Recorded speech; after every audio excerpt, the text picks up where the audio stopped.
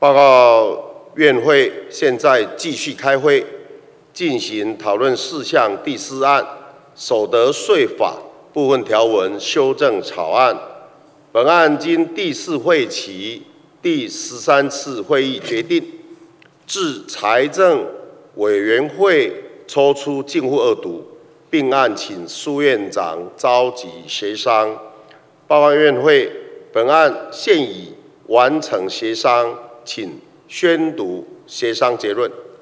立法院朝野党团协商结论：时间一百零七年一月十八日星期四上午十时，地点一场三楼会议室。法案名称：行政院函请审议所得税法部分条文修正草案及本院国民党党团、时代力量党团、亲民党党团分别拟具所得税法部分条文修正草案案。决定事项一。各党团同意本案第五条、第十五条、第十七条、第四十二条、第六十六条之九等条文保留院会处理。二、第三条之一第五节、第六十六条之一至第六十六条之八、第七十三条之二、第一百条之一，照各提案版本删除通过。第十四条、第十四条之三、第二十四条、第七十五条、第七十六条、第七十九条、第八十八条、第八十九条、第八十九条之一、第九十二条、第一百零二条之一、第一百零六条、第一百零八条、第一百一十四条之一至第一百。一十四条之四、第一百二十六条、第七十一条、第一百条、第一百一十条，照行政院提案版本通过。三、本案定于一百零七年一月十八日星期四进行二读，逐条讨论时，非保留条文宣读后均予以通过，不再发言；保留条文均暂保留。各保留条文进行处理前，由各党团推派代表，一亲民党党团一人、时代力量党团二人、国民党党团、民进党党团各三人之顺序发言，每人发言时间为三分钟。轮流交叉发言完毕，及依上开党团顺序进行各保留条文之表决处理。各党团采一版本。主持人苏家全、蔡启昌，协商代表费鸿泰、柯建明、林德福、李红军、徐永明、曾明宗、刘兆好、何新纯。宣读完毕。请问院会对以上协商结论有无异？无异。本案逐条讨论时。均依协商结论处理。所得税法，请宣读。那么第三条之一删除，第五条保留，请宣读第十四条。行政院提案，国民党党团提案，时代力量党团提案，亲民党党团提案第十四条，个人之综合所得总额，以其全年下列各类所得合并计算之。第一类盈利所得，公司股东所获分配之股利，合作社社员所获分配之盈余，其他法人出资者所获分配之盈余，合伙组织盈利事业之合伙人每年度应分配之盈余，独资资本主每年自其独资经营事业所得之盈余，及个人一时贸易之盈余者。之盈余皆属之，合伙人应分配之盈余，或独资资本主经营独资事业所得之盈余，应按核定之盈利事业所得额计算之。第二类执行业务所得，凡执行业务者之业务或演技收入，减除业务所房租或折旧，业务上使用器材设备之折旧及修理费，或收取代价提供顾客使用之药品、材料等之成本，业务上雇用人员之薪资，执行业务之旅费及其他直接必要费用后之余额为所得额。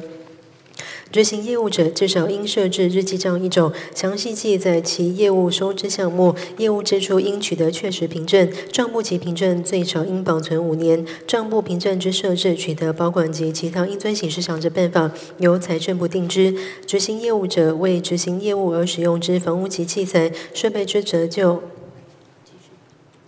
一固定资产内用年数表之规定，执行业务费用之列支，准用本法有关盈利事业所得税之规定，其账簿凭证之查核、收入与费用之认列及其他应遵行事项之办法，由财政部定之。第三类薪资所得，凡公教军警公司事业职工薪资及提供劳务者之所得。一、薪资所得之计算，以在职务上或工作上取得之各种薪资收入为所得额。二、前项薪资包括薪金、俸给、工资津贴、税费、奖金、红利及各种补助费，但为雇主之目的执行职务而支领之差旅费、日支费及交班费不得超过规定标准者，及第四条规定免税之项目不在此限。三、依劳工退休金条例规定，自愿提缴之退休金或年金保险费，合计在每月工资百分之六范围内，不计入提缴年度薪资所得课税。年金保险费部分不适用第十七条有关保险费扣除之规定。第四类利息所得，分公司债凡公债、公司债、金融债券、各种短期票券、存款及其他贷出款项利息之所得，一公债包括各级政府发行之债票、库券、证券及票凭券；二有奖储蓄之中奖奖金，超过储蓄额部分视为存款利息所得。三短期票券指限期在一年期以内之国库券，可转让银行定期存单。公司与公营事业机构发行之本票或汇票及其他经目的事业主管机关核准之短期债务凭证。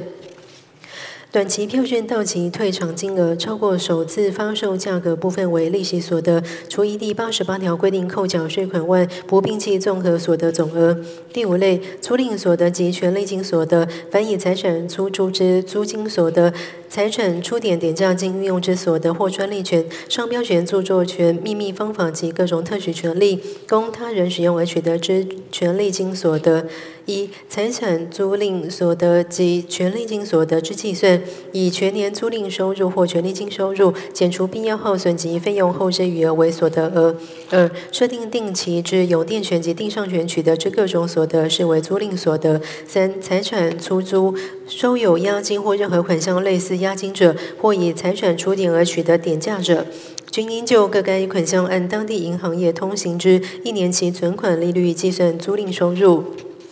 四、将财产借于他人使用，除经查明确系无偿且非公营业或执行业务者使用外，应参照当地一般租金情况计算租赁收入，缴纳所得税。五、财产出租，其约定之租金显较当地一般租金为低，计征机关得参照当地一般租金调整计算租赁收入。第六类自力耕作与木林矿之所得，全年收入减除成本及必要费用后之余额为所得额。第七类财产交易所得，凡财产及权利因交易而取得之所得，以财产或权利原为出价取得者，以交易时之成交价额减除原始取得之成本及因取得改良及移转该项资产而支付之一切费用后之余额为所得额。二、财产或权利原为继承或赠与而取得者，以交易时之成交价额减除继承时或受赠与时该项财产或权利是之实价及应取得改良及移转该项财产或权利而支付之一切费用后之余额为所得额。三、个人购买获取的股份有限公司之记名股票或记名公司债，各级政府发行之证债券，或银行经政府核准发行之开发债券，持有满一年上者，于出售时得仅以其交易所得之半数作为当年度所得，其余半数免税。第八类竞技竞赛及机会中奖之奖金或给予，凡参加各种竞赛、竞技比赛及各种机会中奖之奖金或给予者，皆属之。或给予皆属之。一、参加竞技竞赛所支付之必要费用准予减除；二、参加机会中奖所支付之成本准予减除；三、政府举办之奖券中奖奖金，除依第八十八条规定扣缴税款外，不并计综合所得总额。第九类退职所得，凡个人领取之退休金、资遣费、退职金、离职金、终身俸，非属保险给付之养老金，及以劳工。退休金条例规定办理年金保险之保险给付等所得，但个人历年自薪资所得中自行缴付之储金，或依劳工退休金条例规定提缴之年金保险费，于提缴年度已计入薪资所得课税部分及其孳息不在此限。一一次领取者，其所得额之计算方式如下：一一次领取总额在十五万元乘以退职服务年资之金额以下者，所得额为零；二超过十五万元乘以退职服务年资之金额，未达三十万元乘以退职服务年资之不金额部分，以其半数为所得额；三超过三十万元乘以退职服务年资之金额部分，全数为所得额。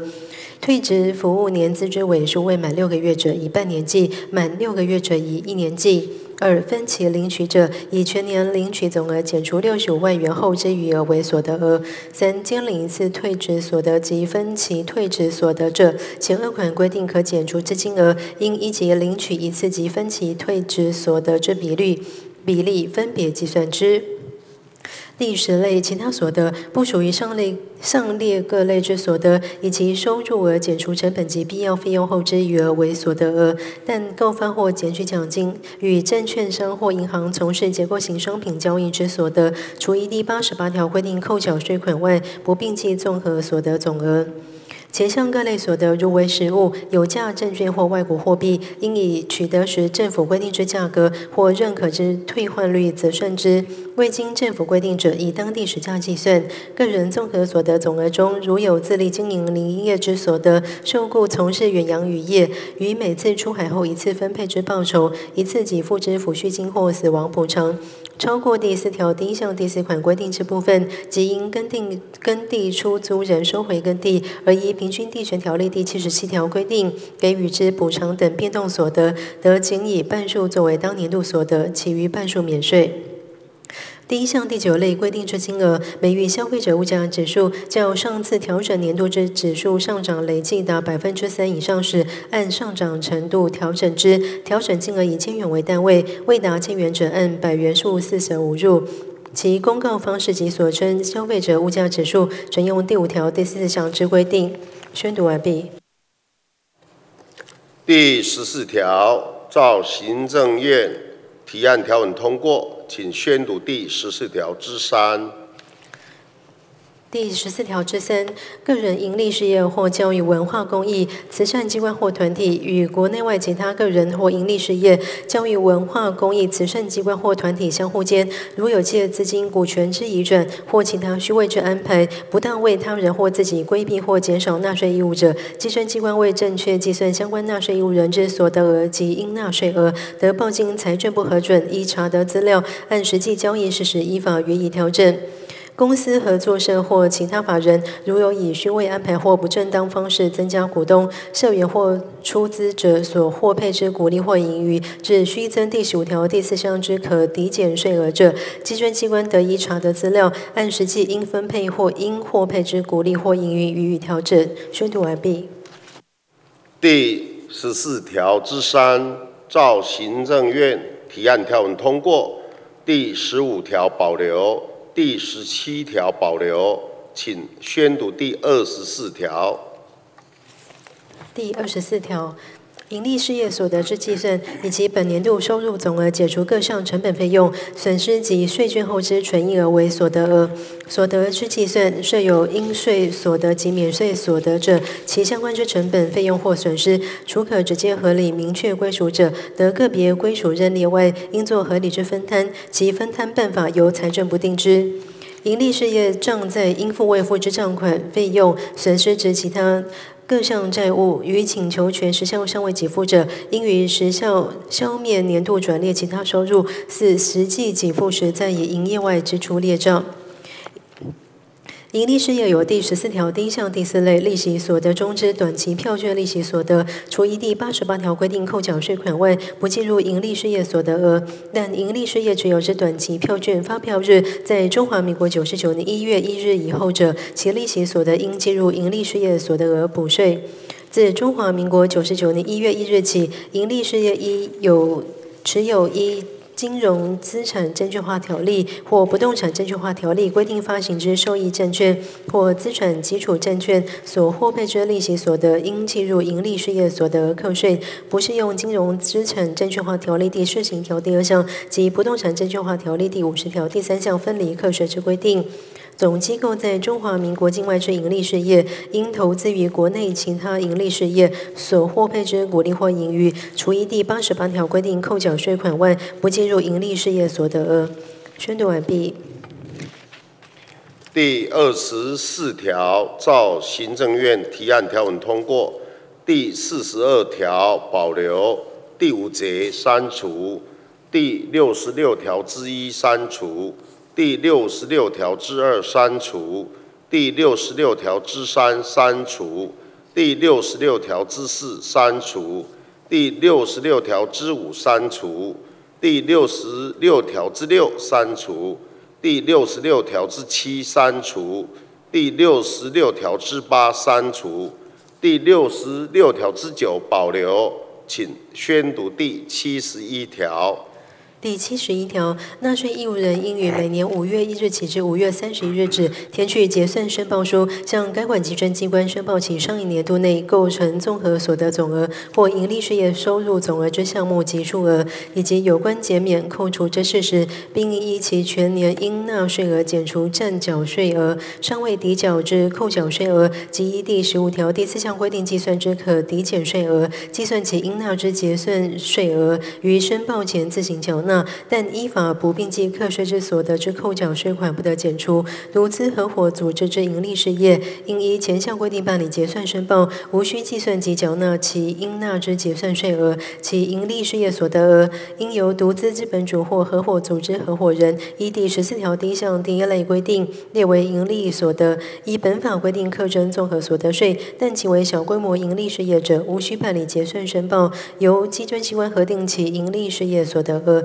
直接归并独资资本主或合伙组织合伙人之盈利所得，依本法规定课征综合所得税。中华民国境内居住之个人，全年综合所得总额不超过当年度规定之免税额及标准扣除额之和计数者，得免办理结算申报；但申请退还扣缴税款及第十五条第四项规定之可抵减税额，或依第十五条第五项规定课税者，仍应办理结算申报。宣读完毕。第七十一条，照行政院提案条文通过。第七十三条之二删除，请宣读第七十五条。第七十五条，营利事业遇有解散废止、合并或转让情事时，应于截至解散废止、合并或转让之日止，办理当期决算，于四十五日内依规定格式向该管稽征机关申报其营利事业所得额及应纳税额，并于提出申报前自行缴纳之。营利事业在清算期间之清算所得，应于清算结束之日起三十日内依规定格式书表向该管稽征机关申报，并于申报前依照当年度所适用之盈利事业所得税税率自行计算缴纳，但依其他法律得免除清算程序者，不适用之。前项所称清算期间，其属公司组织者，依公司法规定。之期限；属有限合伙组织者，依有限合伙法规定之期限；非属公司或有限合伙组织者，为自解散废止、合并或转让之日起三个月。独资合伙组织之盈利事业，应依第一项及第二项规定办理当期决算或清算申报，无需计算及缴纳其应纳税额。其盈利事业所得额，应由独资资本主或合伙组织合伙人依第十四条第一项第一类规定列为盈利所得，一本法规定课征综合所得税。但其为小规模盈利事业者，无需办理当期决算或清算申报，由稽征机关核定其盈利事业所得额，直接归并独资资本主或合伙组织合伙人之盈利所得，依本法规定课征综合所得税。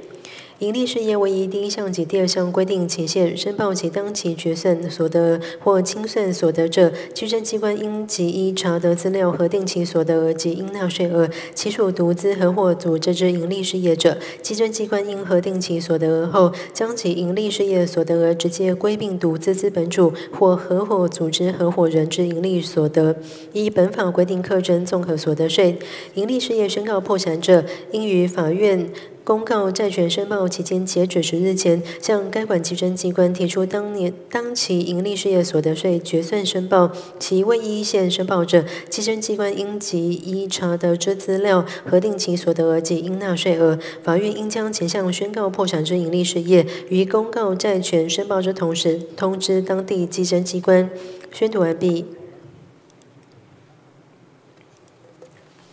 第。七十五条，照行政院提案条文通过，请宣读第七十六条。第七十六条，纳税义务人办理结算申报，应减负自缴税款缴款书收据与其他有关证明文件及单据，其为盈利事业所得税纳税义务人者，并应提出资产负债表、财产目录及损益表。公司合作社及其他法人负责人于申报盈利事业所得税时，应将股东、社员或出资者之姓名注置，应分配或已分配之股利或盈余数额。合伙组织之负责人应将合伙人姓名注置，投资数额及分。配损益之比例列单申报。宣读完毕。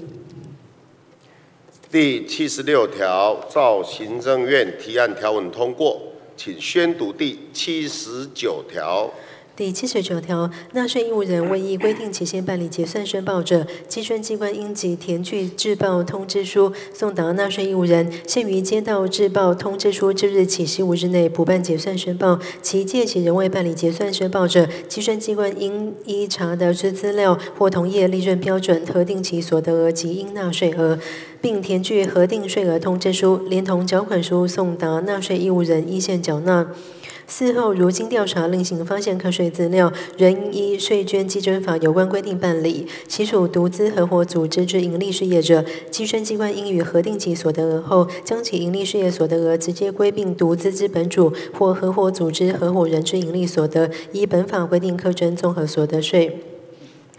综合所得税纳税义务人不适用前项催报之规定，其借其未申报者，稽征机关应即依查得之资料，核定其所得额及应纳税额，通知依线缴纳。事后如经稽征机关调查另行发现课税资料，仍应依税捐稽征法有关规定办理。宣读完毕。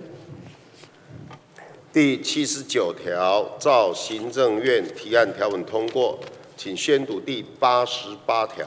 第八十八条，纳税义务人有下列各类所得者，应由扣缴义务人于给付时，以规定之扣缴率或扣缴办法扣取税款，并依第九十条规定缴纳之：一、公司分配与非中华民国境内居住之个人及总机构，在中华民国境外之营利事业之股利、合作社、其他法人、合伙组织或独资组织分配于非中华民国境内居住之社员、出资者、合伙人或独资资本主之盈余。二、机关团体、学校、事业、破产财团或执行业务者所给付之薪资、利息、租金、佣金、权利金、竞技、竞赛或机会中奖之奖金或给予、退休金、资遣费、退职金、离职金、终身奉非属保险给付之养老金、告发或检举奖金、结构型商品交易之所得、执行业务者之报酬及给付在中华民国境内无固定营业场所或营业代理人之国外营利事业之所得。三、第二十五条规定之营利事业，依第九十八条之一之规定，应由营业代理人或给付人扣缴所得税款之营利事业所得。四、第二十六条规定，在中华民国境内无分支机构之国外影片事业，其在中华民国境内之营利事业所得额。独资合伙组织之营利事业，依第七十一条第二项或第七十五条第四项规定办理结算申报或决算清算申报，应。有应分配与非中华民国境内居住之独资资本主或合伙组织合伙人之盈余者，应于该年度结算申报或决算清算申报法定截止日前，由扣缴义务人依规定之扣缴率扣取税款，并依第九十二条规定缴纳。其后实际分配时，不适用前项第一款之规定。前项独资合伙组织之盈利事业，依法办理结算、决算或清算申报，或于申报后办理更正，经稽征机关核定增加盈利事业所得额，或未依法自行办理申报，经稽征机关核定盈利事业所得额自增加独资资本主或合伙组织合伙人之盈余者。扣缴义务人应于核定通知书送达之次日起算三十日内，就应分配与非中华民国境内居住之独资资本主或合伙组织合伙人之新增盈余，依规定之扣缴率扣取税款，并依第九十二条规定缴纳。前三项各类所得之扣缴率及扣缴办法，由财政部拟定，报请行政院核定。宣读完毕。第八十八条，照行政院提案条文通过，请宣读第八十九条。第八十九条前条各类所得税款，其扣缴义务人及纳税义务人如下：一、公司分配与非中华民国境内居住之个人及总机构在中华民国境外之营利事业之股利；合作社分配与非中华民国境内居住之社员之盈余；其他法人分配与非中华民国境内居住之出资者之盈余；独资合伙组织之营利事业分配，或应分配与非中华民国境内居住之独资资本主或合伙组织合伙人之盈余。其扣缴义务人为公司合作社、其他法人独资组织或合伙组织负责人；纳税义务人为非中华民国境内居住之个人股东；总机构在中华民国境外之营利事业股东；非中华民国境内居住之社员、出资者、合伙组织合伙人或独资资本主。二、薪资、利息、租金、佣金、权利金、执行业务报酬、竞技竞赛或机会中奖奖金或给予、退休金、资遣费、退职金、离职金、终身俸、非属保险给付之养老金、购发或减取奖金、结构性商品交易之所得及给付在中华民国境内无固定营业场所或营业代理人之国外盈利事业之所得。其扣缴义务人为机关团体、学校之责，应扣缴单位主管、事业负责人、破产财团之破产管理人及执行业务者，纳税义务人为取得所得者。三一前条第一项第三款规定之盈利事业所得税扣缴义务人为营业代理人或给付人。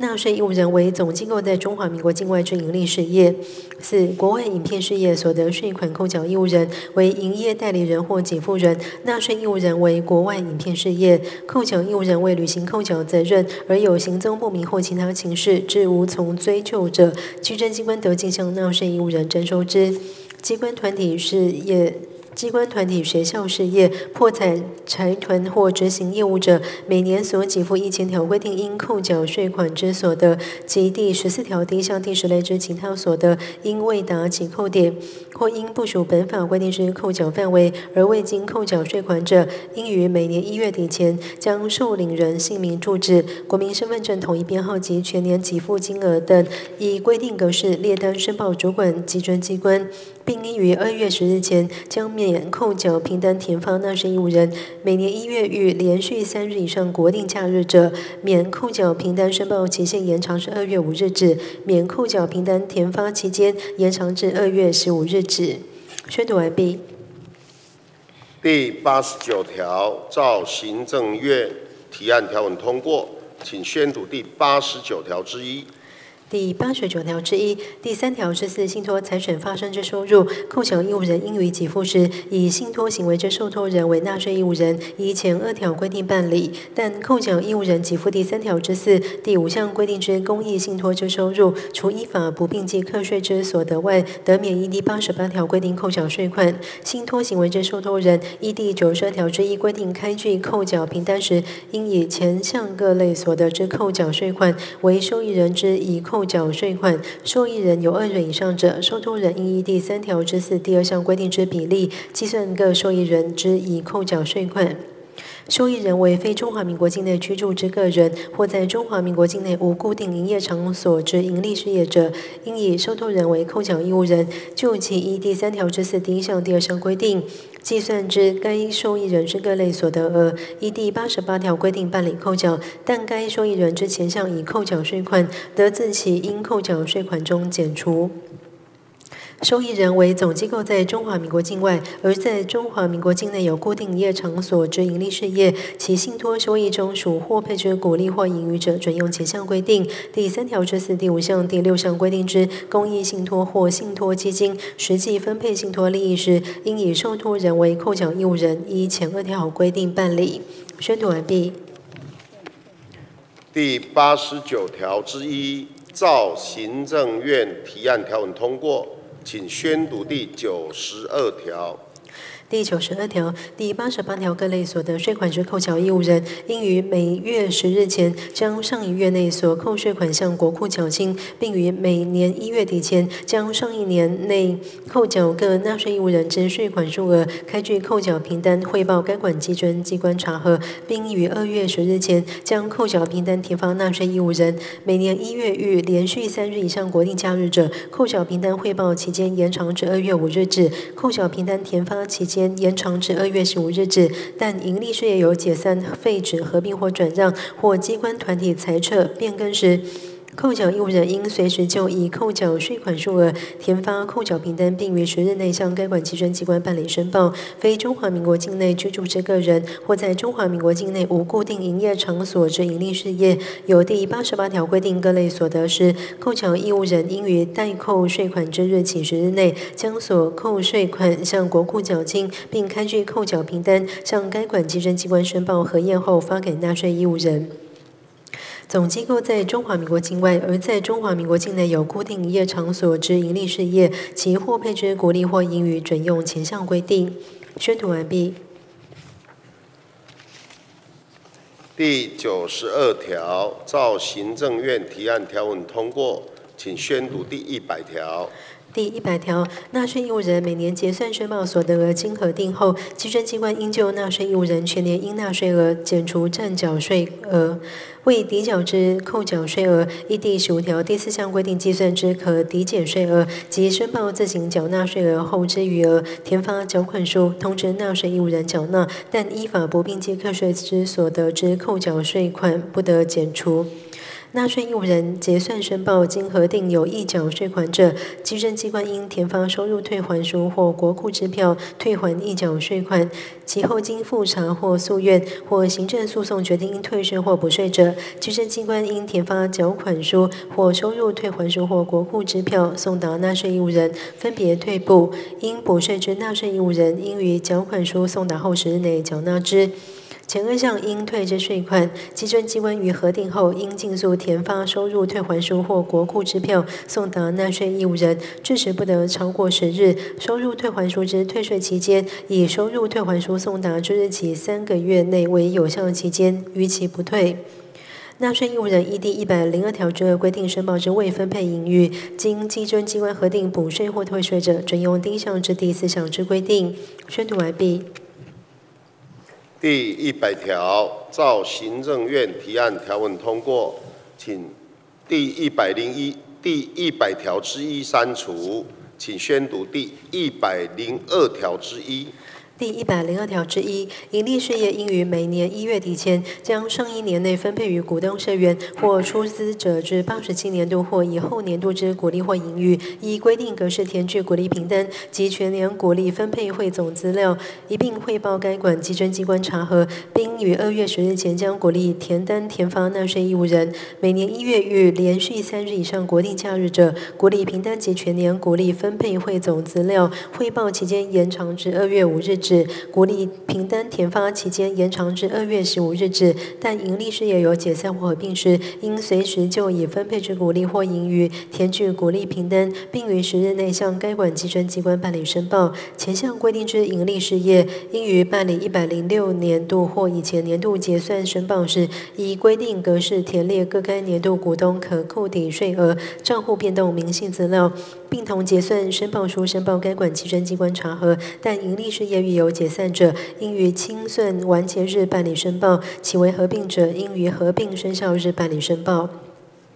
前项所称股东可扣抵税额账户变动明细资料，指股东可扣抵税额账户之期初余额，当年度增加金额明细，减少金额明细及其余额。依第一项本文规定。应填发鼓励凭单之盈利事业，已依规定期限将凭单汇报该管稽征机关，且凭单内容符合下列情形者，得免填发凭单与纳税义务人。一、纳税义务人为在中华民国境内居住之个人，在中华民国境内有固定业场所之营利事业、机关团体执行业务者或信托行为之受托人。二、国利或盈余资料，经稽征机关纳入结算申报期间提供所得资料查询服务。三、其他财政部规定之情形。一、前项规定免填发凭单与纳税义务人者，如纳税义务人要求填发时，仍应填发。宣读完毕。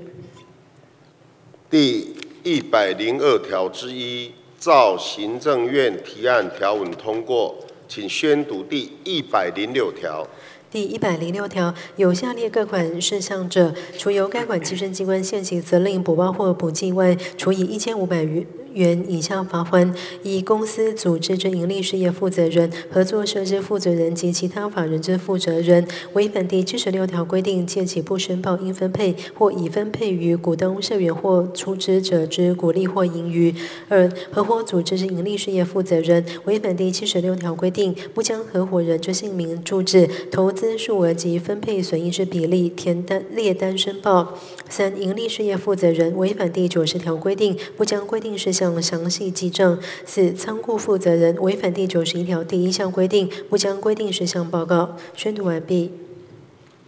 第一百零六条，照行政院提案条文通过，请宣读第一百零八条。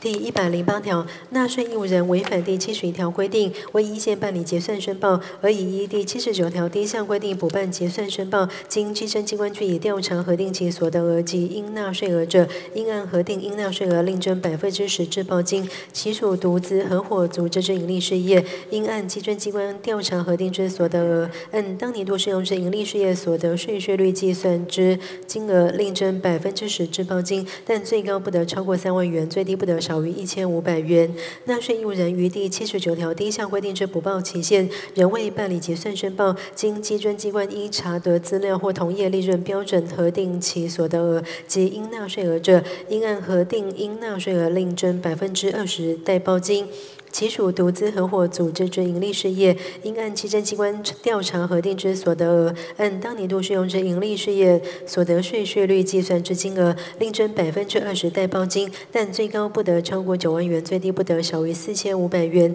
综合所得税纳税义务人及依第七十一条规定免办结算申报者，不适用前二项之规定。宣读完毕。第一百零八条，照行政院提案条文通过。请宣读第一百十条。第一百十条，纳税义务人已依本法规定办理结算、决算或清算申报，而对依本法规定应申报课税之所得额有漏报或短报请示者，处以所漏税额二倍以上之罚款。纳税义务人未依本法规定自行办理结算、决算或清算申报，而经稽征机关调查发现有依本法规定课税之所得额者，除依法核定补征应纳税额外，应照补征税额处三倍以上之罚款。盈利事业应受奖励免税或营业亏损，至加计短漏之所得额后，仍无应纳税额者，应就短漏之所得额，以当年度适用之盈利事业所得税税率计算之金额，分别依前二项之规定倍数处罚，但最高不得超过九万元，最低不得少于四千五百元。第一项及第二项规定之纳税义务人为独资、合伙组织之盈利事业者，应就稽征机关核定短漏之所得额，以当年度适用之盈利事业所得税率计算所得税。税率计算之金额，分别依第一项及第二项之规定倍数处罚。综合所得税纳税义务人有下列情形之一，是虚增第十五条第四项规定可抵减税额者，处以所漏税额或应退税额一倍以下之处罚还一、未依第十五条第四项规定之抵减比率或上限金额计算可抵减税额；二、未依实际获配。股利或盈余金额计算可抵减税额；三、无获分配股利或盈余事实，虚报可抵减税额。宣读完毕。第一百十条，照行政院提案条文通过，请宣读第一百十四条之一。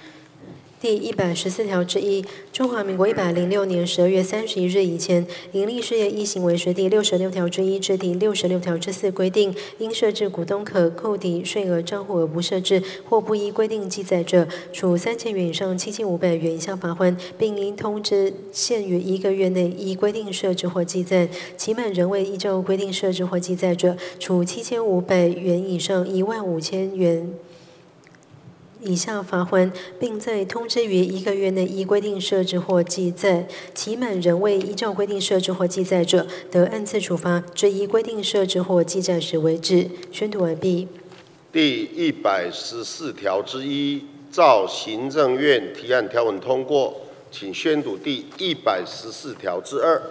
第一百十四条之二，中华民国一百零六年十二月三十一日以前，盈利事业有下列各款规定情形之一者，应就其超额分配之可抵可扣抵税额，责令盈利事业限期补缴，并按超额分配之金额处一倍以下之罚款。一违反行为时第六十六条之二第二项、第六十六条之三或第六十六条之四规定，虚增股东可动。扣抵税额账户金额，或短期行为时第六十六条之六规定之账在累计未分配盈余账户金额，至分配于股东或社员之可扣抵税额。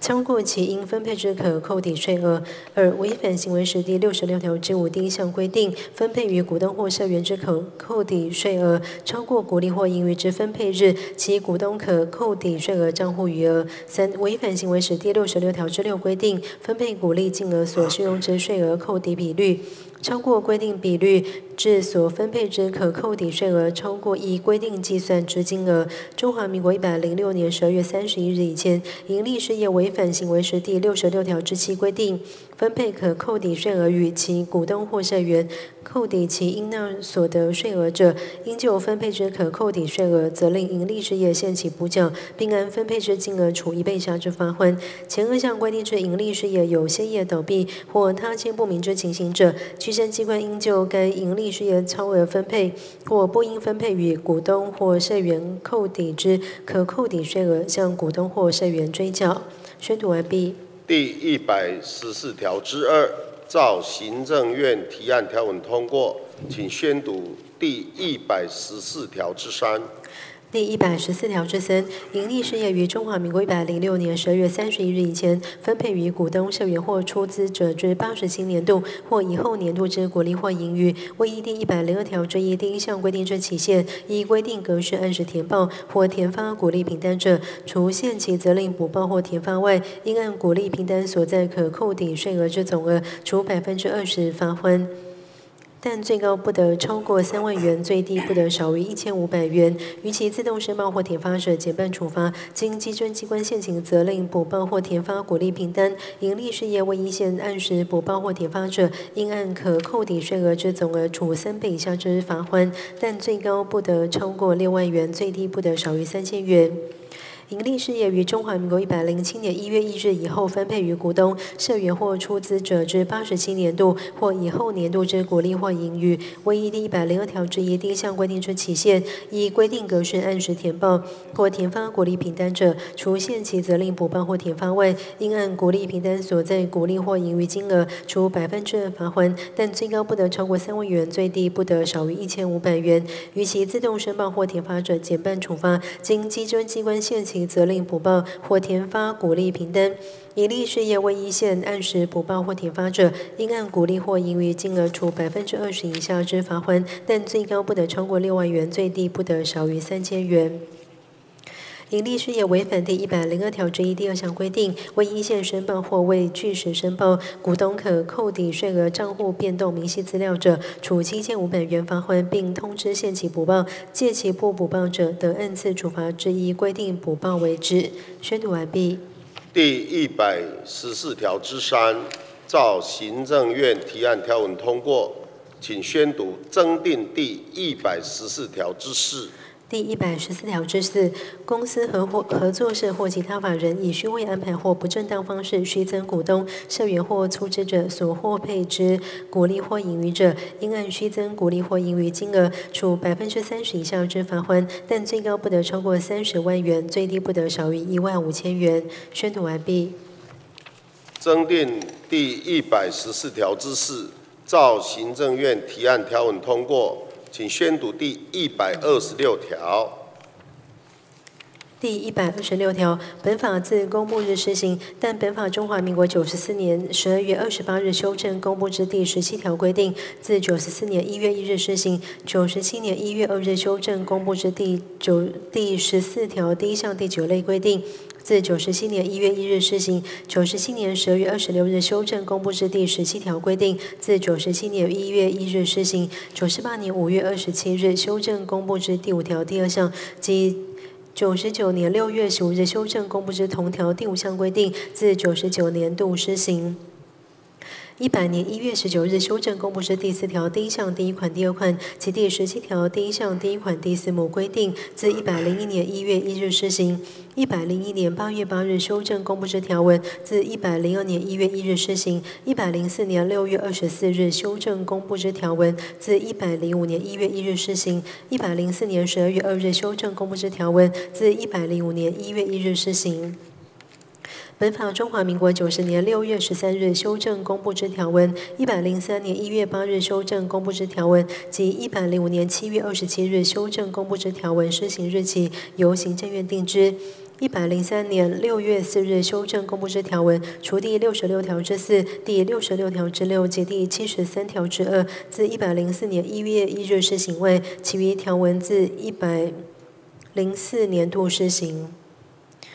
本法中华民国一百零七年一月十八日修正之条文，自一百零七年一月一日施行，但第五条、第六十六条之九、第七十一条、第七十五条、第七十九条、第一百零八条及第一百十条，自一百零七年度施行；第七十三条之二，自一百零八年一月一日施行。宣读完毕。第一百二十六条，照行政院提案条文通过。报告院会，非保留条文均已处理完毕。下午二时三十分。继续处理保留条文，现在休息。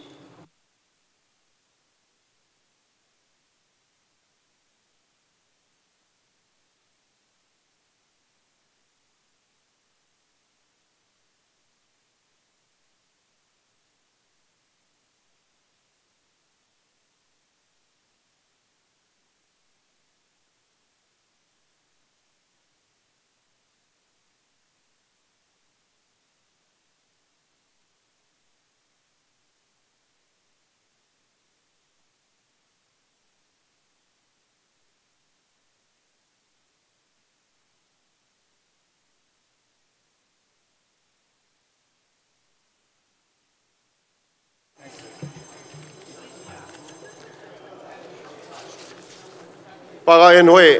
现在继续开会，处理保留条文。一、协商结论，保留条文处理前，由各党团各推派代表进行发言，每人发言时间三分钟。发言完毕后即进行处理。现在针对第五条，民进党党团撤回修正动议。及在修正动议条文不予处理，请宣读各提案及修正动议条文。行政院亲民党党团分别提案第五条。综合所得税之免税额以每人全年六万元为基准，免税额每遇消费者物价指数较上次调整年度之指数上涨累计达百分之三以上时，按上涨程度调整之。调整金额以千元为单位，未达千元者按百元数四舍五入。综合所得税课税及聚集累进税率如下：一、全年综合所得金额在五十二万元以下者，课征百分之五；而超过五十二万元之一百十七万元者，课征二万六千元。元，加超过五十二万元部分至百分之十二；三、超过一百十七万元至二百三十五万元者，课征十万零四千元，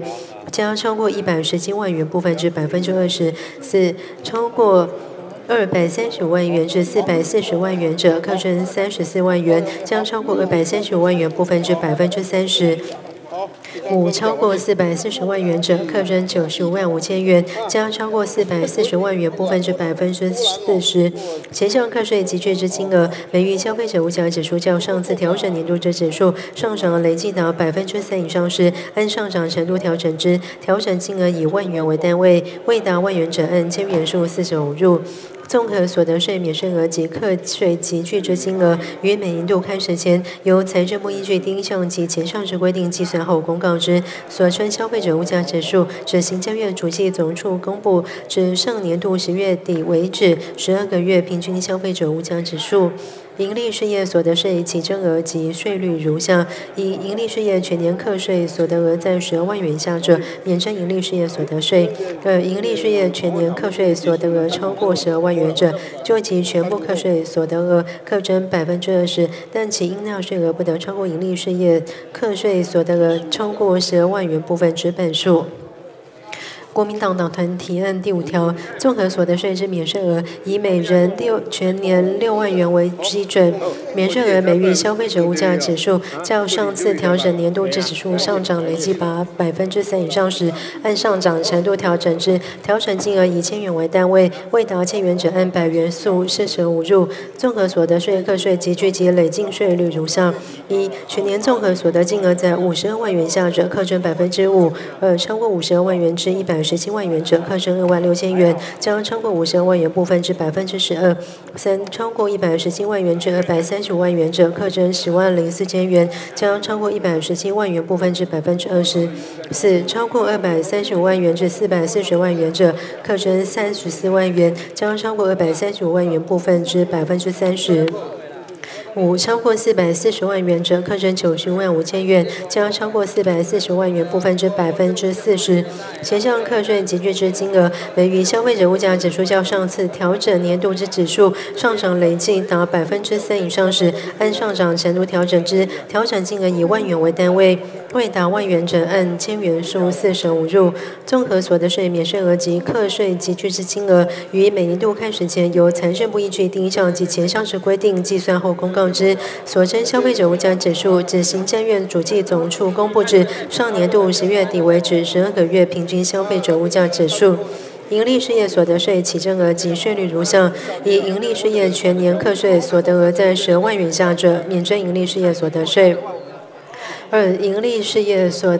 盈利事业全年课税所得额超过十二万元者，就其全部课税所得额课征百分之二十，但其应纳税额不得超过盈利事业课税所得额超过十二万元部分之半数。三、适用中小企业发展条例之盈利事业全年课税所得额超过十二万元者，就其全部课税所得额课征百分之十七，但其应纳税额不得超过盈利事业课税所得额超过十二万元部分之半数。时代力量党团提案第五条，综合所得税之免税额，以每人全年六万元为基准，免税额每于消费者物价指数较上次调整年度之指数上涨累计达百分之三以上时，按上涨程度调整之，调整金额以千元为单位，未达千元者按百元数四舍五入。综合所得税课税及具体累进税率如下：一、全年综合所得金额在五十万元以下者，课征百分之五；二、超过五十万元至一百十七万元者，课征二万六千元，将超过五十万元部分之百分之。十二三超过一百十七万元至二百三十五万元者，课征十万零四千元；将超过一百十七万元部分之百分之二十。四超过二百三十五万元至四百四十万元者，课征三十四万元；将超过二百三十五万元部分之百分之三十。五超过四百四十万元者，课征九十五万五千元；将超过四百四十万元部分之百分之四十。前项课税集聚之金额，每月消费者物价指数较上次调整年度之指数上涨累计达百分之三以上时，按上涨程度调整之。调整金额以万元为单位，未达万元者按千元数四舍五入。综合所得税免税额及课税集聚之金额，于每年度开始前，由财政部依据第一项及前项之规定计算后公告之。所称消费者物价指数，指行政院主计总处公布至上年度十月底为止十二个月平均消费者物价指数。盈利事业所得税起征额及税率如下：一是盈利事业全年课税所得额在十万元以下者，免征盈利事业所得税；二、盈利事业全年课税所得额超过十万元者，就其全部课税所得额课征百分之二十一，但其应纳税额不得超过盈利事业课税所得额超过十二万元部分之半数。国民党、亲民党、民进党党团共同及时代力量共同所提修正动议第五条。综合所得税之免税额，以每人全年六万元为基准，免税额每遇消费者物价指数较上次调整年度之指数上涨累计达百分之四以上时，按上涨程度调整之。调整金额以千元为单位，未达千元者按百元数四舍五入。综合所得税课税及聚集累进税率如下：一、全年综合所得金额在五十二万元下者，课征百分之五；二、超过五十二万元至一百十七万元者，课征二万六千元，将超过五十二万元部分之百分之十二；三、超过一百十七万元至二百三十五万元者。课征十万零四千元，将超过一百十七万元部分之百分之二十四；超过二百三十五万元至四百四十万元者，课征三十四万元，将超过二百三十五万元部分之百分之三十五；超过四百四十万元者，课征九十五万五千元，将超过四百四十万元部分之百分之四十。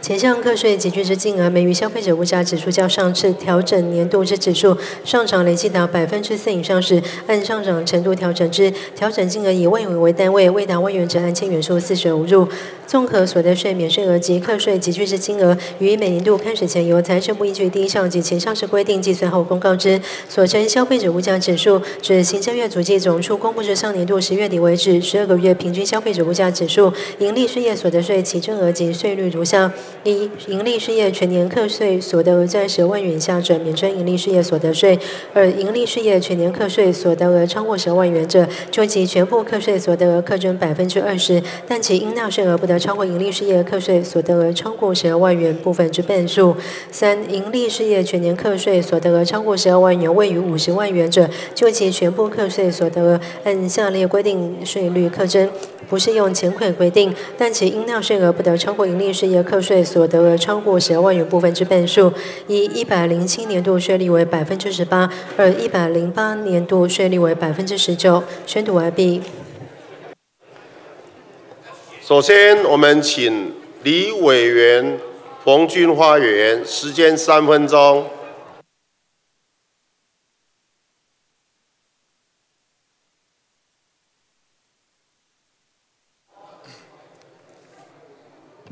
呃，谢谢主席，还有各位同仁。今天我们在这个地方讨论我们所谓的税改方案。其实最重要的就是有四个指标，第一个就是要务实的回应我们社会的一个需求，第二个就是要维护我们的租税的公平，第三就是要改善所得的分配，第四就是要确保我们可以有投资的动能，所以这也是亲民党对于税改的一个基本的原则，因为所有的。税改的法案改革，不仅是为了提升国家的竞争力，同时也是应该要让我们的中产阶级和中小企业能够对当前政府的施政能够产生信心，所以进一步的创造就业，促进经济的成长，实现社会的正义。那现在我们在讨论的第五条当中，其实最主要的讨论有两大类，第一个就是调高营所税。从十七趴渐进式的拉高到二十趴。第二就是将中所税最高的税额百分之四十五取消，然后改回最高的百分之四十。其实我们来回顾营所税当初为何要从二十五百分之二十五降为百分之十七，是因为当初主张这个降营所税的人说，降税可以吸引外资、吸引投资，但是。经过这几年的验证的结果，降税并没有吸引投资的效果，而所谓的营所税，我们也可以当成是企业付给国家的一个服务费，啊，服务企业的项目当然包括公路、包括电信、包括海关、包括企业的契约、法治的环境等，所以一般而言，法治服务越完整，对制造业越普遍的国家。政府对企业的服务越广泛，其服务费也当然就应该要越高。另外一个就是所谓的中所税，中所税现在我们降为百分之四十。其实台湾是一个非常吸引人才的地方，所以人才的环境，台湾对于相对的新加坡、香港对岸并不算有利，所以我们期盼能够透过调降个人的中所税的最高。边际的效率、边际税率的一个方式来留住人才。最后，其实亲民党认为，所有调高税率所产生的税收应该是全民共享。因此，我们也接下来在修法的条文中，特别是在这个调高这个标准扣除额、薪资薪资扣除的扣除额，还有身心障碍的一个扣除额，特别是在应用少子化，针对幼儿学前的扣除额。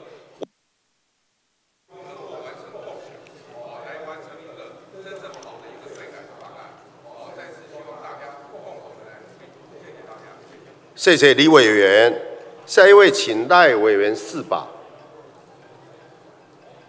好吧，不然你们先调换，请曾委员民中。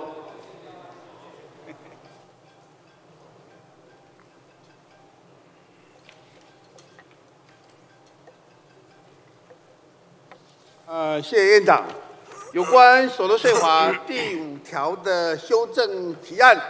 这一次行政院是希望把公司的盈利事业所得税调高为从十七调高为二十，基本上国民党是赞成，但是国民党原始的提案是希望中小企业的部分能够维持在百分之十七。我们理由有几个，以下几项理由：第一个，中小企业的重要性，中小企业在国内超过一百四十万家，占企业总家数的百分之九十八。另外，在国内创造了八百八十一万的就业，但是过去几年，不管是营收、获利，都在衰退当中。我们要利用机会肯定中小企业的重要性。第二个，国外的相关案例，国很多的国家对中小企业它适用盈利事业所得税，都有比较低的税率，比如说像日本，它适用是百分之十五，一般企业是二十三点四；韩国中小企业适用百分之十，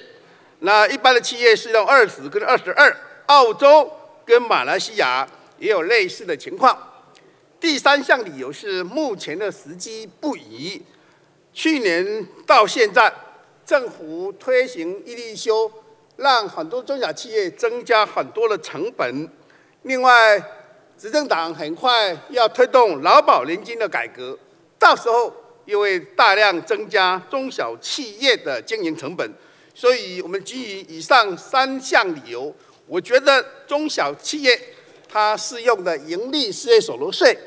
必须维持在百分之十七。一方面肯定它的创造经济就业机会，另外国外有这个案例，另外目前的时机不宜。国民党原来是希望维持百分之十七，但是在谢谢啊苏院长昨天的协商。因为各界的反应认为，假设照国民党提出的版本，税损会太大，所以国民党也接受各界的意见。经过朝野协商之后呢，我们希望中小企业能够假设比较小的，它的盈利所得，盈利所得在每一年在五十万以下的，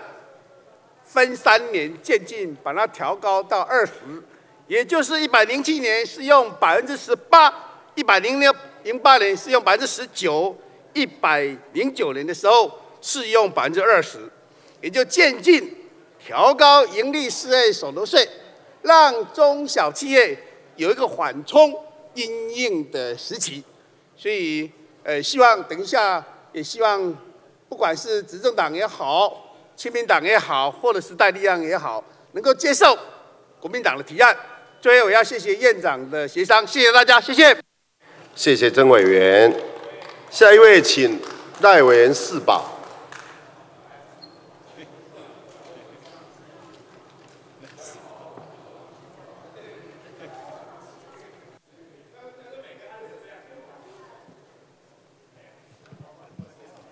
谢谢院长。那么，各位先进，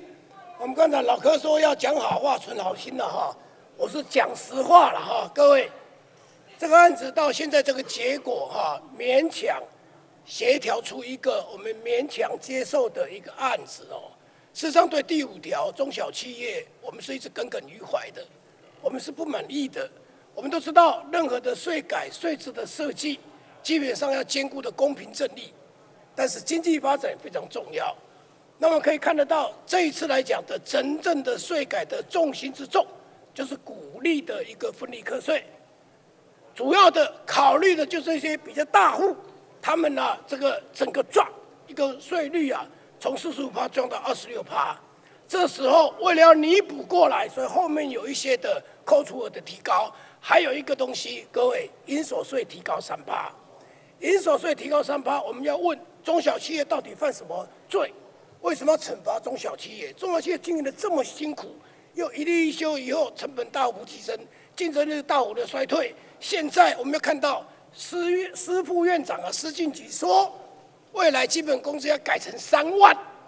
各位，我们不知道有没有这个条件，除非你的 GDP 每年成长六趴。所以他说，如果是调薪每年调六趴，四到六年之后就可以变成三万的基本工资。我算起来刚好是为了选举着想嘛，哈。所以我们可以看得到。这一次来讲的话，对中小企业是被牺牲的一群。我们后来为什么接受？因为与其在这里表决，最后还是二十趴，我们不如说我们且战且走，我们先接受十八趴、十九趴、二十趴。各位，我希望，我希望我们这个税制是减动，是滚动式的检讨。我们在六月份还再来一次，因为很多的扣除额，六月份还在检讨一次。我们希望在六月份的时候，有可能把。中小企业的税率再次的降为十七趴，各位不要忘了，现在全球的税制是要互相竞争的。当美国大幅降税的时候，我们大家已经全世界大家已经看得到，钱是往美国跑的，我们的企业往美国跑，这个我们大企业往美国跑。那么包括民间的台塑企业，包括民间的富士康、红海，包括公家单位的，就像总有要人去那里。各位，我们都知道，税制要有世界有竞争力。这一次来讲的话，我们的营所税增加三趴，其实是很紧张的，因为这跟世界潮流刚好是反世界潮流，就是为了要解决鼓励分离课税这件事情，结果掐把柄啊，打个掐把柄。老实讲，今天这个议题根本可以不需要讨论，根本不需要可以在这里，只是因为执政党是民进党执政。他要去推，我们只能够在他的大。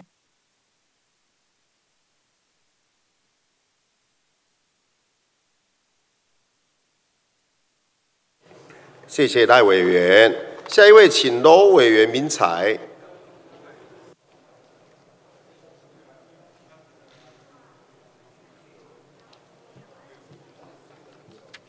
主席、各位委员同仁，大家好。那今年新的一年呢？大概朝野的共同努力啊，今年会给大家一个减税的大红包。那事实上，包括国民党，包括本席啊，长期以来啊，一直以为中小企业是台湾的经济发展立国之本。所以我们在几年前啊，曾经也是大幅度的讨论，希望多多照顾中小企业，哦，让他的这个企业的。营利事业所得税的税率是降到十七，当初的十七趴就是希望朝野不分蓝绿，大家一起一起共同来支持中小企业，让中小企业成长起来。所以今天我看到这个执政党的版本啊，它调高到二十趴，事实上啊，本席啊，七七以为不可啊，因为税率事实上不是跟自己自己来比啊。而是应该跟国际全部的潮流来比。我们看到美国川普总统啊，他一上任以后就开始大幅度的减税啊。减税不是一定是特效药，但是减税啊的效果一步一步可以发生啊。特别你看看，他一减税了以后，整个包括富士康，包括全世界很多的资金都回流美国，就是一种。政府对企业支持的一个象征啊！哦，所以我们看到美国的道琼工业指数昨天大涨三百二十点，给予降税一个按一个赞。但是今天呢，我们在协商了哈，我们还是尊重的情况之下，接受了十八趴、十九趴、二十趴这个。经过协商了，也没办法哈，因为税的这个制度是整体性的。那这次的这个税改的全部税损，大概是有三百七十多亿了哈。不过我还是一贯的主张啊，轻税减政是最重要的。那税率低一点，让企业发展起来，台湾才会有台积电。台湾才会有红海等等的大公司，好，所以我觉得这点还是蛮可惜的哈。我们一直坚持的十七趴，没办法往上调了一点。另外，这个个人中所税的部分，从四十五趴，好，边际最高的这个集聚降到四十趴，其实就留住好的人才，哦，揽才的这个情况来讲的话，事实上为德不足了。虽然降了一个五趴啦，但是我们还是有点担忧啦。很多比较高所得的白领阶级啊，一些比较高技术的这些人才啊，可能因为税负的这个压力啊，他跑到新加坡、跑到香港等等啊，我觉得这个还是有点可惜啊哈。降幅应该至少跟美国一样啊，不，自然已经走到这边了哈。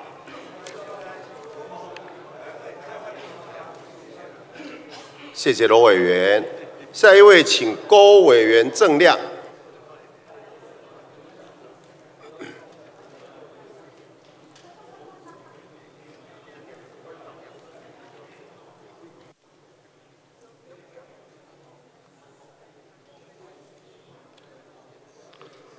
呃，主席、各位同仁，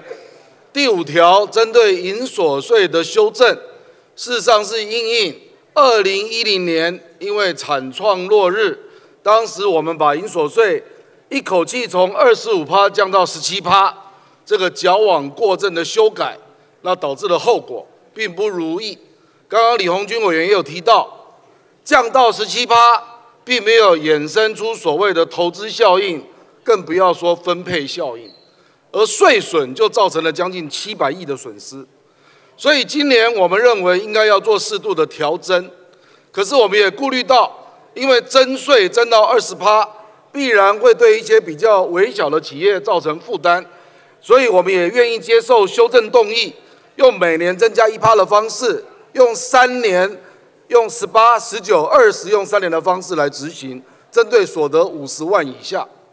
我觉得今天的协商要特别感谢苏院长，在苏院长的领导之下，我们首创朝野之间真的是非常和谐的沟通，双方都从善如流。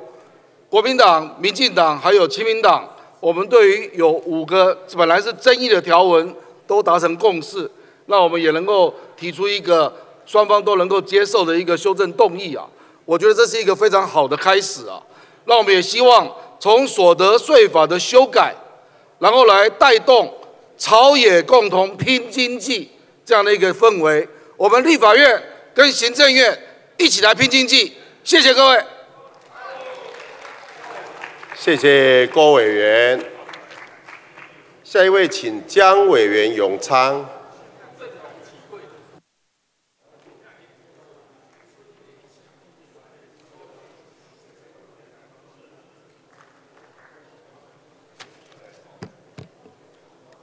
好，啊，院长与会各位同仁，税负的四个面向，要公平，要简化，财政要顾及收入，也要顾及经济发展。我在这里哈提出这一次的这个税制改革有不同的这个角度跟意见，那还好大家都愿意互相包容，最后有一个一致的一个结果。我首先讲过去几年重大的税制改革，在一百零三到一百零四年当中，那个时候把这个呃营所税鼓励全额扣抵改成半数设算扣抵，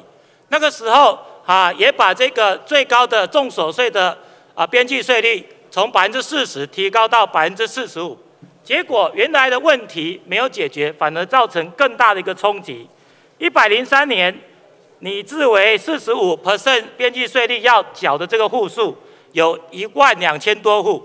结果那个税制实施之后，居然到一百零四年剩下的九千多户，少了三千户，而这个最高边际税率应纳税额也从一千六百多亿。跌宕到只有剩一千多亿，就发现说这个是需要检讨的一个地方。我们在这里讲，有关于这个造成的一个冲击，使内外资不能和平。即使你不能查到说到底有多少外资，你也知道，当原本的内资如果是四十 percent，加上营所税率十七，然后去扣掉抵减税额，仍然有四十五点一 percent。以四十五 percent 的这个边际税率来算，是四十九点六八。它跟外资的三十三点六足足差了十六趴，而我们现在做了一个新制，把这个哈鼓励所得拉到这个二十八分离课税，即使采用这个方式来计算，现在呃能够通过法案当中就是四十二点四，那与外资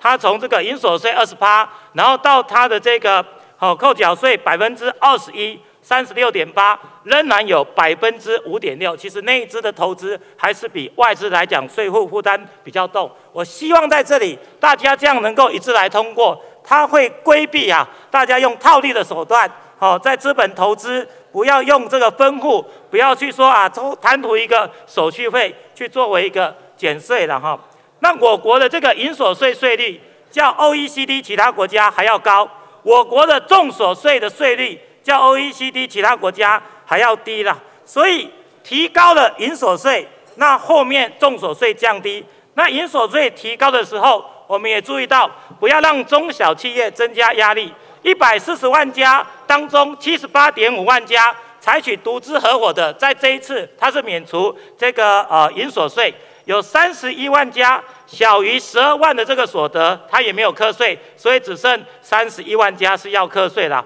我们希望。中小企业不会受到冲击，分三年逐年完成。我们希望这样的一个制。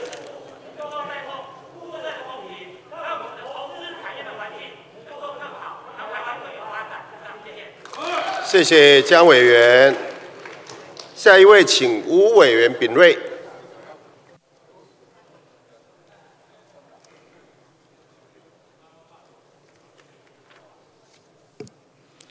主席、各位同仁，我们这一次的这个合理的健全税制的方案，它的起源要讲到跟刚刚江永昌委员讲的一样，在张盛和当财政部长的时候，他弄了一个财政健全方案，他去提高了重所税的最高税率，从四十调高到四十五趴。这个调高到四十五趴的结果，因为两税合一的设算扣抵从营所税十七，只能够扣抵一半，先缴了八点五八的税，之后剩下的在八十三趴里面再缴四十五趴，这样的税率算起来，这个营业企业赚到一百块，到分到股东个人的手里，如果是最高税率的时候是四十九点多，那再加上我们的补充保费还有两趴，使得我们在台湾啊，一个企业家投资，他就算赚了一百块。很可能要付出五十一点多的这个税，这个税捐，这个实在是太高了，这个会妨碍到台湾的这个投资意愿了。所以这一次我们财政部所提出来的方案，它的两大方向，第一个就是降个人的综合所得税边际税率，另外一方面却是要提高企业的这个营所税。那用这样的方式来做财政的一个平衡。那在这里面，当然我们大家知道，营所税提高三趴，这。会加到不少税金，这个利益会回馈到给等一下要讨论的后面的条文，就是这个标准扣除额、薪资特别扣除额、身心障碍扣除额以及幼儿的学前幼儿的这个扣除额。所以这一次简单来讲是啊，让企业多出一些税，多收有钱人的税，然后让这个利益啊归给受薪啊阶级，且归给一般的普罗大众。所以。当然，刚刚国民党的朋友也提到说，那中小企业如果一口气拉高到二十八，会不会承受不了？那在这样子的建议之下，大家经过这个好好的讨论，一个良性的互动，我们认为逐年从十七到十八到十九、二十。三年来调整，让这个税率能够拉高到二十，是让中小企业有一个适应的环境啊，所以这样子的结果也能够使得政党之间发生良性的互动，让我们这一次的这个所得税法的这个修正啊啊，能够有各党绝大多数的各党有共识，然后达成大家一致希望改善台湾的经济，然后增。让我们台湾的受薪阶级以及我们台湾这个年轻人能够达到税捐减免的的目的，我想这是大家共同的成绩啦。希望这样子的良性互动，在未来的法案的协商上也能够有所表现。最后再次感谢大家的配合，来支持行政院这个改革方案。这个改革方案过通过之后，绝对可以让台湾的所得税更加的合理。谢谢大家。谢谢委员。报告。院会各党团推派之代表均已发言完毕，现在要进行处理。报告院会，本条现有国民党党团、亲民党党团、时代力量党团及民进党党团共同手提修正动议条文，请问院会第五条照四个党团共同手提修正动议条文通过，有异议？好，无意做以下宣告：第五条，照国民党党团、亲民党党团、时代力量党团及民进党党团共同手提修正动议条文通过。现在进行第十五条，民进党党团撤回修正动议及再修正动议条文，不予处理，请宣读各提案及修正动议条文。行政院提案条文第十五条，自中华民国一百零三年一月一日起。纳税义务人配偶结合于第十七条规定得申报减除抚养亲属免税额之受抚养亲属，由第十四条第一项各类所得者，除纳税义务人与配偶分居得各自依本法规定办理结算申报及计算税额外，应由纳税义务人合并申报及计算税额。纳税义务人主体经选定，得于该申报年度结算申报期间届满之次日起算六个月内申请变更，且向税额之计算方式，纳税义务人应就下列各款规定择一适用：一、各类所得合并计算税额，纳税义务人就其本人、配偶及受抚养亲属之第十四条第一项各类所得，依第十七条规定减除免税额及扣除额，合并计算税额；二、薪资所得分开计算税额，其余各类所得合并计算税额。一、纳税义务人就其本人或配偶之薪资所得分开计算税额，计算该税额时得仅得减除分开计算税额者，依第十七条规定计算之免税额及薪资所得特别扣除额。二、纳税义务人就其本人、配偶及受抚养亲属前目以外之各类所得，依第十七条规定解除前目以外之各项免税额及扣除额，合并计算税额。三、各类所得分开计算税额。一、纳税义务人就其本人或配偶之第十四条第一项各类所得分开计算税额，计算该税额时，仅得减除分开计算税额者，依第十七条规定计算之免税额、财产交易损失特别扣除额、薪资所得特别扣除额、储蓄投资特别扣除额及身心障碍特别扣除额。二、纳税义务人就前目分开计算税额之他方及受抚养亲属之第十四条第一项各类所得，依第十七条规定减除前目以外之各项免税额及扣除额，合并计算税额。三、纳税义务人依前二目规定计算得减除之储蓄投资特别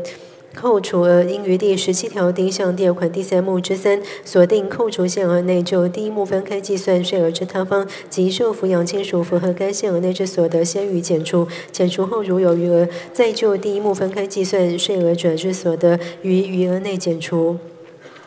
第一项分居之认定要件及应减负之证明文件由财政部定之。自中华民国一百零七年一月一日起，纳税义务人配偶及合于第十七条规定的申报减除抚养亲属免税额之受抚养亲属，或配第十四条第一项第一类盈利所得，其属所投资之公司、合作社及其他法人分配八十七年度或以后年度之股利或盈余，得就股利及盈余合计金额按百分之八点五计算，可扣可抵减税额。抵减当年度依第二项规定计算之综合所得税结算申报应纳税额，每一申报户每年抵减金额以八万元为限。纳税义务人得选择就其申报户前项鼓励及盈余合计金额按百分之二十六之税率分开计算应纳税额，由纳税义务人合并报缴，不适用第二项税额之计算方式及前项可抵减税额之规定。国民党党团提案第十五条，自中华民国一百零三年一月一日起，纳税义务人配偶及合于第十七条规定得申报减除抚养亲属免税额之受抚养亲属，有第十四条第一项各类所得者，除纳税义务人与配偶分居，得各自依本法规定办理结算申报及计算税额外，应由纳税义务人合并申报及计算税额。纳税义务人主体经选定，得于该申报年度结算申报期间届满之次日起算六个月内申请变更。前项税额之计算方式，纳税义务人应就下列各款规定之一，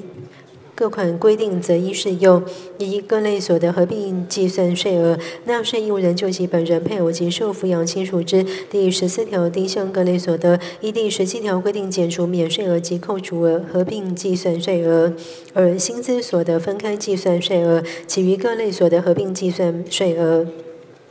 一、纳税义务人就其本人或配偶之薪资所得分开计算税额，计算该税额时，仅得减除分开计算税额者，依第十七条规定计算之免税额及薪资所得特别扣除额。二、纳税义务人就其本人、配偶及受抚养亲属前目以外之各类所得，依第十七条规定减除前目以外之各项免税额及扣除额，合并计算税额。三、各类所得分开计算税额。一、纳税义务人就其本人或配偶之第十四条第一项各类所得分开计算税额，计算该税额时，仅得减除分开计算税额者，依第十七条规定计算之免税额、财产交易损失特别扣除额、薪资所得特别扣除额、储蓄投资特别扣除额及身心障碍特别扣除额。二、纳税义务人就前目分开计算税额之他方及受抚养亲属之第十四条第一项各类所得，依第十七条规定减除前目以外之各项免税额及扣除额，合并计算税额。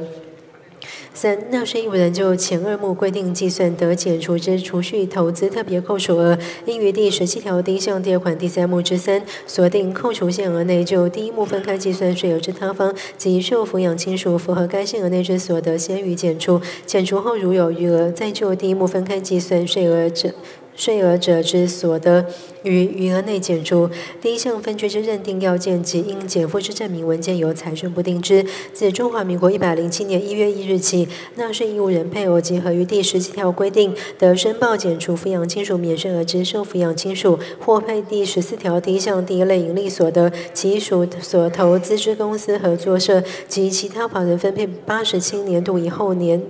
以后年度之股利或盈余，得就股利及盈余合计金额按百分之二十计算可抵减税额，抵减当年度依第二项规定计算之综合所得税结算申报应纳税额，每一申报户每年抵减金额以十五万元为限。纳税义务人得选择就其申报户前项鼓励及盈余合计金额，按下列鼓励所得税课税及聚集累计税率分开计算应纳税额，由纳税义务人合并报缴，不适用第二项税额之计算方式及前项可抵减税额之规定。一、全年鼓励及盈余合计金额在五百万元以下者，课征百分之二十六；二、全年鼓励及盈余合计金额超过五百万元者，课征一百三十万元，加超过五百万元部分之百分之三十。三全年股利及盈余合计金额超过一千万元者，课征二百八十万元，将超过一千万元部分之百分之三十六。时代力量党团提案第十五条，自中华民国一百零三年一月一日起，纳税义务人配偶结合于第十七条规定得申报减除抚养亲属免税额之受抚养亲属，有第十四条第一项各类所得者，除纳税义务人与配偶分居，得各自依本法规定结算申报及计算税额外，应由纳税义务人合并申报及计算税额。纳税义务人主体经选定，得于该申报年度结算申报期间届满之次日起算六个月内申请变更。前项税额之计算方式，纳税义务人应就下列各款规定择一适用：一、各类所得合并计算税额，纳税义务人就其本人、配偶及受抚养亲属之第十四条第一项各类所得，依第十七条规定减除免税额及扣除额合并计算税额；二、薪资所得分开计算税额，其余各类所得合并计算税额。一、纳税义务人就其本人或配偶之薪资所得分开计算税额，计算该税额时，仅得减除分开计算税额者，依第十七条规定计算之免税额及薪资所得特别扣除额。二、纳税义务人就其本人、配偶及受抚养亲属前目以外之各类所得，依第十七条规定减除前目以外之各项免税额及扣除额合并计算税额。三、各类所得分开计算税额。一、纳税义务人就其本人或配偶之第十四条第一项各类所得分开计算税额，计算该税额时，仅得减除分开计算税额者，依第十七条规定计算之免税额、财产交易损失特别扣除额、薪资所得特别扣除额、储蓄投资特别扣除额及身心障碍特别扣除额。而纳税义务人就前目分开计算税额之他方及受抚养亲属之第十四条第一项各类所得，依第十七条规定减除前目以外之各项免税额及扣除额，合并计算税额。三、纳税义务人依前二目规定计算得减除之储蓄投资特别扣除额，应于第十七条第一项第二款第三目之三锁定扣除限额内，就第一目分开计算税额之他方及受抚养亲属符合该限额内之所得，先予减除。减除后如有余额，再就第一目分开计算税额者之所得于余额内减除。第一项分居之认定要件及应减负之证明文件由财政部定之。自中华民国一百零七年一月一日起，纳税义务人配偶及合于第十七条规定得申报减除抚养亲属免税额之受抚养亲属，或配第十四条第一项第一类盈利所得，其属所投资之公司、合作社及其他法人分配八十七年度或以后年度之股利或盈余，得就股利及盈余合计金额按百分之十计算可抵减税额，抵减当年度依第二项规定计算综合所得税结算申报应纳税额，每一申报户每年抵减金额以七万元为限。纳税义务人得以其申报户前项股利及盈余合计金额选择按下列税率分开计算应纳税额，由纳税义务人合并报缴，不适用第二项税额之计算方式及前项可抵减税额之规定。一、股利及盈余合计金额在一千万元以下者，税率为百分之二十七；二、股利及盈余合计金额达一千万元以上者，就超过一千万元这部分，税率为百分之三十一。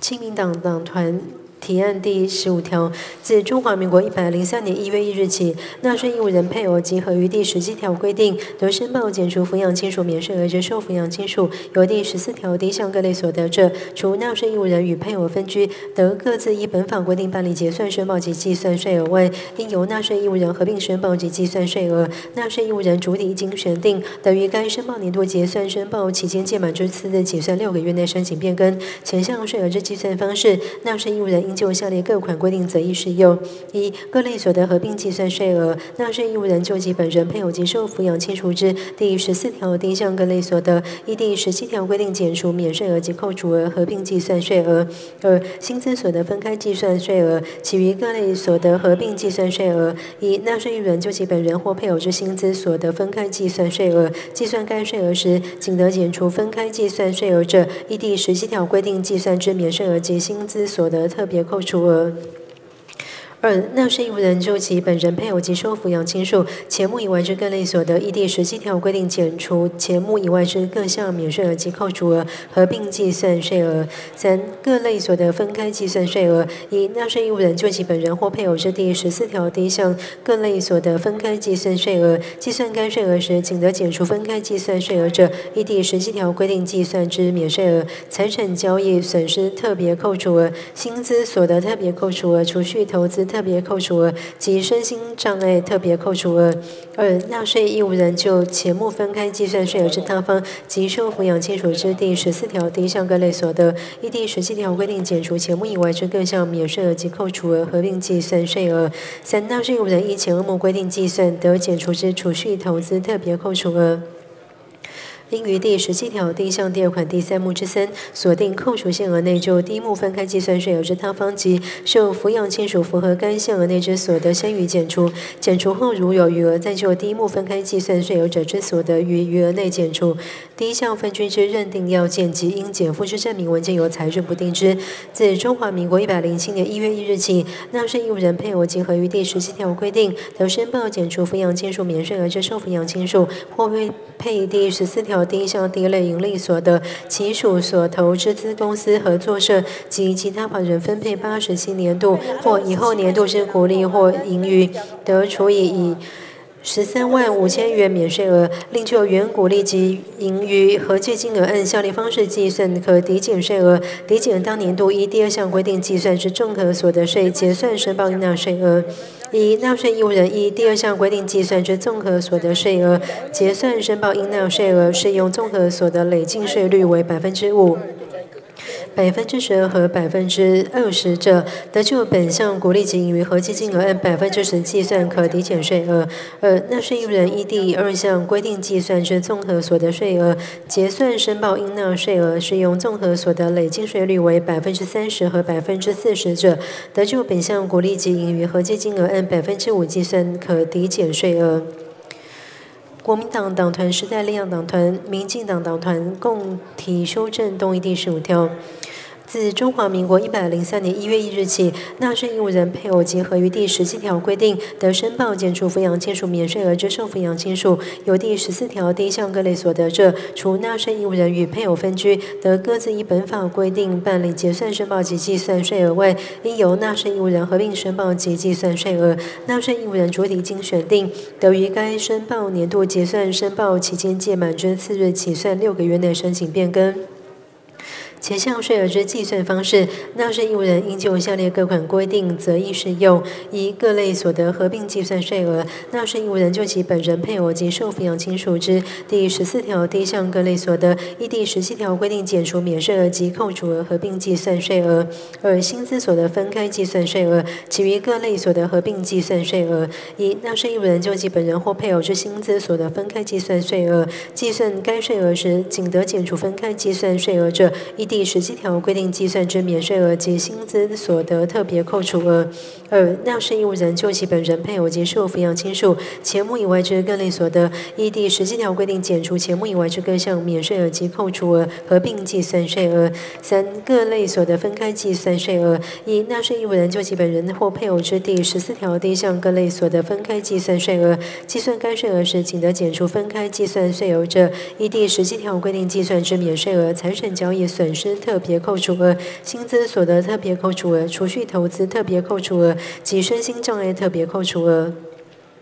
二、纳税义务人就节目分开计算税额之他方及受抚养亲属之第十四条第一项各类所得，依第十七条规定减除节目以外之各项免税额及扣除额，合并计算税额。三、纳税义务人依前二目规定计算得减除之储蓄投资特别扣除额，应于第十七条第一项第二款第三目之三锁定扣除限额内，就第一目分开计算税额之他方及受抚养亲属符合该限额内之所得，先予。减除，减除后如有余额，再就第一部分开计算税额者之所得于余额内减除。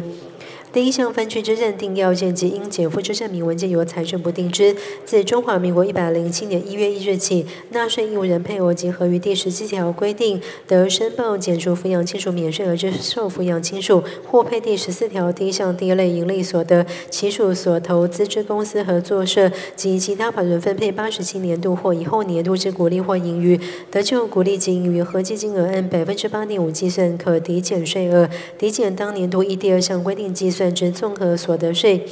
结算申报应纳税额，每一申报户每年抵减金额以八万元为限。纳税义务人得选择就其申报户前项股利及盈余合计金额按百分之二十八之税率分开计算应纳税额，由纳税义务人合并报缴，不适用第二项税额之计算方式及前项可抵减税额之规定。宣读完毕。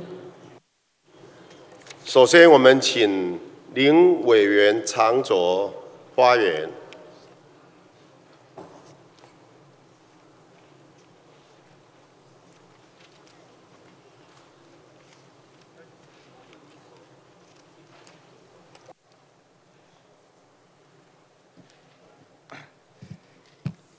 各位同仁，大家好哈！我想现在协商版关于第十五条的部分，最后是把这个鼓励所得分离课税的这一个部分提高到二十八趴，就从本来二十六趴提高到二十八趴。这个版本我们现在还是没有办法接受，主要的原因，我想我在这个不管是在委员会或协商的过程里面，其实也都有充分表达，就是这最重要的在这一个。呃，税改的过程里面，怎么样可以还是这个顾虑到这个公平正义的部分？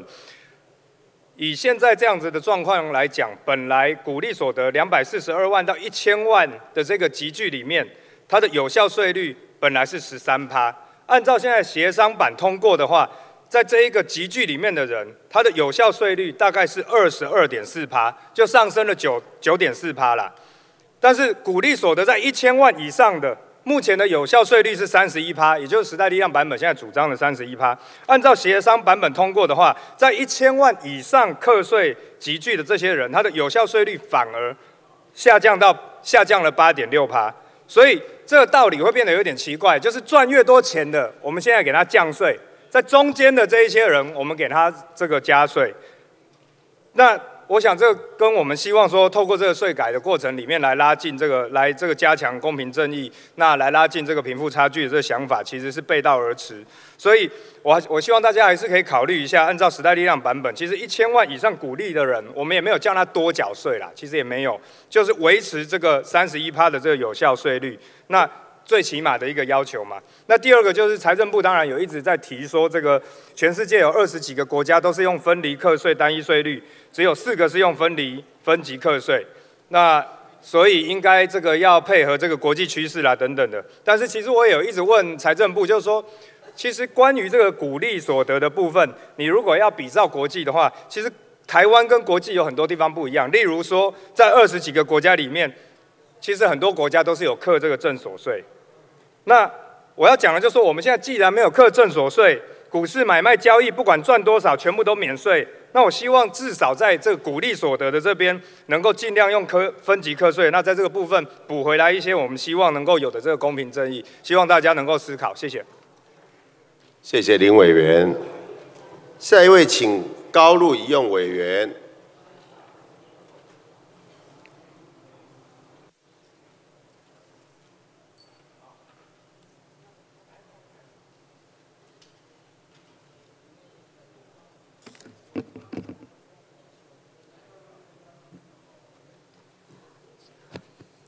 主席、各位同仁哦，关于所得税法第十五条有关于鼓励所得课税的方式的问题哦，时代力量一直都主张从赋税正义的角度去思考，而时代力量党团所提出来的版本，就是从量能课税的立场，主张应该采取的就是分级课征的方式，可以选择有关于鼓励及盈余抵减百分之十，而上限呢就是七万。那或者就是以一千万为基准，如果低于一千万，税率为百分之二十七；高于一千万，税率就是百分之十三。刚刚时代力量党团的委员林长佐说，如果以现在有效的税率来看，一千万以下的有效税率呢是百分之十三。如果以协商的这样的一个版本是百单一税率百分之二十八的话，有效税率呢就会从就会变成这个。百分之二十二点四，那这样子的话，就是小股民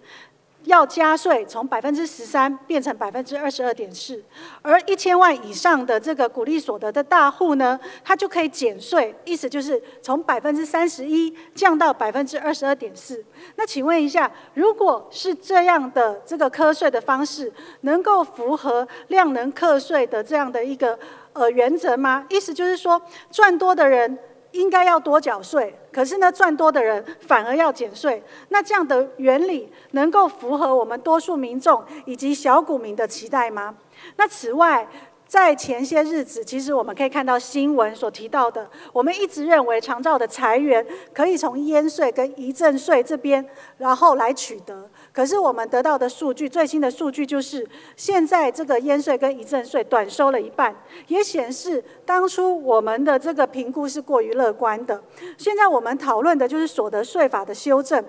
应该要从财政健全的这个角度来看，不要呃，所以才会觉得说，我们应该要更谨慎。来去处理这个修法的问题，也要更谨慎跟小心。那时代力量党团希望增透过这个增加鼓励盈余的扣抵的额度，对于多数中产跟劳工阶级的这样的一个小股民，比较有利的方式去修法，也比较符合这个赋税的正义。因为呢，如果将这个扣抵的上限降低，就能够鼓励。多多的这个腐烂的资金进行长期的投资，我们希望就是说适度的调高大户的税率，避免这次的税改呢过度的倾向这个大股票大户来倾斜。谢谢。谢谢高路一用委员。哎，下一位请曾委员民中。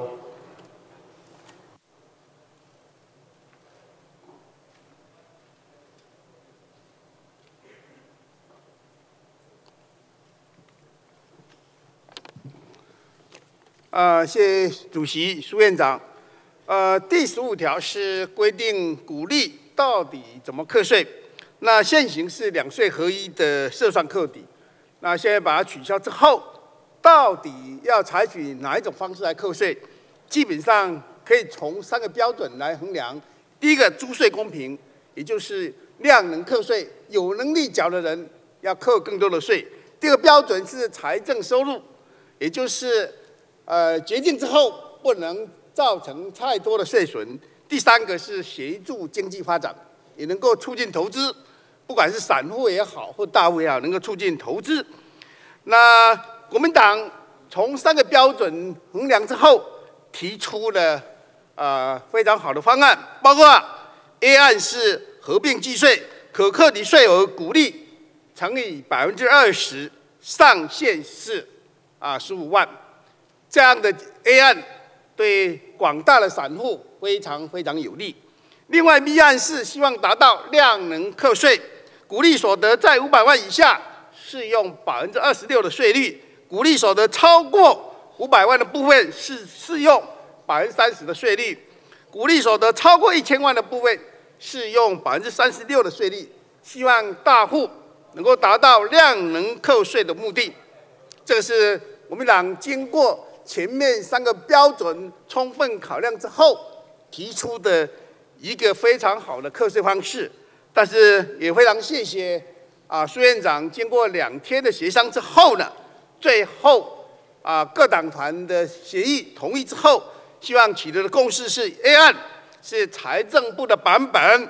也就是合并计税可课抵税额是股利乘以百分之八点五上限，上限只有八万，这相对的对鼓励相对是不利。另外，原来的单一税率是财政部提出的版本是百分之二十六，百分之二十六的部分对鼓励的大户太有利了，也太不公平了，减税幅度太大，所以经过昨天充分协商之后，把单一税率提高到百分之二十八，所以这个部分，呃，取得各党的同意跟共识，基本上国民党也支持。那希望这样的一个课税方式，一方面 A 案可以让散户能够进一步透过资本市场能够投资国内的股票；第二个部分，有关单一税率的部分提高到百分之二十八，可以适度的达到量能课税，那也可以鼓励进一步的投资。所以以上的方案，国民党也支持。谢谢大家，谢谢。谢谢曾委员，下一位请赖委员示报。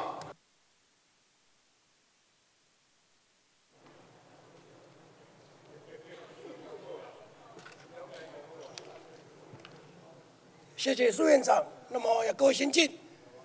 我们刚才有民进党的执政党的委员说啊，这是一个良性的互动，希望从这个时候开始，我们当然乐意看到外界看立法院。是讲道理，不是比武力的地方。这一次为什么可以良性互动？因为这一次是 money talk，谈钱的东西是没有意识形态的，是没有颜色的。各位，我们能不能够把其他的案子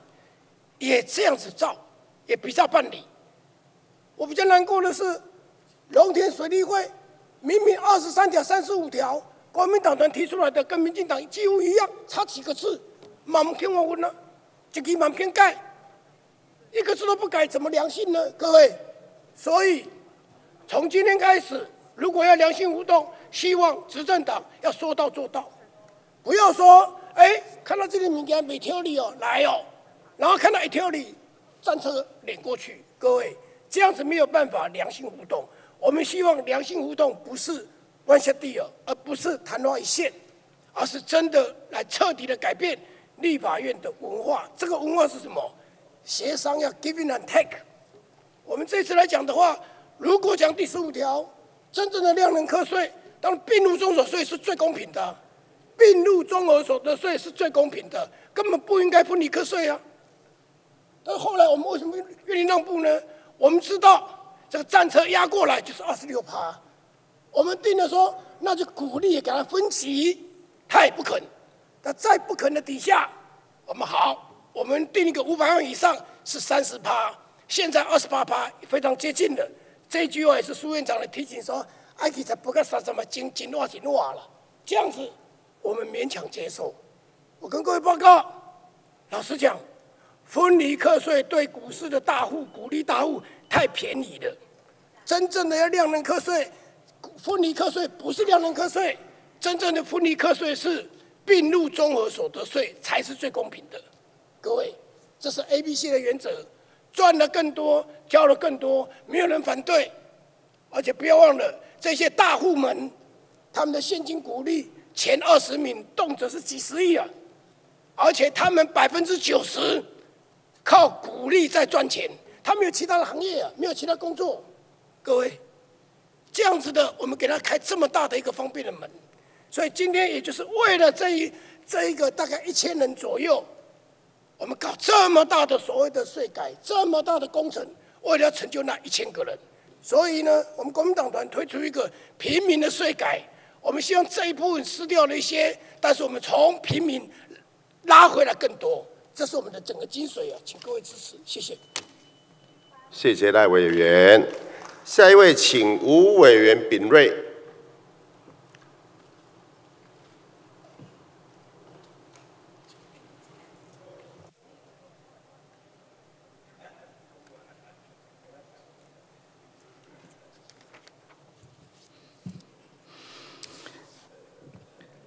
院长、各位同仁，现在我们要谈的是这个，主要是在鼓励所得如何激增的问题。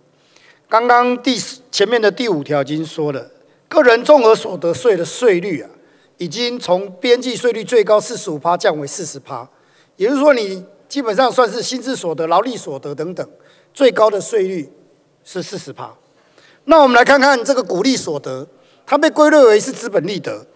一个公司假设它赚到一百块，这企业的所得税、营所税已经要先缴二十块了，所以剩下八十块。在这个八十块分配给这个股东的时候，如果我们照现在大家写上的版本，要收二十八趴，那这二十八趴在八十块里面是占多少块钱？多少钱呢？占二十二块四毛钱。那再加上原来已经被收走的二十块，这个被归类为资本利得的所得，这个税率高到四十二点四。大家不要忘记了哦。如果他有其他的工作，不是只有完全靠资本利得的话，资本利得常常还要再加上两趴的补充保费。也就是说，这个资本利得的这个所得税啊，已经远高于刚刚讲的你用劳力或是用薪资的所得。所以在这样的情况之下，我们认为资本利得的税负比这个劳力跟薪资所得要高了，这是合理的分配状况。再来，我们在税捐激增的状况之下，你们要考虑到。简单容易算，这也是很重要的，可以降低税捐激增的激增成本。大家刚刚就有听到前面的委员发言，国际趋势在资本利得这一部分是分离课税，尤其是鼓励所得。那既然大多数的国家采分离课税、单一税率，它的目的最重要的就是在简单易算。其实我很多朋友告诉我，税率二十六趴、二十八趴，他并不在乎，但是要清楚明了。不要让他们不清不楚，常常也遇到查税的状况，反而衍生到很多的困扰。如果税率是单一的、是清楚的、是容易计算的，他们乐于多缴一些税给国家，他们也不在乎。所以我觉得这是要考虑到基政的成本。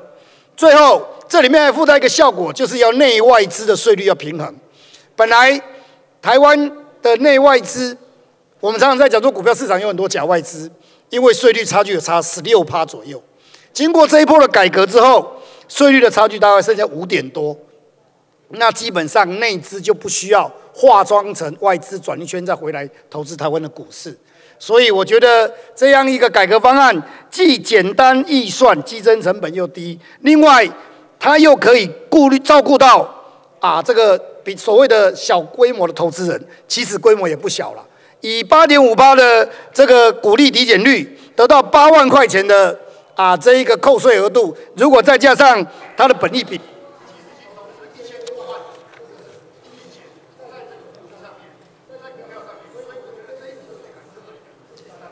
谢谢吴委员。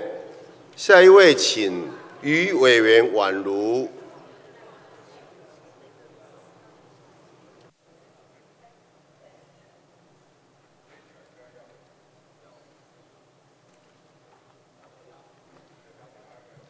院长、各位委员好，我们其实这次税改有两个目的，一个目的是改善台湾的投资环境，减少资金外流。第二个目的是希望能够公平的分配。等一下第十七条我们会谈到公平分配的部分，但是就第十五条，其实我们最主要就是为了要改善台湾的经济还有投资的环境，以及减少资金外流。像资金外流的问题，其实吴炳瑞委员刚刚已经提到非常多。从张盛和时代的这个两税设算扣抵制，以及这个个人重所税提高到四十五 percent，造成我们台湾很多假外资的情形。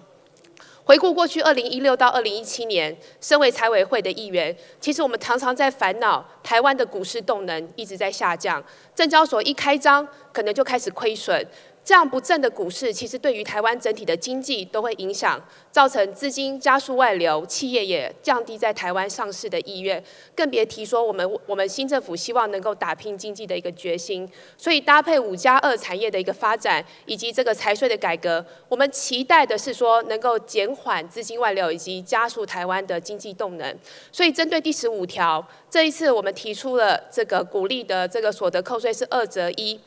第一个部分是照顾到了一个小股东。一般如果你就说你要把股利跟你的重所税合并的话，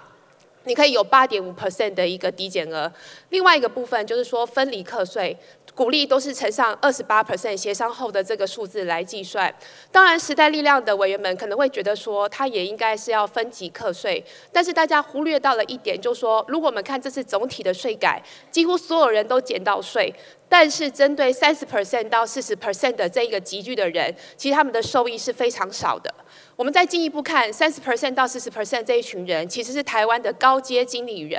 那这个部分，其实它技术入股的相对配套方案也还没有搭配上去，很容易变成说，如果我们稍一不慎，变成一个驱逐人才离开台湾的一个税改方案，这是我所忧心的。也因此，在广纳各个党团不同的意见之下，院版从二十六 percent 提到二十八 percent，我觉得是能够兼顾到。减缓两税两税就是两税合一设算扣抵造成的这个影响，同时能够改善台湾的这个所得分配，一个目前最适合的方案。那当然也期待说各位委员以及各不同党团能够支持，加速让这个法案能够在本院三读通过。谢谢。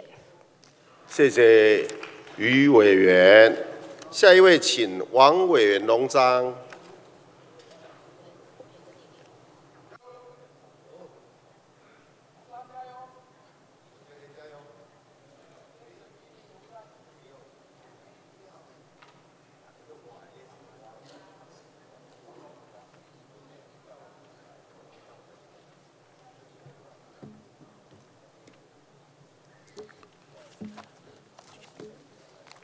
院长、各位委员，在这一次行政院所提出的所得税法修正草案提出来之后，我们在野党的委员还有一部分民间的声音，认为这样子的一个改革方案是不是会图利有钱人，让呃会不会是一个劫贫济富的法案？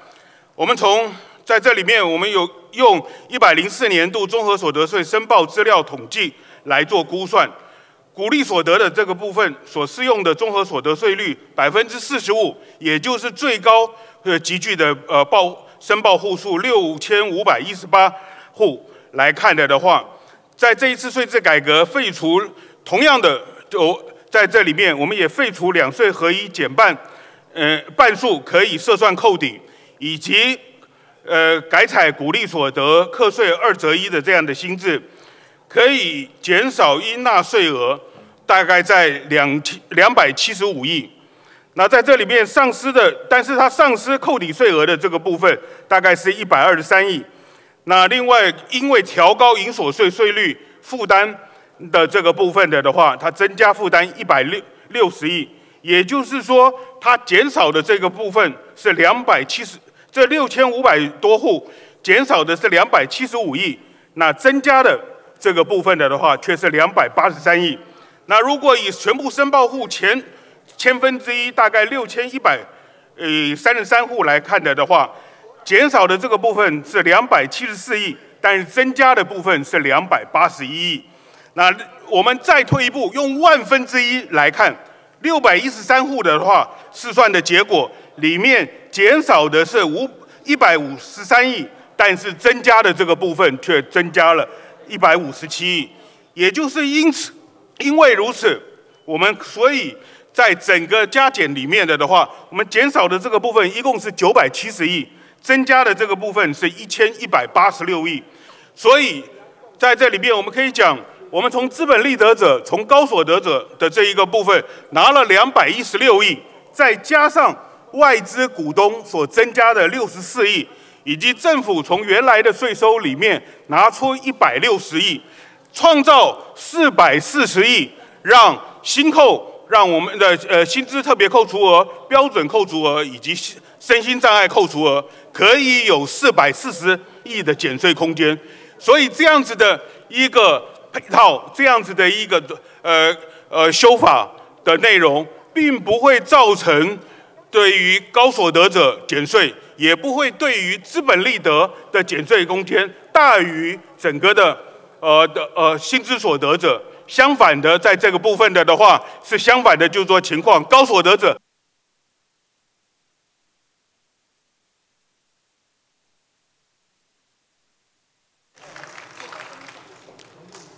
啊，现在请李委员冯军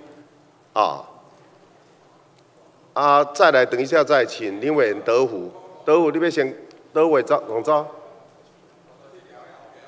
啊啊啊，OK。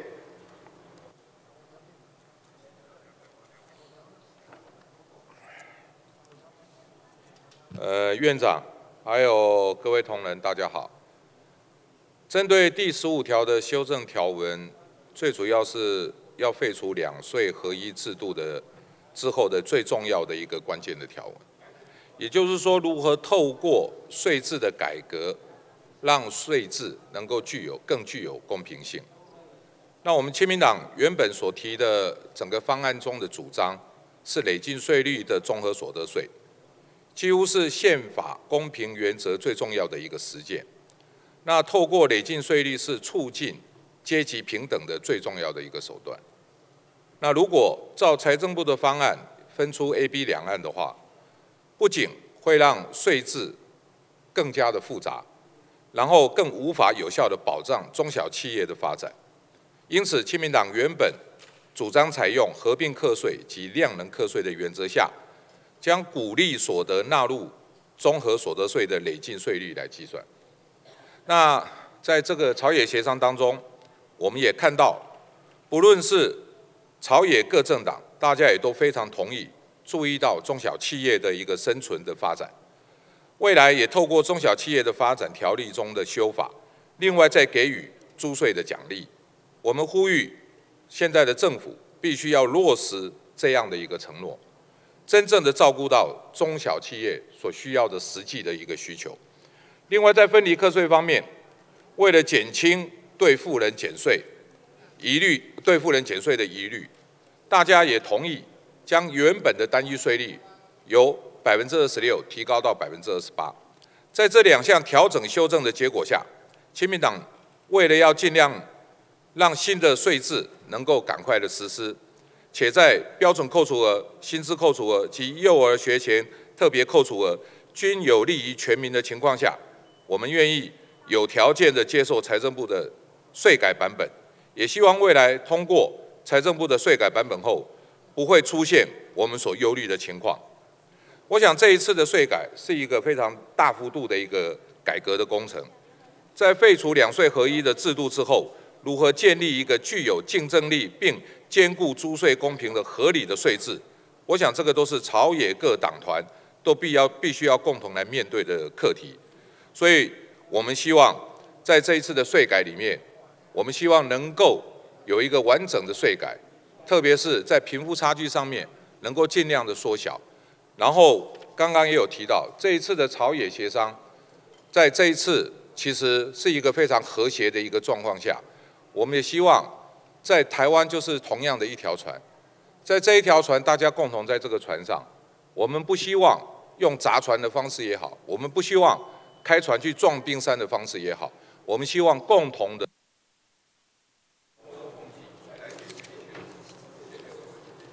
谢谢李委员。报告院会各党团推派之代表均已发言完毕。现在要进行处理，处理顺序为：一、时代力量党团提案条文；二、国民党党团、亲民党党团及民进党党团共同手提修正动议条文，依序进行表决后，如果其中有任何一案通过，即不再处理其他案。现在按铃七分钟，并分发表决卡。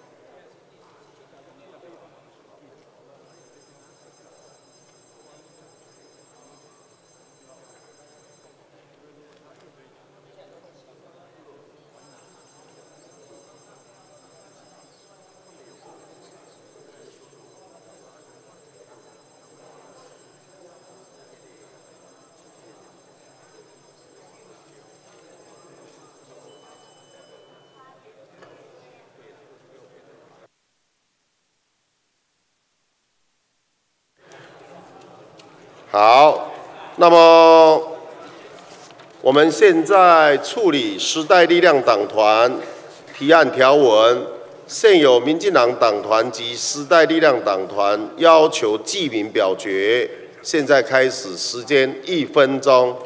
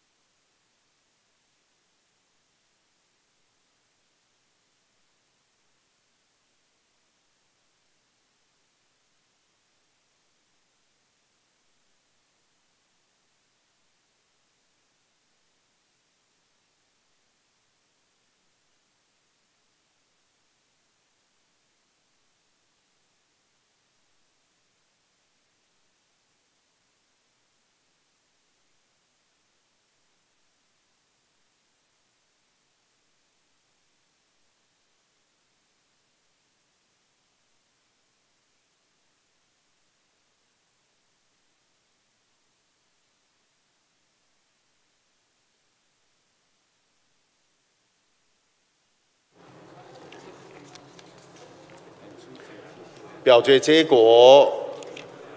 出席七十六人，赞成五人，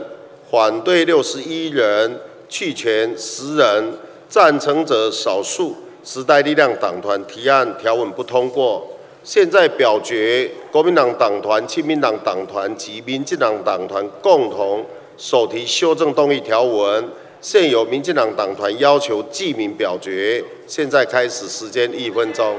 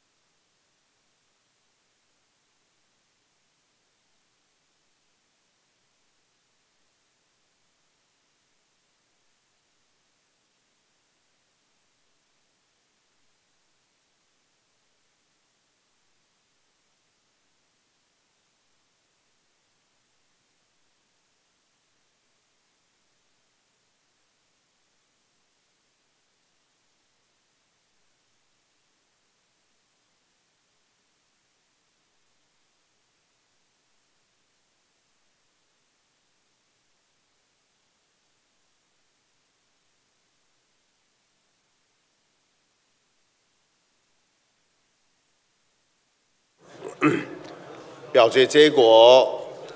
出席七十九人，赞成七十四人，反对五人，弃权零人。赞成者多数。做以下宣告：第十五条，照国民党党团、亲民党党团及民进党党团共同所提修正动议条文通过。现在进行第十七条，民进党党团撤回修正动议。及在修正动议条文不予处理。报告院会，本条文现有协商共识，请宣读四个党团共同手提修正动议条文。第十七条，按第十四条及前二条规定，既得之个人综合所得总额，减除下列免税额及扣除额后之余额，为个人之综合所得净额。一、免税额，纳税义务人按规定减除其本人、配偶及合于下列规定抚养亲属之免税额。纳税义务人及其配偶年满七十岁者，免税额增加百分之五十。一、纳税义务人及其配偶之直系尊亲属年满六十岁或无谋生能力，受纳税义务人抚养者，其年满满七十岁受纳税义务人抚养者，免税额增加百分之五十。二、纳税义务人之子女未满二十岁或满二十岁以上而因在校就学、身心障碍或无谋生能力受受纳税义务人抚养者。三、纳税义务人及其配偶之同胞兄弟姐妹未满二十岁或满二十岁以上而因在校就学、身心障碍或无谋生能力受纳税义务人抚养者。四、纳税义务人其他亲属或家属，合于民法第一千一百十四条第四款及第一千一百二十三条第三项之规定，未满二十岁或满二十岁以上，而因在校就学、身心障碍或无谋生能力，确系受纳税义务人抚养者。二、扣除额，纳税义务人就下列标准扣除额或列举扣除额，则依减除外，并减除特别扣除额。一、标准扣除额，纳税义务人个人扣除十二万元，有配偶者加倍扣除之。二、列举扣除额，一、捐赠，纳税义务人配偶及受抚养亲属对于教育、文化、公益、慈善机构或团体之捐赠总额，最高不超过综合所得总额百分之二十为限，但有关国防劳军之捐赠及对政府之捐献，不受金额之限制。二、保险费，纳税义务人配偶或受抚养直系亲属之人身保险、劳工保险、国民年金保险及军公教保险之保险费，每人每年扣除数额以不超过二万四千元为限，但全民健康保险之保险费不受金额限制。三、医药及生育费，纳税义务人配偶或受抚养亲属之医药费及生育费，已赋予公立医院全民健康保险特约医疗院所。或经财政部认定其会计记录完备正确之意愿者为限，但受有保险给付部分不得扣除。四、灾害损失，纳税义务人配偶或受抚养亲属遭受不可抗力之灾害损失，但受有保险赔偿或救济金部分不得扣除。五、购物借款利息，纳税义务人配偶及受抚养亲属购买自用住宅向金融机构借款所支付之利息，其每一申报户每年扣除数额以三十万元为限，但申报有储蓄投资特别扣除额者，其申报之储蓄特别。投资特别扣除金额应在上项购物借款利息中减除。纳税义务人依上述规定扣除购物借款利息者，以义务为限。六、房屋租金支出，纳税义务人配偶接受抚养直系亲属在中华民国境内租屋供自住，且非公营业或执行业务使用者，其所支付之租金，每一申报户每年扣除数以十二万元为限，但申报有购物借款利息者不得扣除。三、特别扣除额：一、财产交易损失，纳税义务人配偶及受抚养亲属财产交易损失，其每年度扣除额以不超过当年度申报之财产交易之所得为限。当年度无财产交易所得可资扣除或扣除不足者，得以以后三年度之财产交易所得扣除之。财产交易损失之计算，准由第十四条第一项第一千类关于计算财产交易增益之规定。二、薪资特别薪资所得特别扣除，纳税义务人配偶或受抚养亲属之薪资所得，每人每年扣除数额以二十万元为限。三、储蓄投资特别扣除，纳税义务人配偶及受抚养亲属与金融机构之存款利息、储蓄性质信托资金之收益及公司公开发行并上市之记名股票之股利，合计全年扣除数额以二十七万元为限。但因邮政储金会对法规定免税之存部储金利息及本法规定分离课税之利息不包括在内。四、身心障碍特别扣除，纳税义务人配偶或受抚养亲属如为领有身心障碍手册或身心障碍证明者，及精神卫生法第三条第四款规定之病人，每人每年扣除二十万元。五、教育学费特别扣除，纳税义务人就读大专以上院校之子女之教育学费，每人每年之扣除数额以二万五千元为限，但空中大学专校及五专前三年及已接受政府补助者不得扣除。六、幼儿学前特别扣除，自中华民国一百零一年一月一日起，纳税义务人五岁以下之子女，每人每年扣除十二万元，但有下列情形之一者不得扣除。一、经减除本特别扣除额后，纳税义务人全年综合所得税适用税率在百分之二十以上，或依第十五条第二项规定计算之税额适用税率在百分之二十以上。二、纳税义务人依所得基本税额条例第十二条规定计算之基本所得额超过同条例第十三条规定之扣除金额，依第七十一条规定应办理结算申报而未办理，经基准机关核定应纳税额者，均不适用前项第二款第二目列举扣除额之规定。宣读完毕。首先，我们请曾委员民众发言。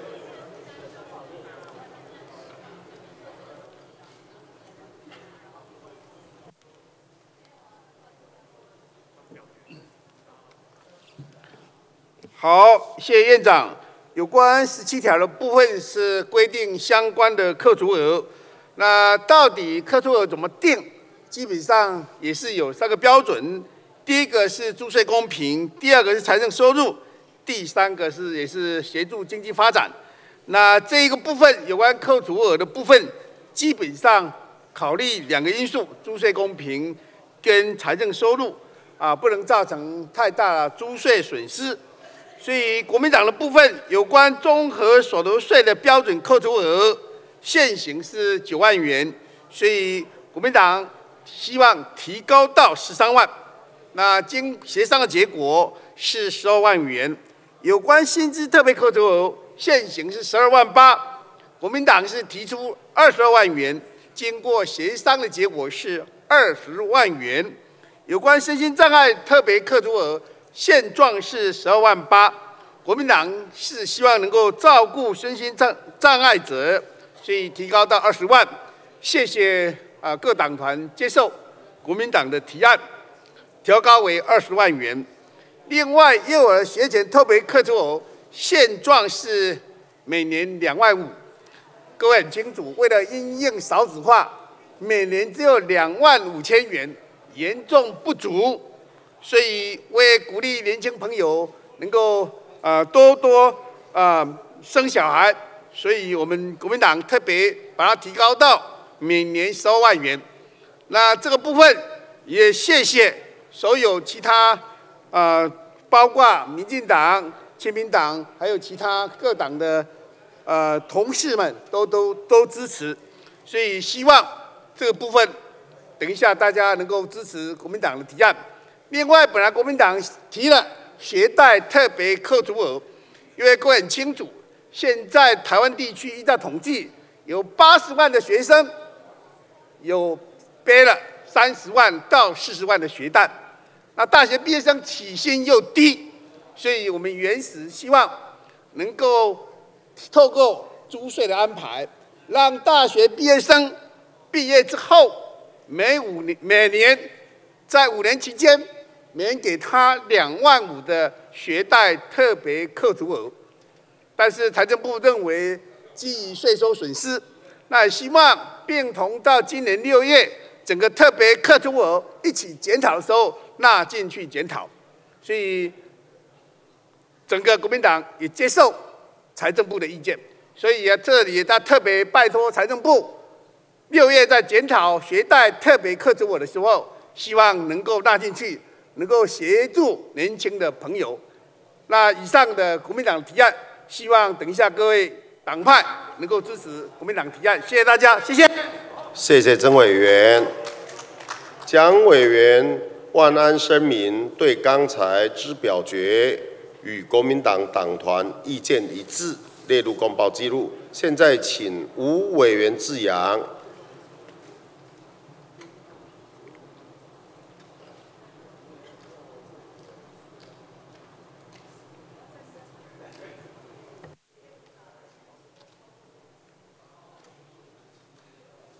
好，主席、各位同仁，啊，今天的税改修正条文是这个临时会难得的和谐啊，呃，也有居然也有四个党团都共同协议啊，能够达成共识的条文。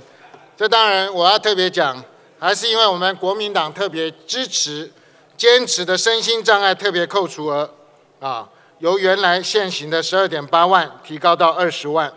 还有就就这个幼儿学前教育特别扣除额，由现在的两万五大幅的提高到十二万，好来协助解决少子化的问题，以及身心障碍家者家庭的一个呃非常沉重的负担。当然了，这个都是好事，但是我还是本席要表示一些遗憾啊，因为这条十七条哈原本。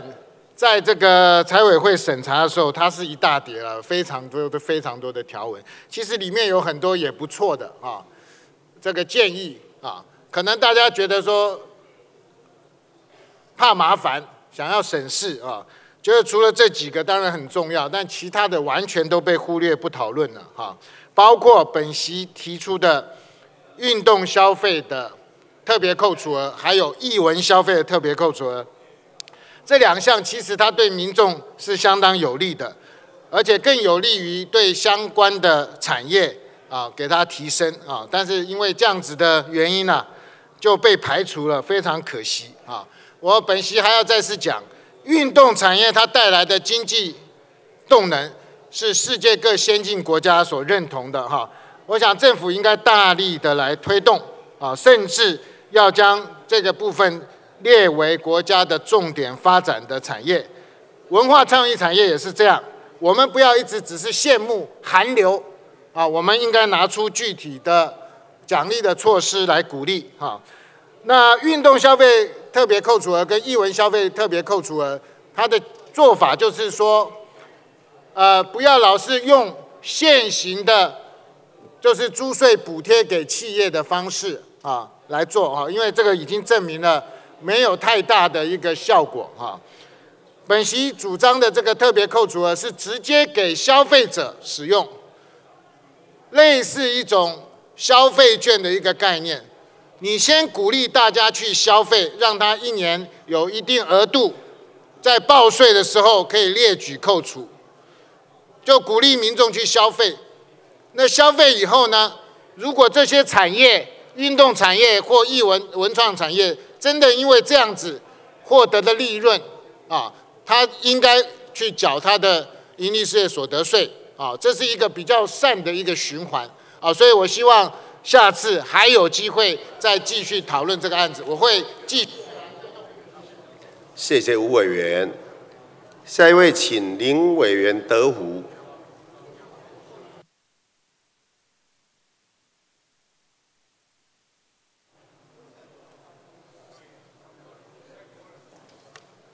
苏院长，还有本呃本院的各位同仁，我想这一次啊，在整个税改里面，呃，攸关普罗大众的薪资扣除额这个部分啊，国民党团了解受薪阶级的为了生活努力来打拼这样的一个辛苦，对身心障碍人士的照顾，因应目前少子化环境，鼓励生育，更知道还要有。呃，很多努力的学子毕业后刚进入社会打拼，就要开始面临学贷的压力，所以说我们提出标准扣除额提高，国民党团原来是提到十三万哦，但是经过协商以后，就是啊标扣变成十二万，那呃这个薪资扣除额啊原来是提到二十二万，最后也经过协商以后。党团大家共同支持，变成二十万。那身心障碍是国民党团呃这个提出来，就是原来的十二点八万，呃这个提到二十万哦，这也是照顾身心障碍的呃这些弱势哦。那最后也以二十万呃这个取得党团的一个共识。那幼儿学前教育啊，原来以前是二点五万，那现在。啊，国民党团也提高到十二万，那也经过呃大家呃沟通协调以后，也认同变成十二万，更新增了呃特别学贷特别扣除额，是希望可以打造一个平民税改。那也感谢苏院长以及朝野党团的支持，同意国民党团的主张，调高了各项的扣除额，而财政部也承诺有关学贷特别扣除额将在。今年的六月提出一些呃，这个配合整个大法官的解释啊，啊，制定七百四十五号的呃解释修法时一并啊来纳入考量。那国民党团将会继续努力啊来争取。感谢我们各党团呐大家的支持哦。那我相信啊这是一个好的开始哦，因为我们。呃，在尤其像税改的方面，其实它是没有政治性，还是以普罗大众啊啊，尤其受薪阶级啊，他们平常的辛苦、平常的努力为主。所以说，我们是考量全体国民大家的呃这个呃努力付出哦。所以说，我们呃今天国民党团修的版本哦，那也感谢我们各党团大家能够取得一个共识。大家能够支持以上，谢谢。谢谢林委员。下一位，请吴委员秉睿。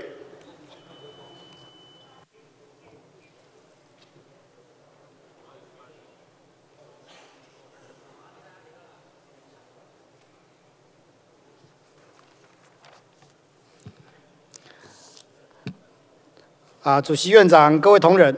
我们今天第十七条是关于扣除额的规定哈。那这一次的这个扣除额，其实主要就是过去啊，台湾的这个银个人综合所得税常常被批评说是有大部分是由受薪阶级在支出，甚至统计起来高达百分之七十几。所以这一次啊，这这次税改的调整，就是要来照顾受薪阶级以及弱势者。所以这次我们的这个标准扣除额从九万啊，要提高到十二万，增加三万元；薪资特别扣除额从十二万八千元要提高到二十万，增加七万两千元；生障特别扣除额一样从十二万八千元提高到二十万元；幼儿学前的扣除额从二点五万拉高到十二万。这样会造成什么样的结果呢？跟大家报告，也就是说，在本条的免税额依现在的规定八点八万元。加上这个标准扣除额十二万，加薪资特别扣除额二十万之后，任何一个受薪阶级，就算他没有任何其他的抚养，也没有其他的宽减，他可以获得四十万八千块钱的整个不用缴税的额度。如果用这样来算的话，月薪三万块，十二个月是三十六万，加上一个半月的年终奖金四点五万，是四十万五千块，也就是说。如果受薪阶级月薪在三万块钱以下，他加上月薪加上一个半月的年终奖金，都不用再缴个人的所得税。我想这绝对是一个大利多。另外，为了要照顾啊弱势，所以身心障碍的特别扣除额也拉高到二十万。为了要啊鼓励这个照顾这个幼幼儿，对幼儿的学前的扣除额也从二点五万拉高到啊十二万元。这样子的扣除额标准拉高之后，总共的减税额度是三百八十八亿两千多万元。那可以来讲说，这是对台湾的受薪阶级以及弱势者一个，还有对照顾幼儿来讲，是一个非常大的大力多。那能够让台湾的受薪阶级得到适度的减税，然后能够让他们增加喘息的机会。可以讲说是一个德政，所以这一条希望大家共同来支持，我们达成我们要照顾弱势、照顾受薪阶级、照顾幼儿的目的。感谢大家，谢谢。谢谢吴委员，下一位请于委员宛如。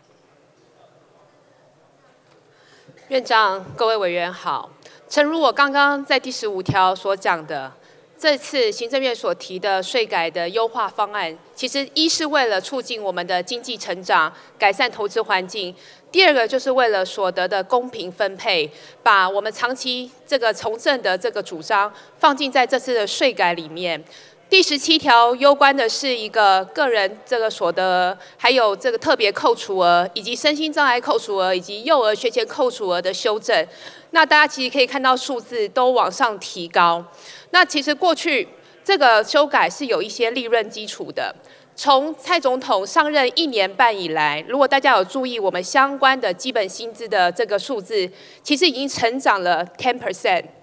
成长了十趴哈。那另外在于就是说，这些呃税、这些减税的税损，一定要有这些税入的来源，其实就是从我们这次税改的另外一个方案里面，增加营所税从十七 percent 提到二十 percent 来的。所以从这，所以我想要再一次重申，就是我们这一次整个政院的税改方案是一整套的，我们有税减，也有有税损，但是也有呃这个税的重新分配。好，那期待是说，透过整个税改的方案，能够来改善我们的投资环境，同时落实我们这个租税的一个公平的分配。那另外就是说，其实我们从过去呃马英九时代的一个税改方案，我们看到了一个问题：虽然每年财政部的这个租税都有超收大约一千亿，但是我看到一个很心痛的部分是说，这一千亿的来源都落在寿星阶级的身上。换句话讲，我国主要的租税负担都在受薪阶级的一个身上，所以这第十七条对于我们每一个人非常的重要。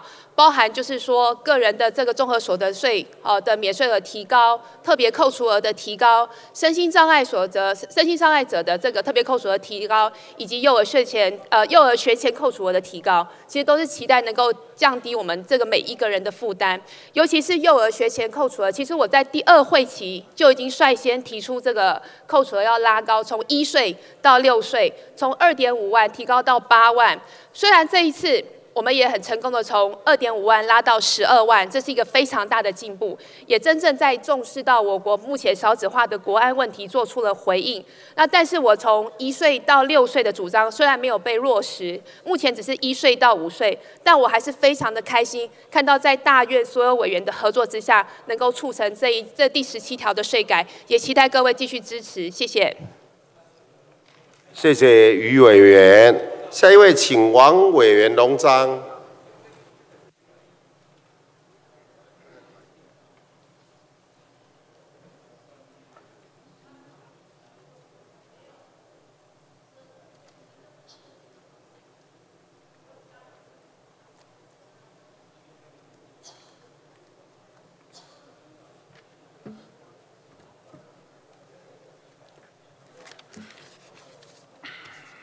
院长、各位委员同仁，这一次所得税法修正，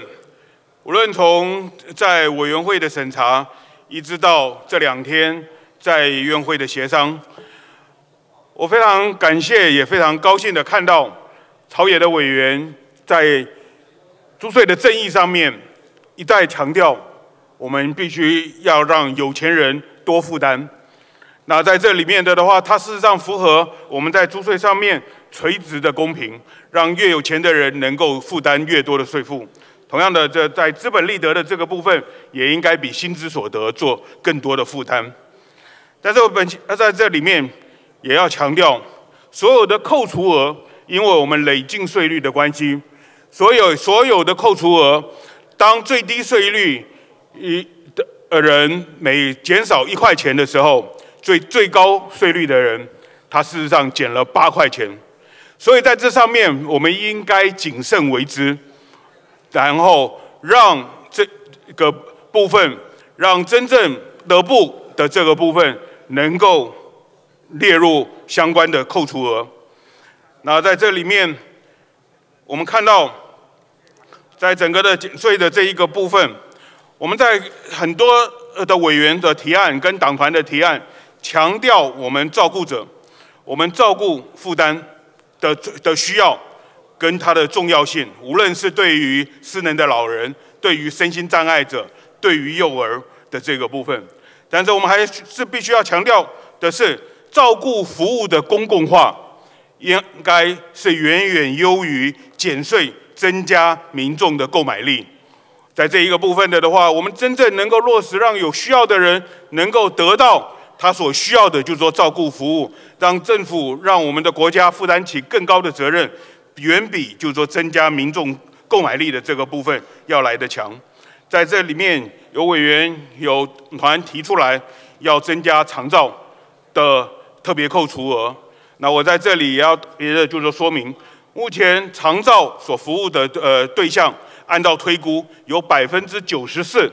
是身心障碍者，所以。在声音障碍特别扣除额增加的情况底下，事实上可以让相当绝大部分长照的，就是说需求者，在这一个部分得到相关的支持。也就是说，无论就是说在于他的呃自费负担的部分，在于其他在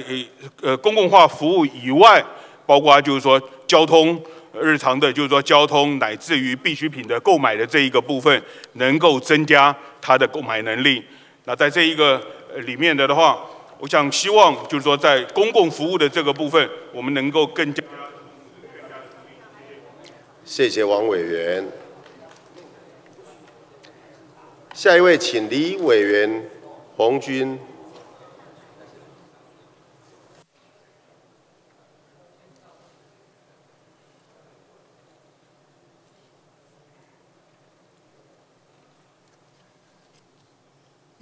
呃，谢谢院长，还有各位同仁。亲民党团这一次是以安心税改为它的最基本的一个原则，那提出了我们的税改的版本。首先，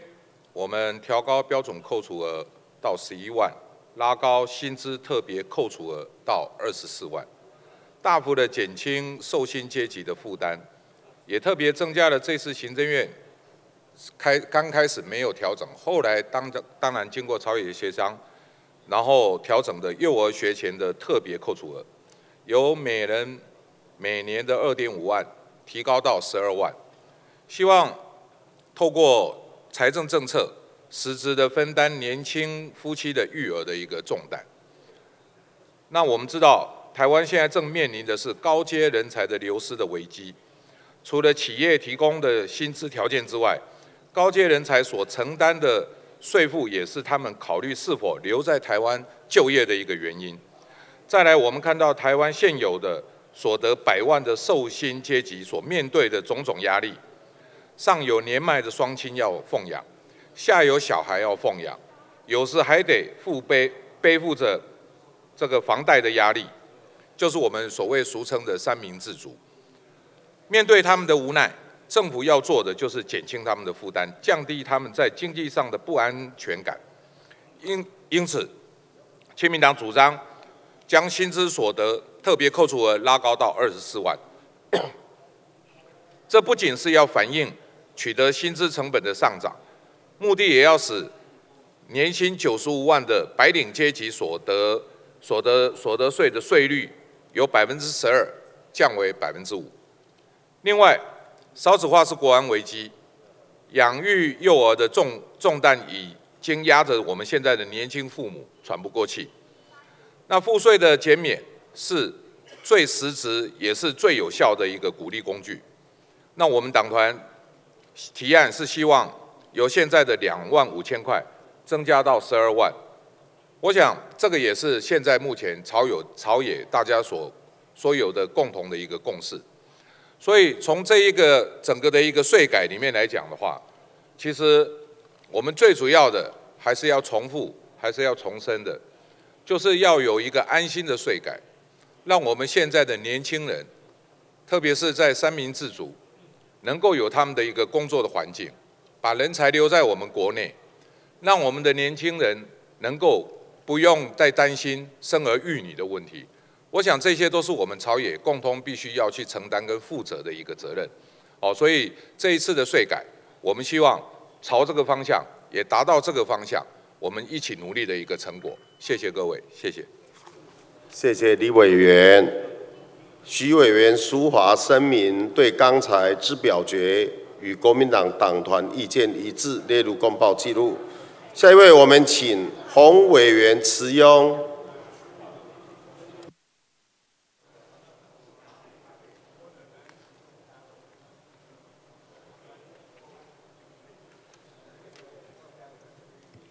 院长、各位同仁，大家午安。降低年轻人跟受薪阶级的负担，一直都是时代力量非常重要的主张。这一次税法的一个修正，我想各党团最大的共识，应该就是各项扣除额的一个提高。呃，我想在标准扣除额跟薪资扣除额的提高，是真正的能够实质减轻受薪阶级的一个负担，非常重要的重点。呃，当然也很感谢这次不管是我们的行政部门，或是各个党团。都大力的支持育儿扣除额的一个大幅的提高，我想这是实际上面我们从政策面来支持年轻人，来解决少子化的一个问题。虽然这次的修法不尽完美，但是至少我们往着公平正义的方向去努力了。但是我们还是要说的是，呃，接下来的税损可能会每年高达将近要两百亿的这个负担，会比原来的这个预估高上很多。那以现在我们的国债的一个超过五兆的来看，其实我们应该要更努力的来控制这个税损的部分。所以，其实我们也期待等一下的四十二条跟六十六之九条的部分，在财团法人课税以及未分配保留盈余课税的部分，来参考时代力量的一个呃版本，来减少税损，也减少再留子孙的疑虑。谢谢洪委员。报案会各党团推派之代表均已发言完毕，现在要进行处理。请问院会第十七条，照四个党团共同手提修正动议条文通过，有异？无异。做以下宣告：第十七条，照国民党党团、亲民党党团、时代力量党团及民进党党团共同。所提修正动议条文通过，现在进行第四十二条。民进党党团撤回修正动议及在修正动议条文不予处理，请宣读提案及修正动议条文。行政院国民党党团、亲民党党团分别提案第四十二条：公司合作社及其他法人之盈利事业，应投资于国内其他盈利事业所获配之股利或盈余，不计入所得额课税。时代力量党团提案第四十二条：公司合作社或其他法人组织之营利事业，应投资于国内其他营利事业所获配之股利或盈余，不计入所得额课税。教育、文化、公益、慈善机关或团体有前项规定之股利金额或盈余金额者，就股利及盈余合计金额超过一百万元之部分，按百分之二十之税率计算报缴应纳税额。时代力量党团修正动议第四十二条：公司合作社或其他法人组织之营利事业，应投资于国内其他营利事业所获配之股利或盈余，不计入所得额课税。教育、文化、公益、慈善机关或团体有前项规定之股利金额或盈余金额者，就股利及盈余合计金额超过三百万元之部分，按百分之二十之税率计算报缴应纳税额。宣读完毕。现在请。王委员龙章。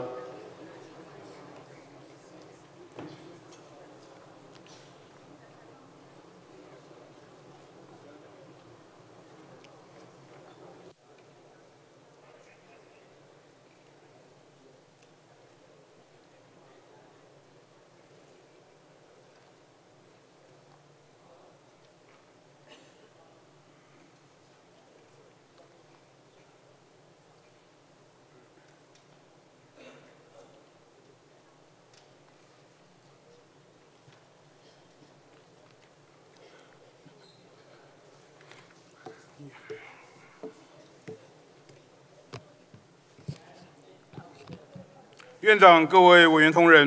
时代力量的党团针对所得税法第四十二条第二项修正提案中规定教育、文化、公益、慈善，呃团体，好，呃等等的这一样提案内容，那在它的股利和盈余合计金额超过一百万的部分，按照百分之二十的税率缴纳盈利事业所得税。但是在所得税法第四十二条，在整部的法律架构中，是处理两税合一制度里面可以抵扣税额的计算方式，属于配套措施的条文，并不是我们时代力量党团所理解的政府针对公益慈善团体鼓励所得是不是课税，都必须在本条文中做相关的规定。有关公益慈善团体缴纳盈利事业所得税的规定，事实上是定在第四条第一项第十三款。授权行政院另外定定标准，而且行政院并非故意放任公益团体一律免税，而是要符合当年度支出占收入的百分之六十以上，才能够享有免税的资格。虽然公益慈善团体的免税资格事实上掌握在各个目的事业主管机关的手里，并不是税捐主管机关可以决定，但是为了回应社会各界对于公益慈善团体财务责性的关注。财政部在一月十七号已经预告修正教育文化公益慈善团体或呃机关免税所免纳所得税适用标准，把现行占百分之六十的支出，依照年度收入的总额，在五千万以下要有百分之六十的支出，五千万到一亿是百分之七十，一亿以上要达不到百分之八十。那在这里面更进一步要求公益慈善团体。不得购买主要捐赠人和他关系企业的股票和公司债，来杜绝部分团体沦为集团控股中心的这样子的一个乱象。但是时代力量的第四十二条不只针对外界所诟病的财团法人医院，而是针对我国所有的公益慈善团体，根据内政部提供的资料，一百零五年度鼓励超过一百万的机关团体，一共有六百一十七个。这里面除了十个医疗财团法人以外，还包括农民团体、文化教育基金会、纪念慈善基金会和六十二个职工福利委员会。那在这里面的的话，举凡一百万以上的鼓励都要课税的这样子的就呃的规定，事实上已经对对其他相关的团体、慈善基金会等等是是不公平的。所以在这一个条文里面，我们恳请各位委员同仁支持行政院版第四十二条的修正条文。未来本院审查财团法人法的时候，我们再针对公益慈善团体的财务运作做更明确的规。谢谢王委员。下一位，请吴委员秉睿。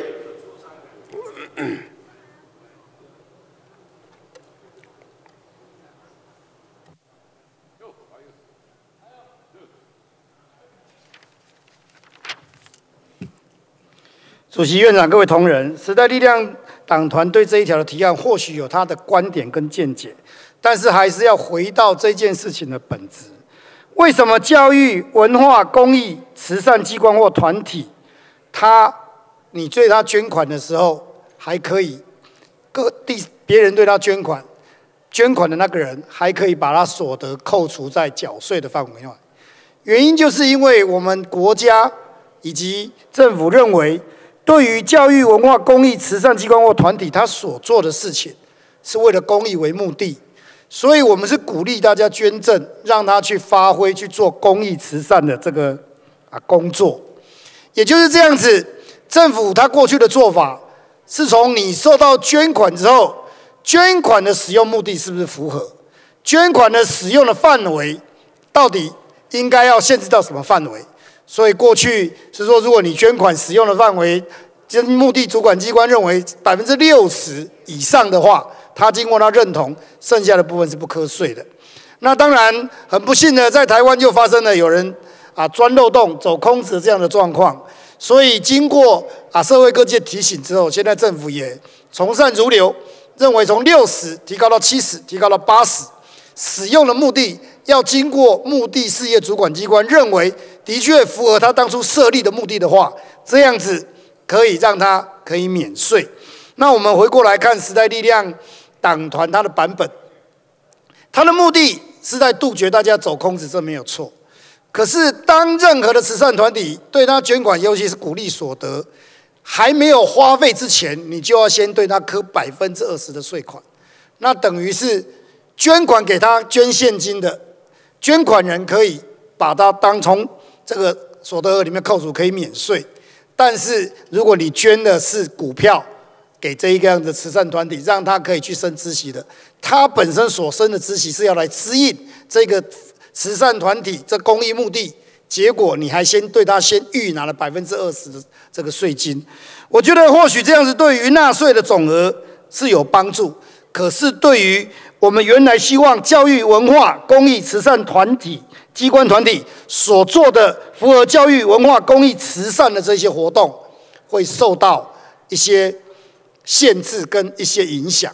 啊。因为大家知道，现在其实景气的关系，这些团体的募款本身就已经有困难了，所以我觉得不应该因少数人啊、少数机构钻漏洞。就去做这样严格的限制，而是应该回过头来要求目的事业主管机关严格的检视他到底所作所为符不符合目的事业主管机关认定的这个范围，以及他所使用的额度有没有在政府可容许的范围内，这样才是正办。谢谢。谢谢吴委员。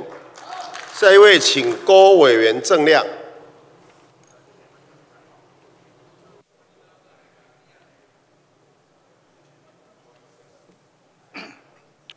主席、各位同仁，时代力量党团事实上在内部讨论的时候，它主要针对是台湾有一些大型的医疗的财团法人，常常滥用它内部的资源。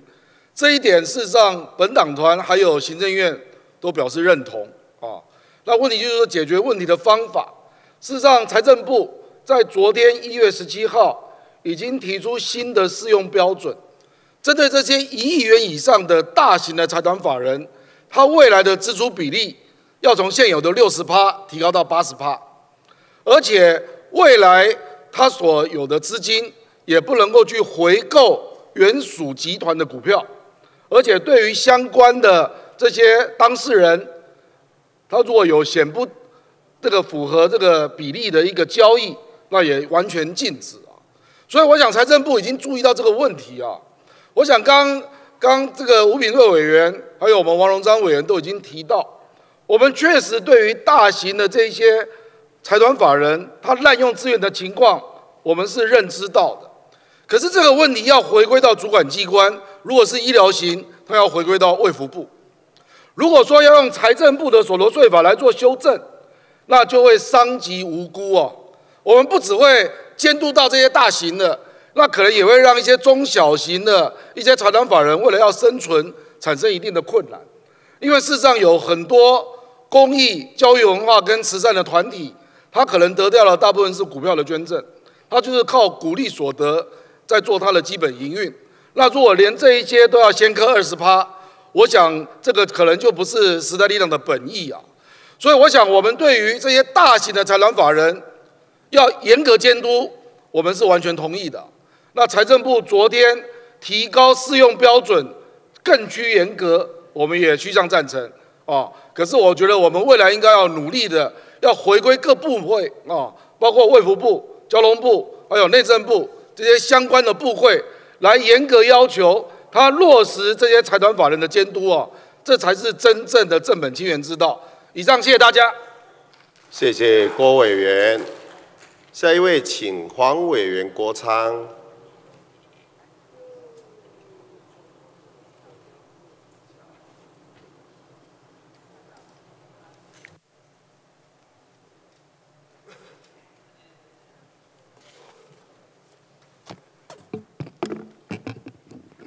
院长、本院委员、公益财团法人也好，慈善文化团体也好，我们让他不用缴税，它的本质是什么？没错，如同各位其他的委员所讲的，我们希望他所受到捐赠的金额，事实上都拿去做公益。目前我们的所得税法针对有关于公益慈善财团法人，它整个科税的体系是什么？它科税的体系是，如果你是销售货物或者是服务所得的，你必须要按照盈利事业所得税来缴纳营所税；你如果是接受捐赠的，你必须要满足行政院所提出来的九原则，把那些收入百分之六十以上用作公益使用。这样你就不用缴税了，但是有一块非常的特殊，就是有关于股利跟盈余的所得，不管你股利跟盈余的所得到底有多少钱，通通都不用缴税。也正是因为这个样子，在台湾社会出现了一个非常荒谬的现象：当我们所有的受薪阶级被我们的财政部每年锱铢必较的要缴纳他们的所得税的时候，却有大财团。可以透过财团法人的形式，每年鼓励收益上百亿，半毛钱都不用缴，这是公平正义吗？刚刚有委员说，正本清源之道是我们的行政院去稽查他们里面的所得是不是真的有当做公益支出，但是我想要拜托各位委员的是，看一看现实发生的状况。什么叫做现实发生的状况？有委员说，我们把标准提高了，以后的公益支出要提高到百分之七十，提高到百分之八十。现实是什么？现实是现在百分之六十，现在百分之六十这样子的要求，我们哪一个目的事业主管机关真的有去执行，真的有去贯彻？刚刚也有委员指教，时代力量要求。就这些财团法人，他们的股利所得分离课税，会伤害到很多中小型的财团法人、慈善团体，真的是这样吗？我们目前全国有三万多家，有三万多家的财团法人，我们这一次就是顾虑到了中小型，不要受到波及，所以我们把整个免税额度拉到三百万的股利，真的会被这一次影响到的只有三百多家，包括了平均收入十二亿以上的，包括了大型的一些团体，要求他们。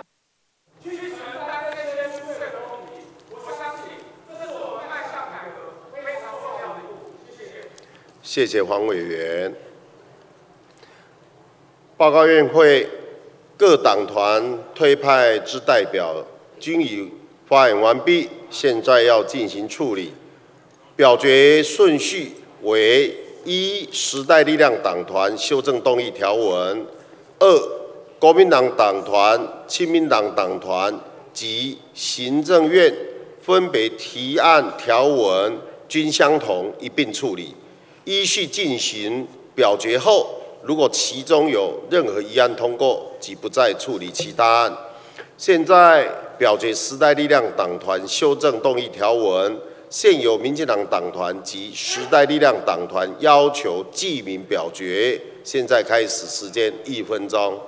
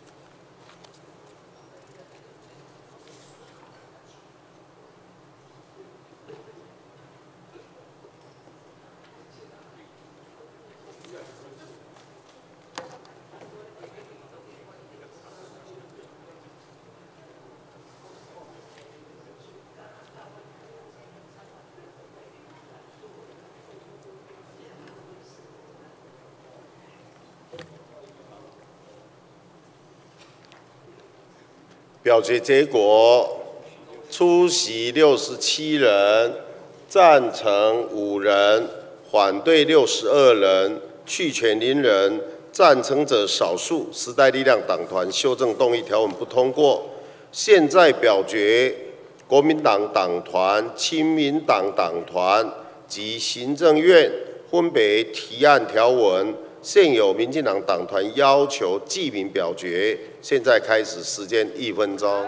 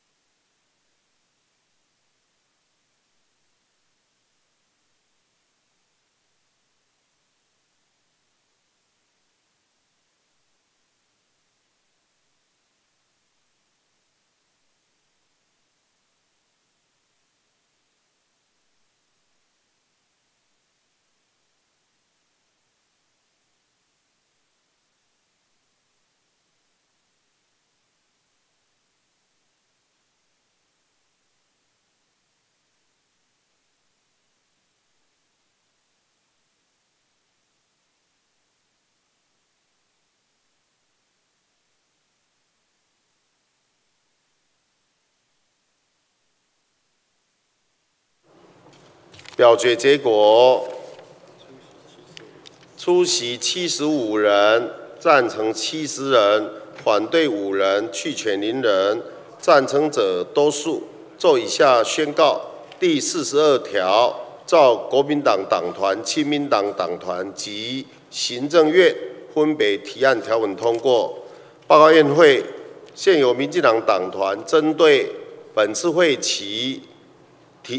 一月十八日提出延长开会时间至讨论事项第四案处理完毕再行休息，请问院会有异议？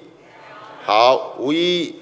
做以下宣告：本案照民进党党团提议通过。本次会议一月十八日延长开会时间至讨论事项第四案处理完毕再行休息。现在进行第。六十六条之九，在这边也恭喜陈树月委员生日快乐啊！民进党党团撤回修正动议及在修正动议条文不予处理，请宣读提案及修正动议条文。行政院亲民党党团分别提案第六十六条之九，自八十七年度起至一百零六年度止，盈利事业当年度之盈余未作分配者，应就该未分配盈余加征百分之十盈利事业所得税；自一百零七年度起。盈利事业当年度之盈余未作分配者，应就该未分配盈余加征百分之五盈利事业所得税。前项所称未分配盈余，是盈利事业当年度依商业会计法、证券交易法或其他法律有关编制财务报告。规定处理之本期税后净利，加计本期税后净利以外纯益项目，计入当年度未分配盈余之数额，减除下列各款后之余额，以弥补以往年度之亏损基金会计师查核签证之次一年度亏损。二、已由当年度盈余分配之股利或盈余。三、以依公司法或其他法律规定，由当年度盈余提列之法定盈余公积，或以依合作社法规定提列之公积金及公益金。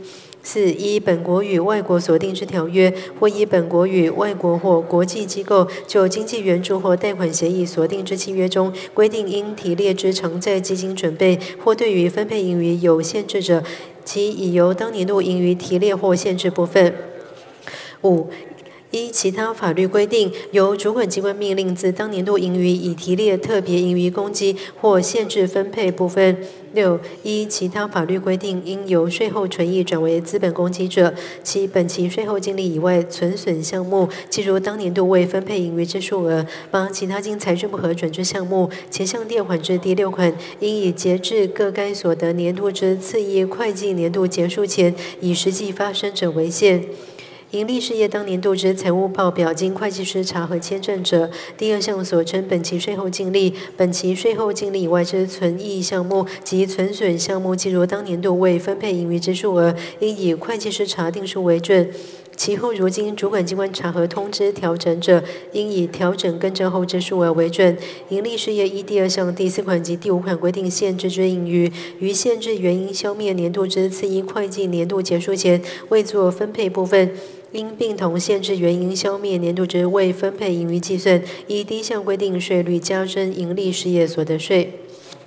国民党党团提案第六十六条之九，自八十七年度起至一百零六年度止，盈利事业当年度之盈余未作分配者，应就该未分配盈余加征百分之十盈利事业所得税；自一百零七年度起，盈利事业当年度之盈余未作分配者，应就该未分配盈余加征百分之五盈利事业所得税。前项所称未分配盈余，指盈利事业当年度依商业会计法、证券交易法或其他法律有关编制财务报告规定处理之本期税后净利，加计本期税后净利以外存益项目计入当年度未分配盈余之数额，减除下列各款后之余额：一、删除。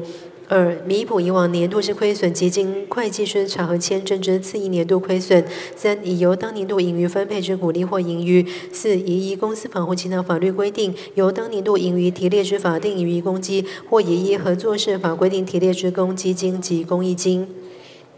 五、依本国与外国所订之条约，或依本国与外国或国际机构就经济援助或贷款协议所订之契约中规定应提列之偿债基金准备，或对于分配盈余有限制者，其已由当年度盈余提列或限制部分。六、删除。七、依其他法律规定，由主管机关命令自当年度盈余已提列特别盈余公积或限制分配部分。八、依其他法律规定，应由税后权益转为资本公积者。九、删除。十、本期税后净利以外纯损项目计入当年度未分配盈余之数额。十一、其他经财政部核准之项目。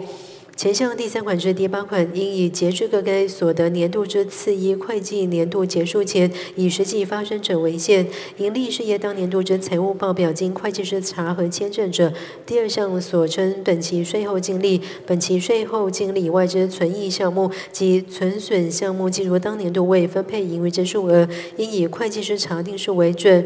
其后如经主管机关查核通知调整者，应以调整更正后之数额为准。盈利事业依第二项第五款及第七款规定限制之盈余，于限制原因消灭年度之次一会计年度结束前。未做分配部分，应并同限制原因消灭年度之未分配盈余计算，依第一项规定税率加征盈利事业所得税。时代力量党团修正动议第六十六条之九，自八十七年度起，盈利事业当年度之盈余未做分配者，应就该未分配盈余加征百分之十盈利事业所得税。前项所称未分配盈余，指盈利事业当年度因商业会计法、证券交易法或其他法律有关编制财务报告规定处理之本期税后净利，加计本期税后净利以外纯益项目，计入当年度未分配盈余之数额，减除下列各款后之余额：一、弥补以往年度之亏损及经会计师查核签证之次一年度亏损。二、已由当年度盈余分配之股利或盈余；三、已依公司法或其他法律规定由当年度盈余提列之法定盈余公积，或已依合作社法。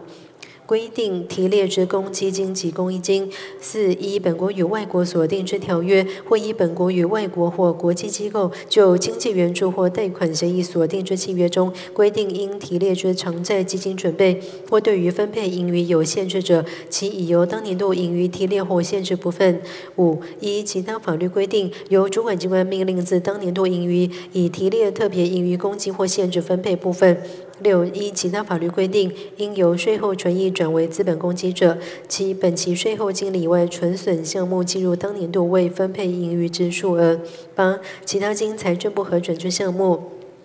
前项第二款之第六款，应以截至各该所得年度之次一会计年度结束前，以实际发生者为限。盈利事业当年度之财务报表，经会计师查核签证者，第二项所称本期税后净利、本期税后净利以外之存益项目及存损项目，计入当年度未分配盈余之数额，应以会计师查定数为准。其后如经主管机关查核通知调整者，应以调整更正后之数额为准。盈利事业依第二项第四款及第五款规定，限制之盈余于限制原因消灭年度之次一会计年度结束前未做分配部分，应并同限制原因消灭年度之未分配盈余计算，以第一项规定税率加征盈利事业所得税。宣读完毕。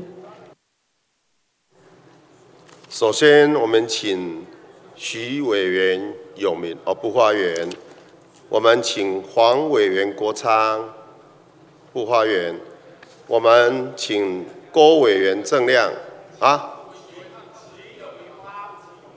徐永明呢？哦，好来，请徐委员永明发言来。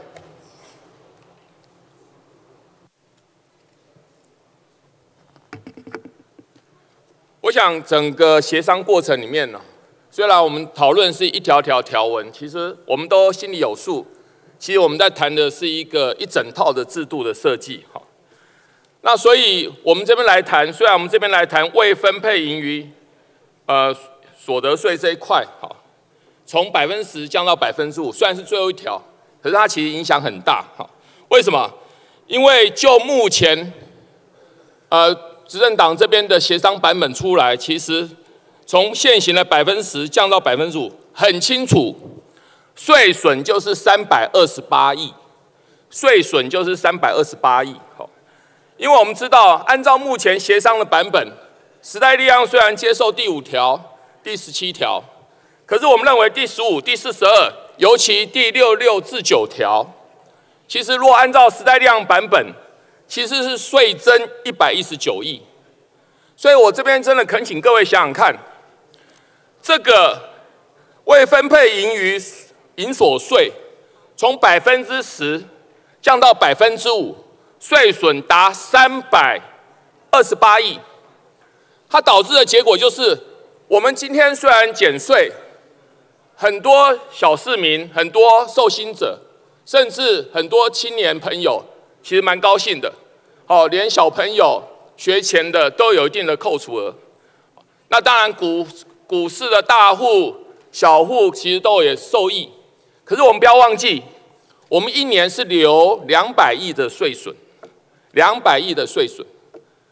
哦，像今天协商的时候，我就一直在问财政部长，那这两百亿怎么解决？我想税改绝对不是一时的高兴，好，所以这边真的恳请六十六之九条，真的有必要从百分之十降到百分之五，让我们的税损高达三百二十八亿。如果把这个弄下来，其实整个税改的 package，哦，其实是正的。我们还有税增，那未分配保留盈余，根据参加财政部一些税改的学者说。一开始从来没有人提这个案子，一直到有一个商界大佬啊，半导体之父，在财政部公布税改前一天说，他支持政府调高营所税，但是认为保留盈余税是反企业成长税，会阻碍企业将盈余用作未来投资，一系翻盘。我想请问，如果是真的用心在做研研发的这些大公司？百分之十降到百分之五，真的会影响到他们吗？可是当我们对一些公司将百分之十降到百分之五的时候，会不会有更多的不是从从事研发，而是把盈余保留，甚至有一些弊端？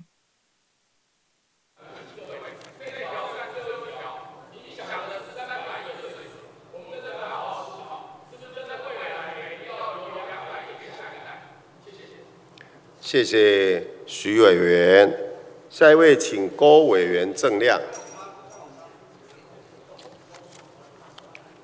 下一位请江委员永昌。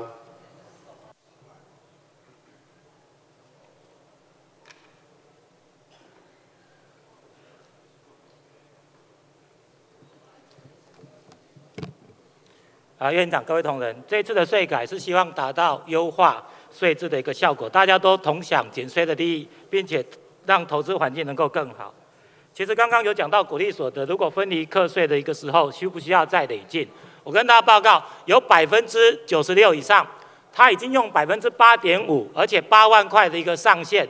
那在这种状况已经得到保证。那所以二十八趴分离课税者，那仅是四 percent 鼓励所得的人，需要在这里再做累进的一个分级。让这个税制更加复杂吗？所以其实财政部以及院版所提出的分离课税，在二十八 percent 的这个再修正动议是适当的。鼓励所得这个阶段是在个人，既然已经从百分之八十乘上百分之二十八调降为二十二点四，那么在营所税当中，我们要过去的扭曲把它调整回来。所以现在法人课税就是百分之二十。大家想一件事情，未分配盈余。本来十七 percent 营所税缴完之后，你要以百分之八十三去乘上百分之十的未分配的这个加征营所税，这个税率算起来是百分之二十五点三，而且还有扣缴税款在这里还没有抵减进去。但是我们现在营所税加到百分之二十的时候，如果你仍然维持未分配百分之十，你去乘上百分之八十，你等于调高到了百分之二十八呢，你还加重了啊！所以在未分配盈余。让从十 percent 调降到五 percent，两阶段在营所税哈，关于法人以及未分配加征之后，还有百分之二十四啊，仍然比原来的还要再加重啊，这一点一定要说清楚，绝对不是说让他们有啊在营所税上未加征这个好少了五趴的这个未分配盈余哈，就等于是让他们在税改当中没有科户到税的一个那个哦因素啦。我再这样讲。未分配盈余其实跟保留盈余不一样，好，它其实法定盈余公积、特别盈余公积都不在内。那这次财政部的研究报告当中，其实工商团体是要求全面取消未分配盈余，可是财政部行政院版仍然坚持要有五 percent。为什么？因为公司的经营跟这个好啊所有权要分开，不能够说未分配盈余如果不瞌税会发生道德危机，让大家把盈余留在公司里。啊，从公平面来看，我们知道了，我们没有正所税。如果未分配盈余留在公司里，股价上升，大家经由这个股票交易产生这个所得，如果没课税是不公平。所以在这里，它有替代税的功能。企业投资企业的转投资的一个获利，也是不课税的一个租税优惠。所以我们在这里未分配盈余把它课税，也是有补充税的这个效果。但我这样讲。法人的部分，公司阶段已经课征营所税百分之二十，如果你在后面有没有加征未分配的这个好盈余？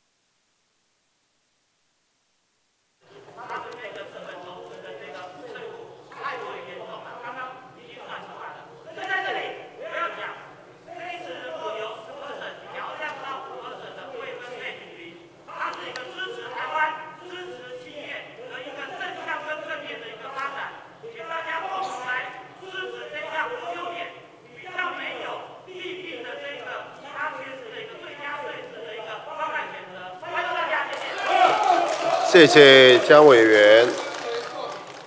下一位，请柯委员建明。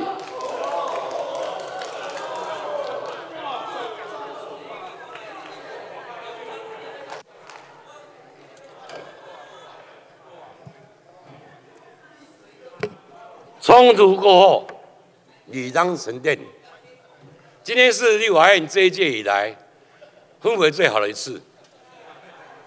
大家态度轻松，笑容可掬，华香的尊严。呃，看到大家生日快乐在拍手，那我们没有，我们几乎快要习惯那互相攻击谩骂也不见了。这不是奇幻之旅，这是立法院转变的开始。这是一个立法院机会之窗。从这次朝野协商以来。可以说这两天是最和谐一次，大家非常冷静面对所有问题在讨论，即便黄国昌也非常笑容可掬啊，都怕就怕了啊，这是我们期待的，所以我们应该善用这个结果。我们看到这样的朝野协商，然后延续下来是什么呢？延续下来，我们今天所有版本的表决，我们看到。最关键核心的条文只有三条，第五条、第十五条、第十七条，这三个关键条文，各位各位有没有看到？第五条、第十条，师党是一致的；第十七条，我们国民党、亲民党是一致的；四这四十二条，哦，也是如此。那这个市场，大家互相靠近了，这个结果是怎么样？我们看到税改。税改是一个国家重大政策，关乎的所有的的，包括我们公平正义、照顾弱势，哦，国家财政负担乃至于是产业政等等，所有一切看税改。那今天我们改革改革结果是怎么样？我用简这个简单的数目：新购受惠者五百四十万户，标购受惠者五百一十七万户。身上呢，身上是六十二万户，包括幼儿学龄六十一万户，即便是中小企业，我们后来在呃分三年，哦，大家都一致的，也增加了十一万户，所以这个是共同的成果，我们一起来分享。那在最后，在这个这个地方，我要拜托我们这一届以来的所有的文化应该改变，这是一个立法院改变的开始。国会的尊严是大家融入，我们我们不希望我们尔后是大家又在互相攻击。接下来总预算，我就要拜托国民党了，哈，啊，实际上实际上也拜托，我们希望国会建立新的文化，我们希望国会适当是一个改变，我想这个是大家共同期待。谢谢各位，谢谢，谢谢。柯委员这么让人深省的一席话，不过好像跟扁题不太有关系哦。发言会各党团推派之代表均已发言完毕，现在要进行处理。处理的顺序为：一、时代力量党团修正动议条文；二、亲民党党团及行政院分别提案条文相同，一并处理。三、国民党党团提案条文依序进行表决，表决后，如果其中有任何一案通过，即不再处理其他案。现在表决时代力量党团修正动议条文，现有民进党党团及时代力量党团要求记名表决。现在开始，时间一分钟。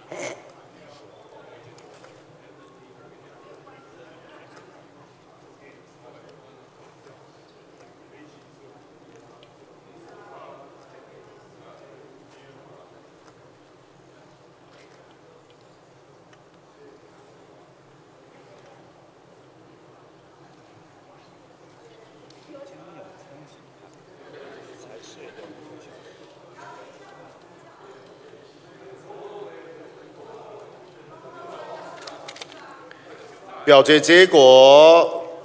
出席六十七人，赞成五人，反对六十二人，弃权零人。赞成者少数。时代力量党团修正动议条文不通过。现在表决亲民党党团及行政院分别提案条文。现有民进党党团要求记名表决。现在开始，时间一分钟。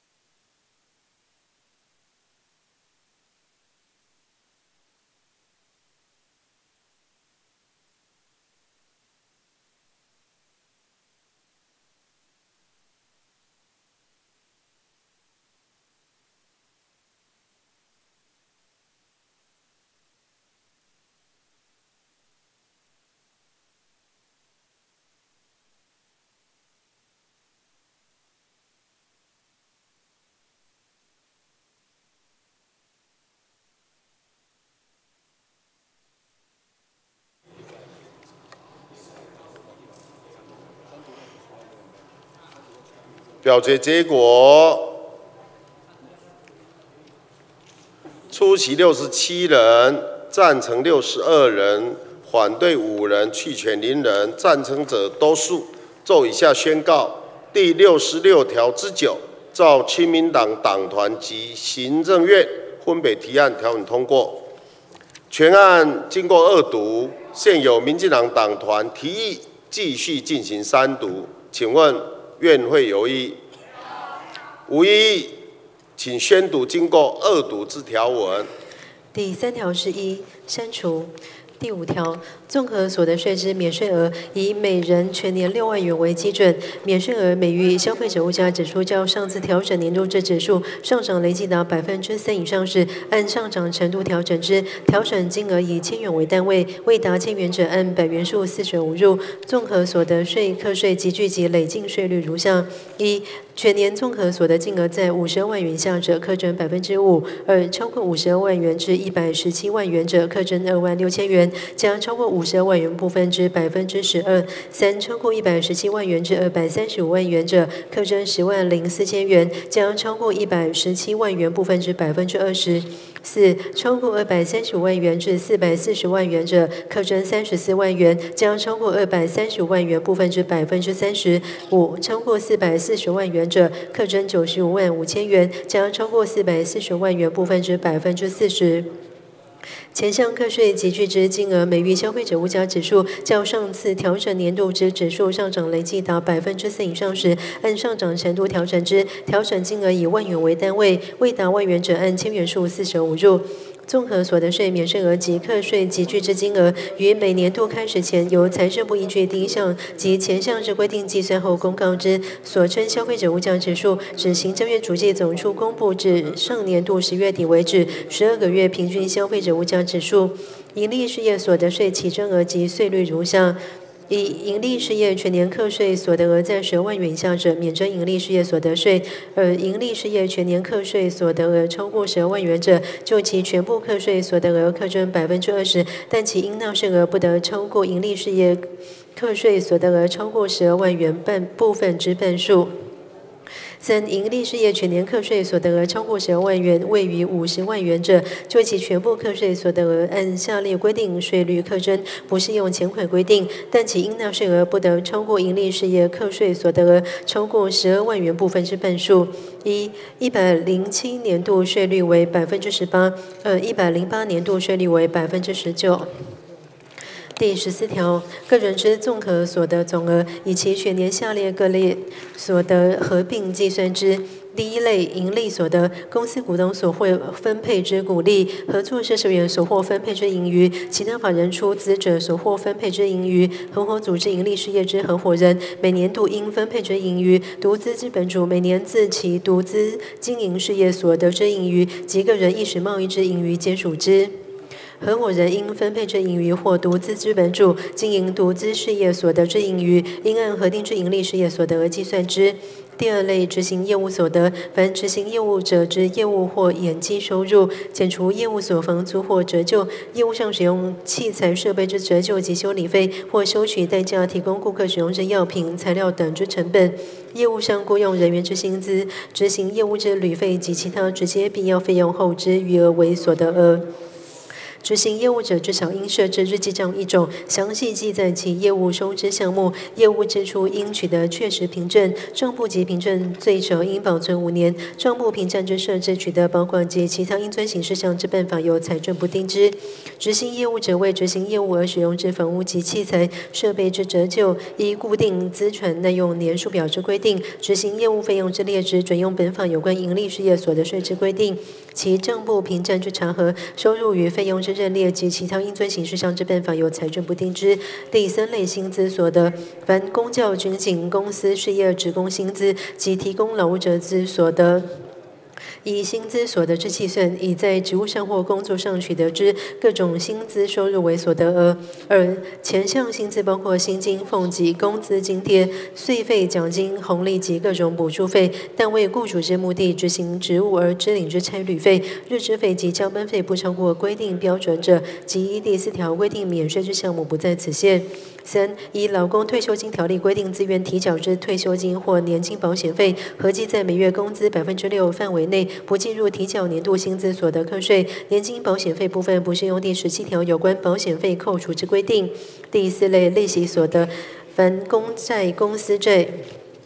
金融债券、各种短期票券、存款及其他贷出款项利息之所得。一、公债包括各级政府发行之债票、库券、证券及凭券。二、有奖储蓄之中奖奖金，超过储蓄额部分视为存款利息所得。三、短期票券只限期在一年期以内之国库券，可转让银行定期存单。公司与公营事业机构发行之本票或汇票及其他经目的事业主管机关核准之短期债务凭证。短期票券到期退偿金额超过首次发售价格部分为利息所得，除依第八十八条规定扣缴税款外，不并计综合所得总额。第五类租赁所得及权利金所得，凡以财产出租之租金所得、财产出点点价金运用之所得或专利权、商标权、著作权、秘密方法及各种特许权利供他人使用而取得之权利金所得。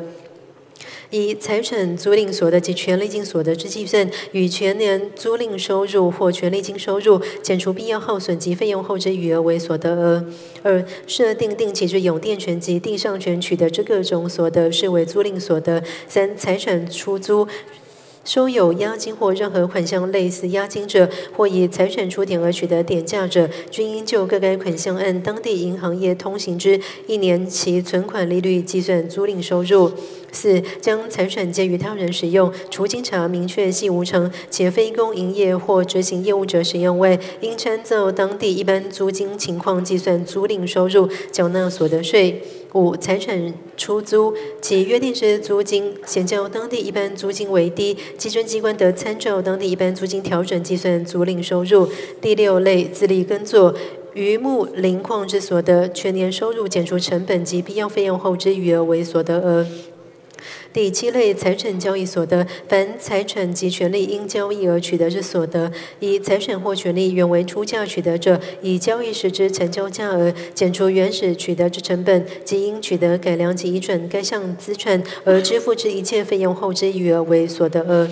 二、财产或权利原为继承或赠与而取得者，以交易时之成交价额减除继承时或受赠与时该项财产或权利之实价，即应取得改良及移转该项财产或权利而支付之一切费用后之余额为所得额。三、个人购买获取的股份有限公司之记名股票或记名公司债，各级政府发行之债券或银行经政府核准发行之开发债券，持有满一年以上者，于出售时得仅以其交易所得之半数作为当年度所得，其余半数免税。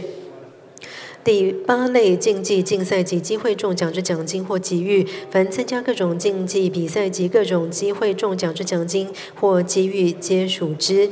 一、参加竞技竞赛所支付之必要费用准予减除；二、参加机会中奖所支付之成本准予减除；三、政府举办之奖券中奖奖金，除依第八十八条规定扣缴税款外，不并计综合所得总额。第九类退职所得，凡个人领取之退休金、资遣费、退职金、离职金、终身俸，非属保险给付之养老金，及依劳工退休金条例规定办理年金保险之保险给付等所得，但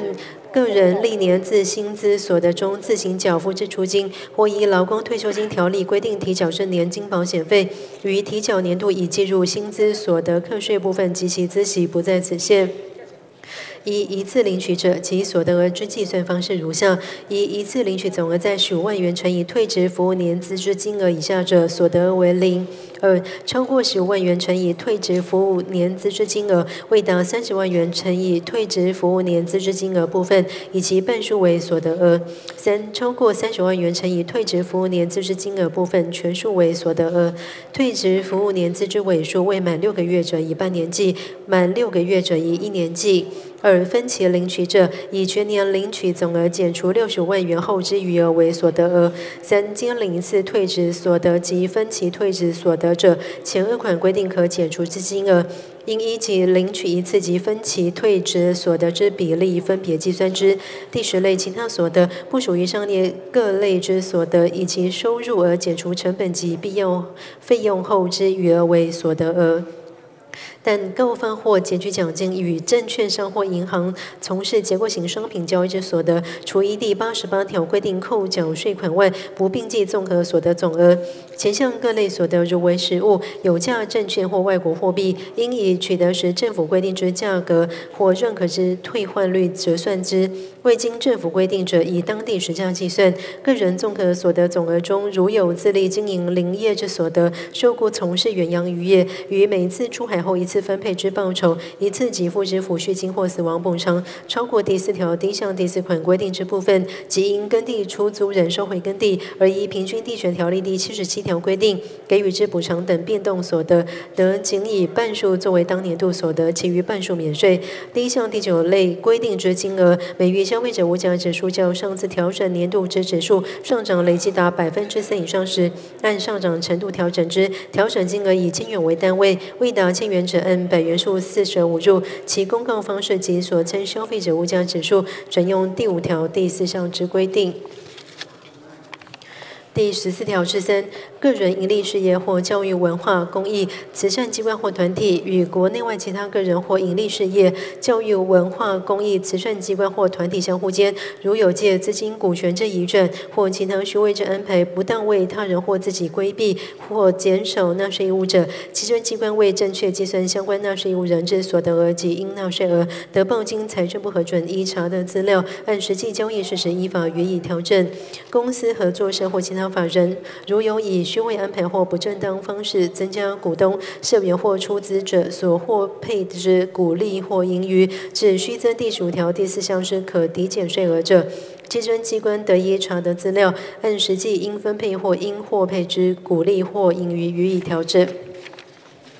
第十五条。自中华民国一百零三年一月一日起，纳税义务人配偶及合于第十七条规定得申报减除抚养亲属免税额之受抚养亲属，有第十四条第一项各类所得者，除纳税义务人与配偶分居，得各自依本法规定办理结算申报及计算税额外，应由纳税义务人合并申报及计算税额。纳税义务人主体一经选定，得于该申报年度结算申报期间届满之次日起算六个月内申请变更。前项税额之计算方式，纳税义务人应就下列各款规定择一适用：一、各类所得合并计算税额，纳税义务人就其本人、配偶及受抚养亲属之第十四条第一项各类所得，依第十七条规定减除免税额及扣除额合并计算税额；二、薪资所得分开计算税额，其余各类所得合并计算税额。一、纳税义务人就其本人或配偶之薪资所得分开计算税额，计算该税额时，仅得减除分开计算税额者，依第十七条规定计算之免税额及薪资所得特别扣除额。二、纳税义务人就其本人、配偶及受抚养亲属前目以外之各类所得，依第十七条规定减除前目以外之各项免税额及扣除额，合并计算税额。三、各类所得分开计算税额。一、纳税义务人就其本人或配偶之第十四条第一项各类所得分分开计算税额，计算该税额时，仅得减除分开计算税额者，依第十七条规定计算之免税额、财产交易损失特别扣除额、薪资所得特别扣除额、储蓄投资特别扣除额及身心障碍特别扣除额。二、纳税义务人就前目分开计算税额之他方及受抚养亲属之第十四条第一项各类所得，依第十七条规定减除前目以外之各项免税额及扣除额，合并计算税额。三、纳税义务人依前二目规定计算得减除之储蓄投资特别扣除额，应于第十七条第一项第二款第三目之三锁定扣除限额内，就第一目分开计算税额之他方及受抚养亲属符合该限额内之所得，先予减除。减除后如有余额，再就第一目分开计算税额者之所得于余额内减除。第一项分居之认定要件及应减负之证明文件由财政部定之。自中华民国一百零七年一月一日起，纳税义务人配偶及合于第十七条规定得申报减除抚养亲属免税额之受抚养亲属，或配第十四条第一项第一类营利所得，其属所投资之公司、合作社及其他法人分配八十七年度或以后年度之股利或盈余，得就股利及盈余合计金额按百分之八点五计算可抵减税额，抵减当年度依第二项规定计算之综合所得税结算申报应纳税额。每一申报户每年抵减金额以八万元为限，纳税义务人得选择就其申报户前项股利及盈余合计金额按百分之二十八之税率分开计算应纳税额，由纳税义务人合并报缴，不适用第二项税额之计算方式及前项可抵减税额之规定。第十七条。按第十四条及前二条规定记得之个人综合所得总额，减除下列免税额及扣除额后之余额，为个人之综合所得净额。一、免税额，纳税义务人按规定减除其本人、配偶及合于下列规定抚养亲属之免税额。纳税义务人及其配偶年满七十岁者，免税额增加百分之五十。一、纳税义务人及其配偶之直系尊亲属年满六十岁或无谋生能力，受纳税义务人抚养者，其年满七十岁受纳税义务人抚养者，免税额增加百分之五十。二、纳税义务人之子女未满二十岁或满二十岁以上而应在校就学、身心障碍或无谋生能力，受纳税义务人抚养者。三、纳税义务人及其配偶之同胞兄弟姐妹未满二十岁或满二十岁以上而因在校就学、身心障碍或无谋生能力受纳税义务人抚养者。四、纳税义务人其他亲属或家属，合于民法第一千一百十四条第四款及第一千一百二十三条第三项之规定，未满二十岁或满二十岁以上而因在校就学、身心障碍或无谋生能力，确系受纳税义务人抚养者。二、扣除额，纳税义务人就下列标准扣除额或列举扣除额，则依减除位，并减除特别扣除额。一、标准扣除额，纳税义务人个人扣除十二万元，有配偶者加倍扣除之。二、列举扣除额，一、捐赠，纳税义务人配偶及受抚养亲属对于教育、文化、公益、慈善机构或团体之捐赠总额最高不超过综合所得总额百分之二十为限，但有关国防、陆军之捐赠及对政府之捐献不受金额之限制。二、保险费纳税义务人配偶或受抚养直系亲属之人身保险、劳工保险、国民年金保险及军公教保险之保险费，每人每年扣除数额以不超过二万四千元为限，但全民健康保险之保险费不受金额限制。三、医药及生育费纳税义务人配偶或受抚养亲属之医药费及生育费，已付予公立医院、全民健康保险特约医疗院所。国经财政部认定其会计记录完备正确至因医院者为限，但受有保险给付部分不得扣除。四、灾害损失纳税义务人配偶或受抚养亲属遭受不可抗力之灾害损失，但受有保险赔偿或救济金部分不得扣除。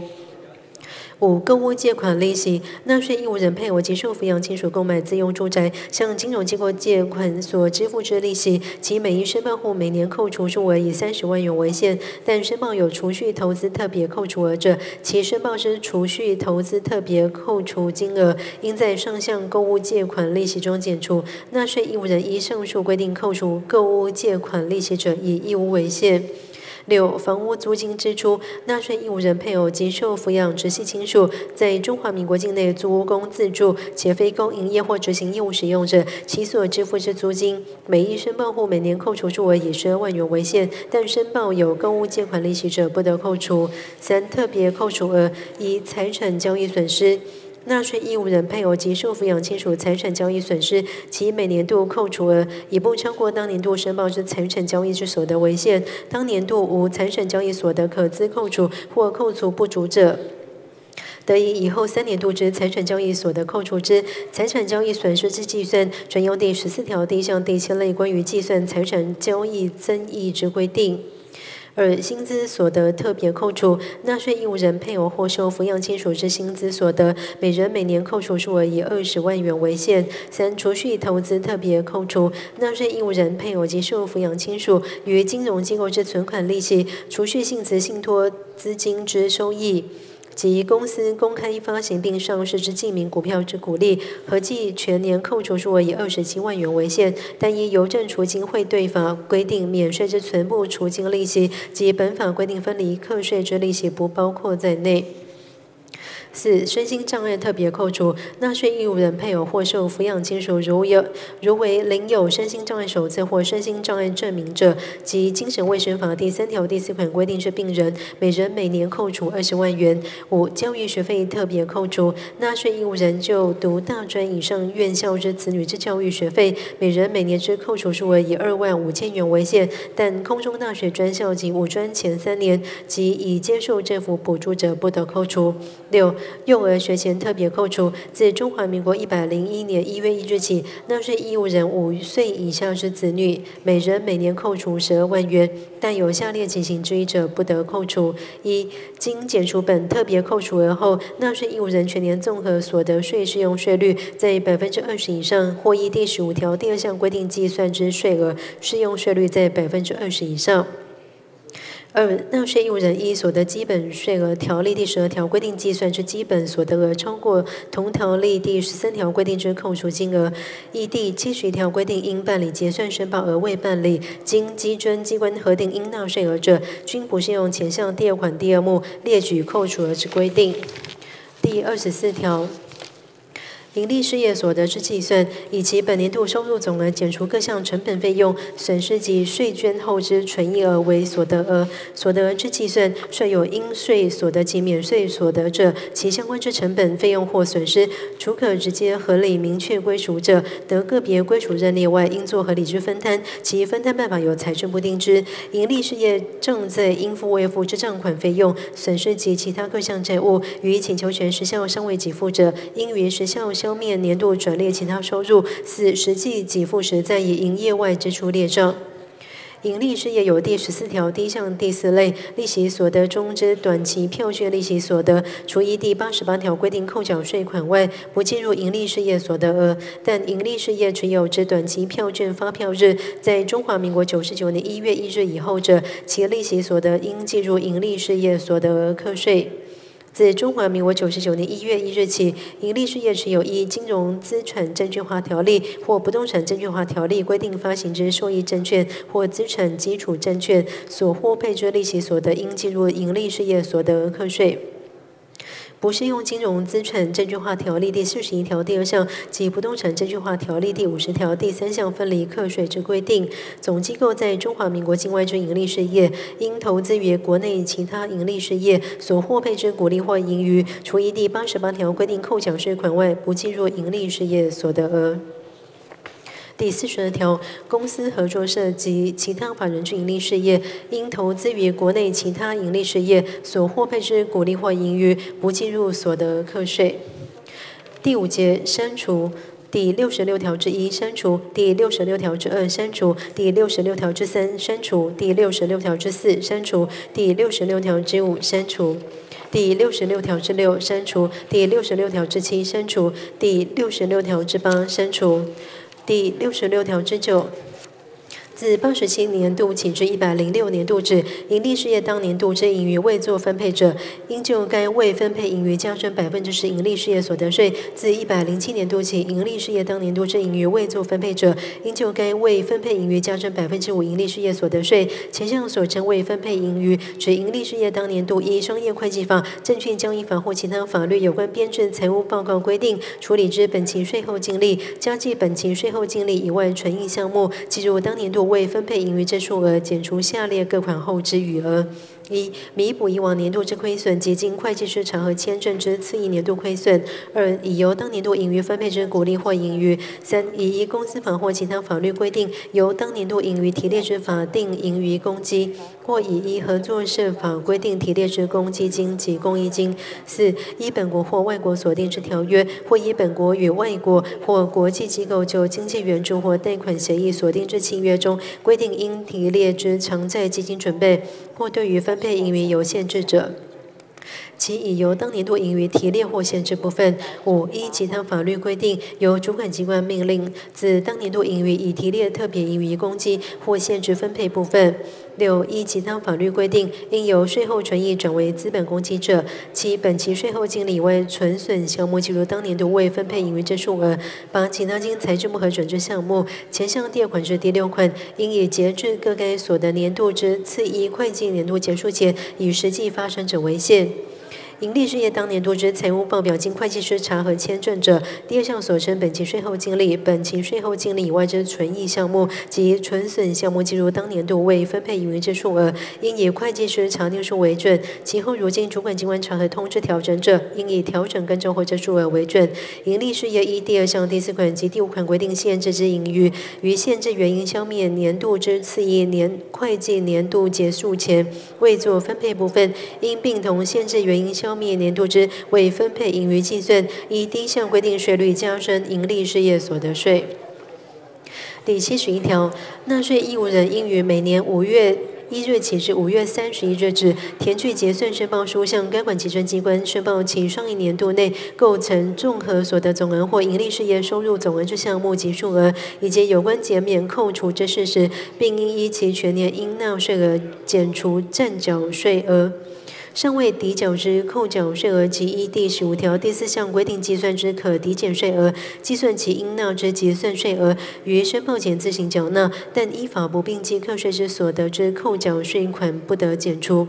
独资合伙组织之盈利事业，应依前项规定办理结算申报，无需计算及缴纳其应纳之结算税额，其盈利事业所得额。应由独资资本主或合伙组织合伙人依第十四条第一项第一类规定列为盈利所得，依本法规定课征综合所得税。但其为小规模盈利事业者，无需办理结算申报，由稽征机关核定其盈利事业所得额，直接归并独资资本主或合伙组织合伙人之盈利所得，依本法规定课征综合所得税。中华民国境内居住之个人，全年综合所得总额不超过当年度规定之免税额及标准扣除额之合计数者，得免办理结算申报。但申请退还扣缴税款及第十五条第四项规定之可抵减税额，或依第十五条第五项规定课税者，仍应办理结算申报。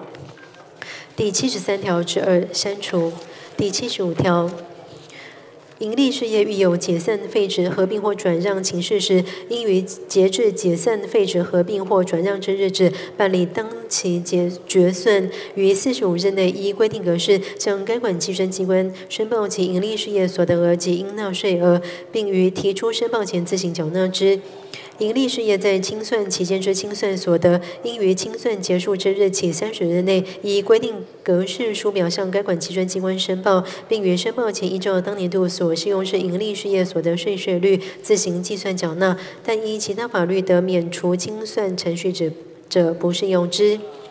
前项所称清算期间，其属公司组织者，依公司法规定之期限；属有限合伙组织者，依有限合伙法规定之期限；非属公司或有限合伙组织者，为自解散、废止、合并或转让之日起三个月。独资合伙组织之盈利事业，应依第一项及第二项规定办理当期决算或清算申报，无需计算及缴纳其应纳税额。其盈利事业所得额，应由独资资本主或合伙组织合伙人。依第十四条第一项第一类规定列为盈利所得，依本法规定课征综合所得税，但其为小规模盈利事业者，无需办理当期决算或清算申报，由稽征机关核定其盈利事业所得额，直接归并归并独资资本主或合伙组织合伙人之盈利所得，依本法规定课征综合所得税。盈利事业未依第一项及第二项规定期限申报其当期决算所得额或清算所得者。稽征机关应即依查得资料核定其所得额及应纳税额，其属独资合伙组织之盈利事业者，稽征机关应核定其所得额后，将其盈利事业所得额直接归并独资资本主或合伙组织合伙人之盈利所得，依本法规定课征综合所得税。盈利事业宣告破产时，应于法院公告债权申报期间截止时日前，向该管稽征机关提出当期盈利事业所得税决算申报。其未依线申报者，稽征机关应即依查得之资料，核定其所得额及应纳税额。法院应将前项宣告破产之盈利事业，于公告债权申报之同时，通知当地稽征机关。第七十六条。纳税义务人办理结算申报，应减负自缴税款缴款书收据与其他有关证明文件及单据，其为盈利事业所得税纳税义务人者，并应提出资产负债表、财产目录及损益表。公司合作社及其他法人负责人于申报盈利事业所得税时，应将股东、社员或出资者之姓名注置，应分配或已分配之股利或盈余数额。合伙组织之负责人应将合伙人姓名注置、投资数额及分配损益。之比例列单申报。第七十九条，纳税义务人未依规定期限办理结算申报者，稽征机关应即填具制报通知书送达纳税义务人，限于接到制报通知书之日起十五日内补办结算申报。其届期仍未办理结算申报者，稽征机关应依查得之资料或同业利润标准。核定其所得额及应纳税额，并填具核定税额通知书，连同缴款书送达纳税义务人依线缴纳。事后如经调查另行发现课税资料，仍依税捐稽征法有关规定办理。其属独资合伙组织之盈利事业者，稽征机关应于核定其所得额后，将其盈利事业所得额直接归命独资资本主或合伙组织合伙人之盈利所得，依本法规定课征综合所得税。综合所得税纳税义务人不适用前项催报之规定，其借其未申报者，稽征机关应即依查得之资料，核定其所得额及应纳税额，通知依线缴纳。事后如经稽征机关调查另行发现课税资料，仍应依税捐稽征法有关规定办理。第八十八条。纳税义务人有下列各类所得者，应由扣缴义务人于给付时依规定之扣缴率或扣缴办法扣取税款，并依第九十条规定缴纳之。以公司分配于非中华民国境内居住之个人及总机构，在中华民国境外之营利事业之股利，合作社、其他法人、合伙组织或独资组织。分配与非中华民国境内居住之社员、出资者、合伙人或独资资本组织盈余；二、机关团体、学校事业破产、残留或执行业务者所给付之薪资、利息。租金、佣金、权利金、竞技竞赛或机会中奖之奖金或给予、退休金、资遣费、退职金、离职金、终身奉非属非属保险给付之养老金、共发或减取奖金、结构型商品交易之所得、执行业务者之报酬及给付在中华民国境内无固定营业场所或营业代理人之国外营利事业之所得。三、第二十五条规定之盈利事业，依第九十八条之一之规定，应由营业代理人或给付人扣缴所得税款之盈利事业所得。四、第二十六条规定，在中华民国境内无分支机构之国外影片事业，其在中华民国境内之盈利事业所得额。独资合伙组织之盈利事业，依第七十条第二项或第七十五条第四项规定办理结算申报或决算清算申报，有应分配与非中华民国境内居住之独资资本主或合伙组织合伙人之盈余者，应于该年度结算申报或决算清算申报法定截止日前，由扣缴义务人依规定之扣缴率扣取税款，并依第九十二条规定缴纳。其后实际分配时，不适用前项第一款之规定。前项独资合伙组织之盈利事业，依法办理结算、决算或清算申报，或于申报后办理更正，经基准机关核定。增加盈利事业所得额，或未依法自行办理申报，经基准机关核定盈利事业所得额，只增加独资资本主或合伙组织合伙人之盈余者，扣缴义务人应于核定通知书送达之次日起算三十日内，就应分配与非中华民国境内居住之独资资本主或合伙组织合伙人之新增盈余，依规定之扣缴率扣取税款，并依第九十二条规定缴纳。前三项各类所得之扣缴率及扣缴办法，由财政部拟定，报请行政院核定。第八十九条，前条各类所得税款，其扣缴义务人及纳税义务人如下：一、公司分配与非中华民国境内居住之个人及总机构在中华民国境外之营利事业之股利。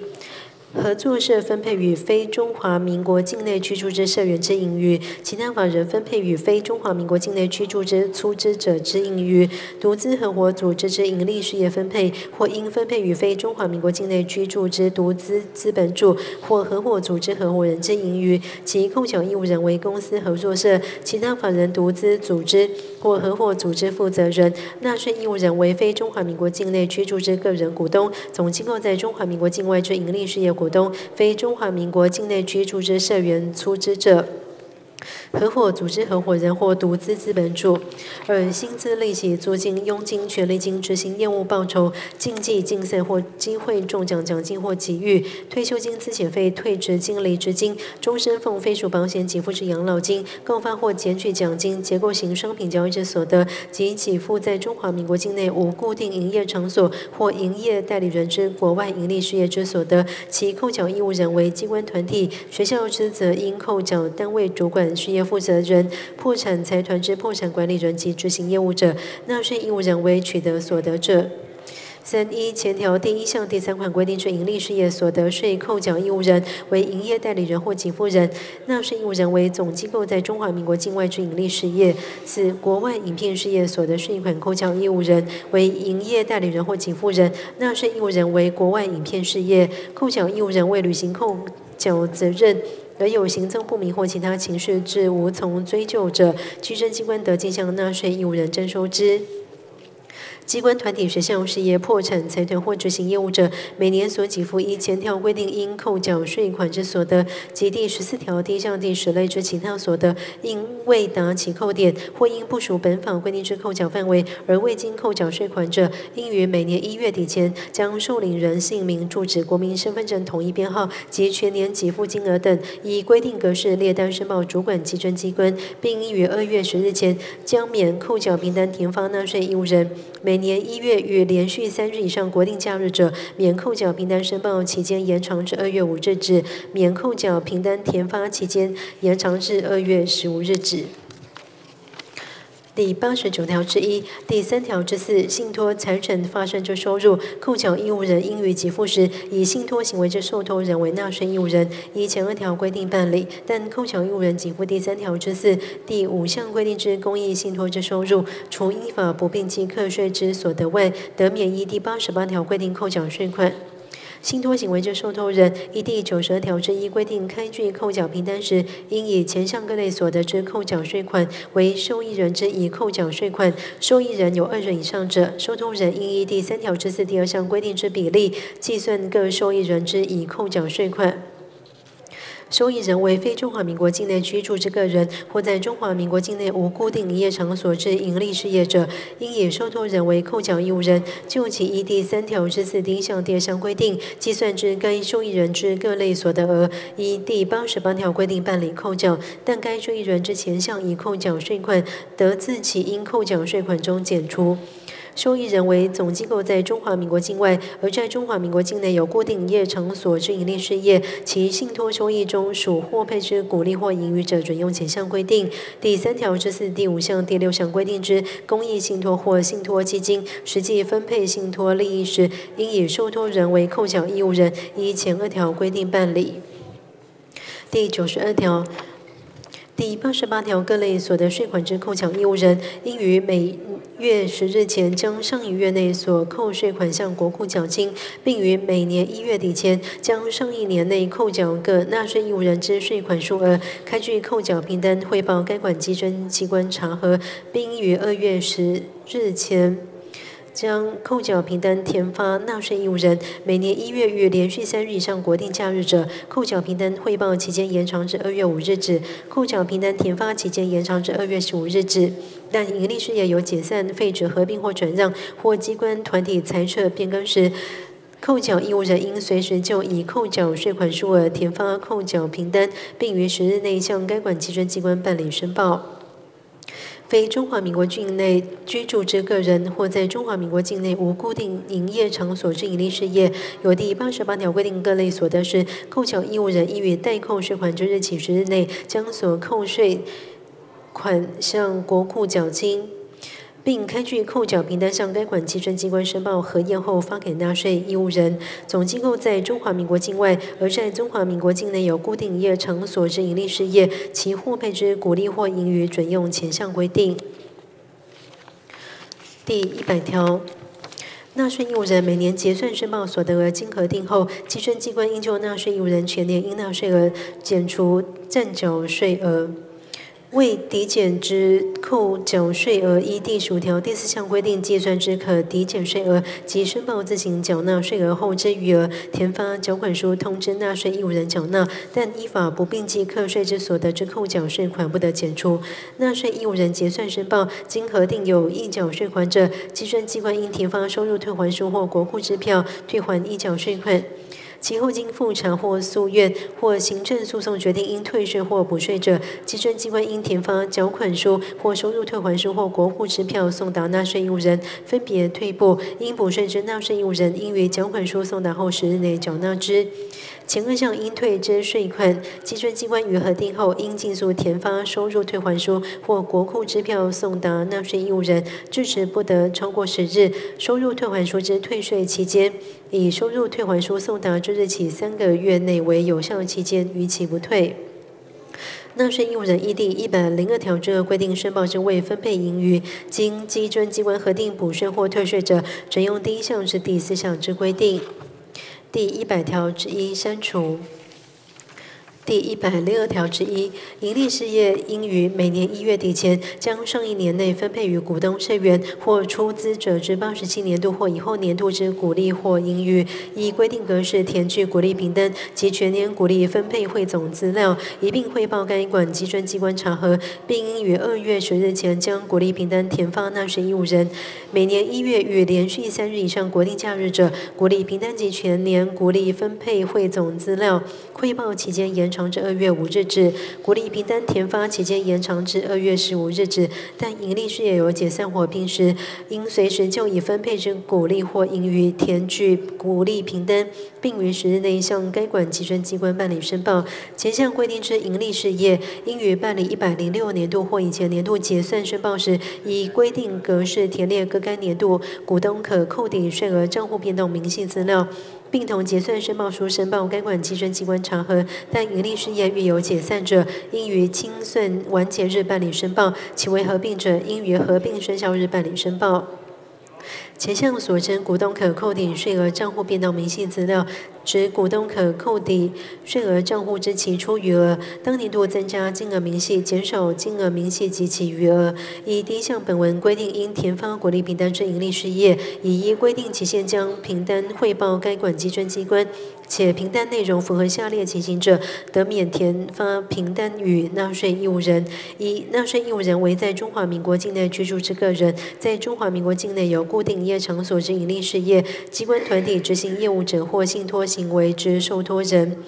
二、鼓励或盈余资料经基准机关纳入结算申报期间，提供所得资料查询服务。三、其他财政部规定之情形，依前项规定免填发凭单与纳税义务人者，如纳税义务人要求填发时，仍应填发。第一百零六条，有下列各款事项者，除由该管稽征机关限期责令补报或补记外，处以一千五百元以下罚款。以公司组织之盈利事业负责人、合作社之负责人及其他法人之负责人，违反第七十六条规定，借其不申报应分配或已分配于股东、社员或出资者之股利或盈余。二、合伙组织之盈利事业负责人违反第七十六条规定，不将合伙人之姓名、住址、投资数额及分配损益之比率列单申报。三、盈利事业负责人违反第九十条规定，不将规定事项详细记账。四、仓库负责人违反第九十一条第一项规定，不将规定事项报告。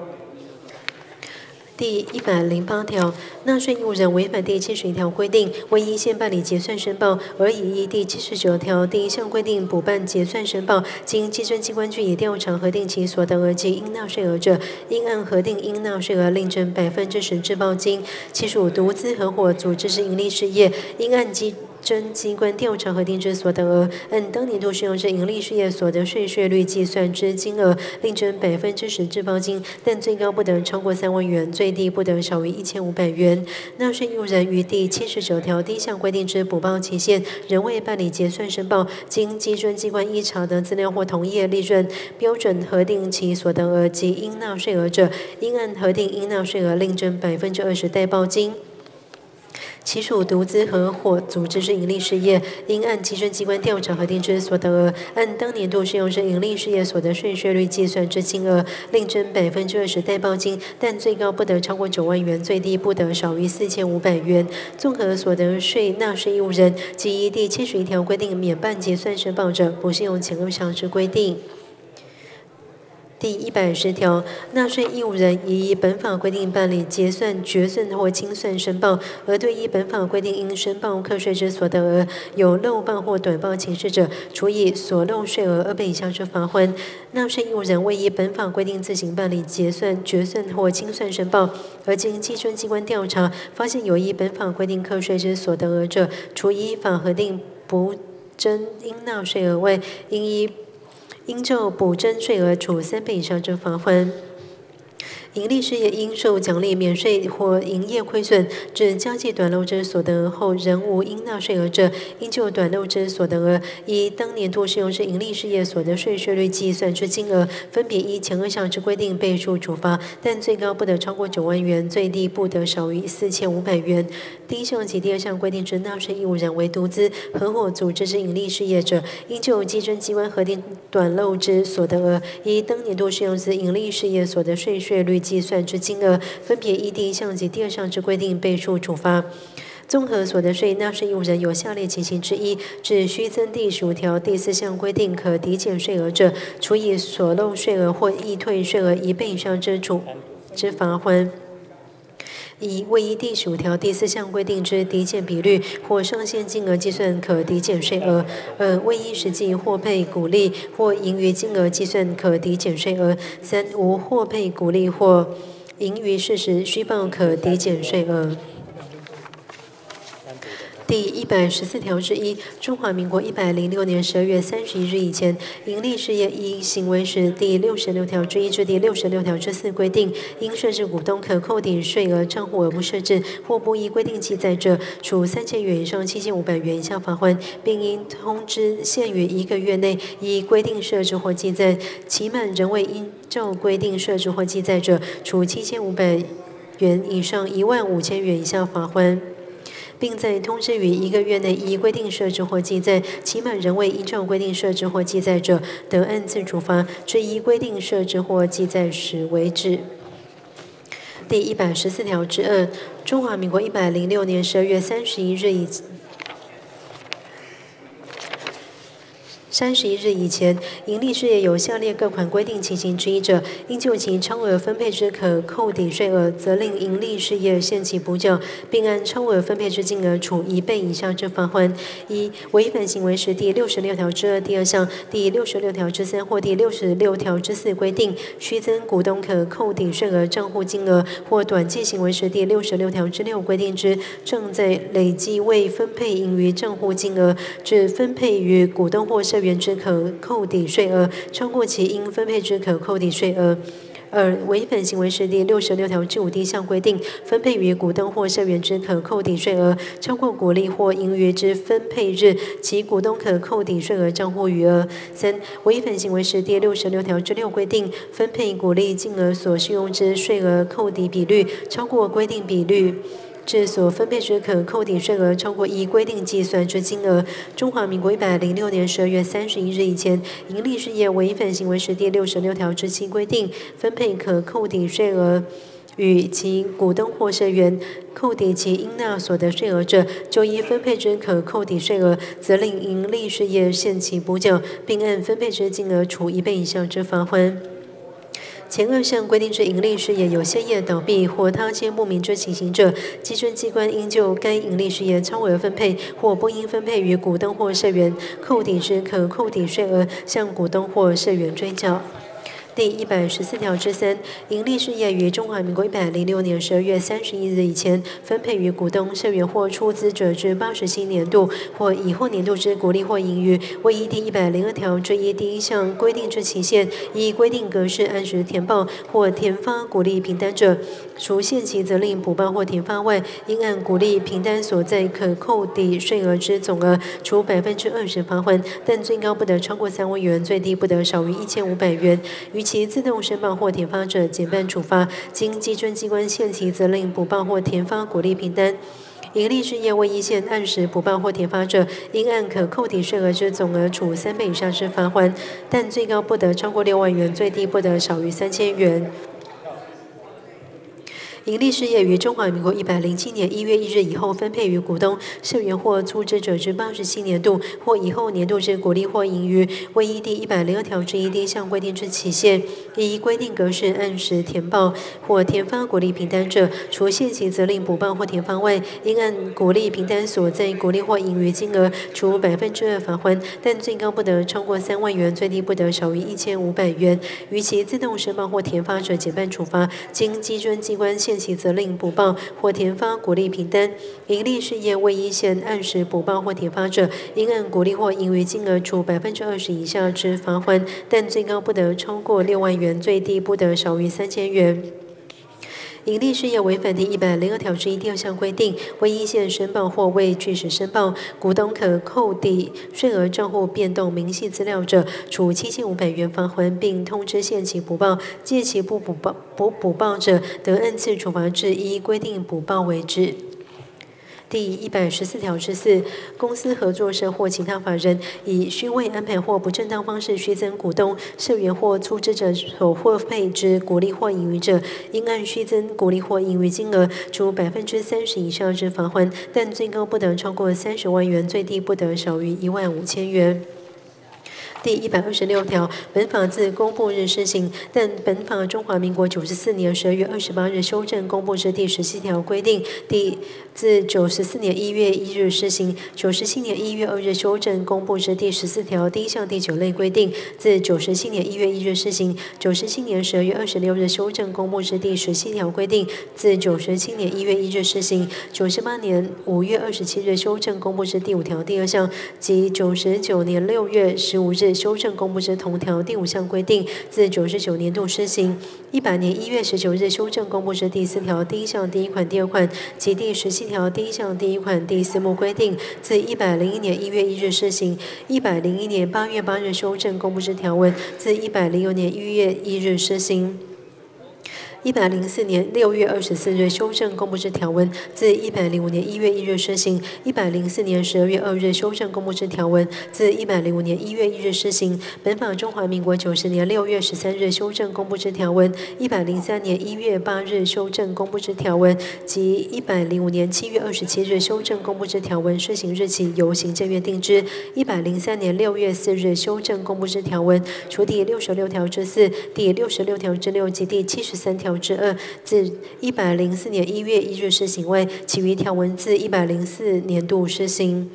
本法中华民国一百零七年一月十八日修正之条文，自第一百零七年一月一日施行，但第五条、第六十六条之九、第七十一条、第七十五条、第七十九条、第一百零八条及第一百十条，自一百零七年度施行；第七十三条之二，自一百零八年一月一日施行。宣读完毕。报告院会，三读条文已宣读完毕，请问？院会有无文字修正？无文字修正，做以下决议：所得税法增订第一百十四条之四条文，删除第三条之一、第五节节名、第六十六条之一至第六十六条之八、第七十三条之二。及第一百条之一条文，并将第五条、第十四条、第十四条之三、第十五条、第十七条、第二十四条、第四十二条、第六十六条之九、第七十一条、第七十五条、第七十六条、第七十九条。第八十八条至第八十九条之一、第九十二条、第一百条、第一百零二条之一、第一百零六条、第一百零八条、第一百十条、第一百十四条之一至第一百十四条之三及第一百二十六条条文修正通过。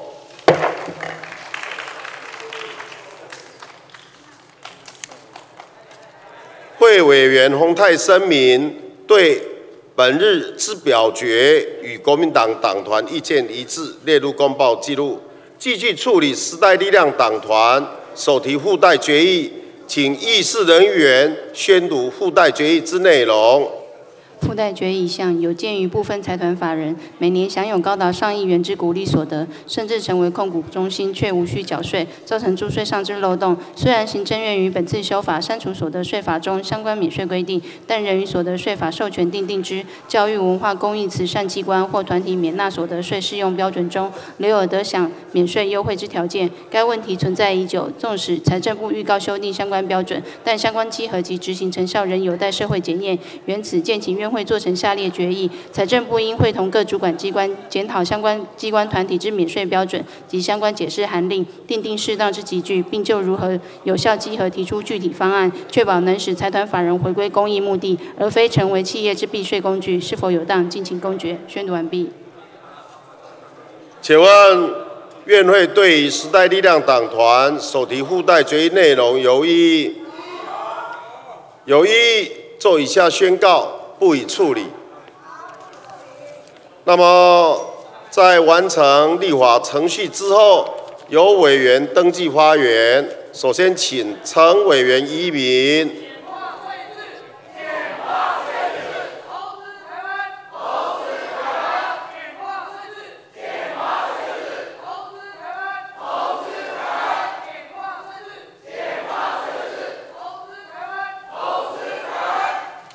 好，请陈委员一名，发言时间两分钟，并截止登记。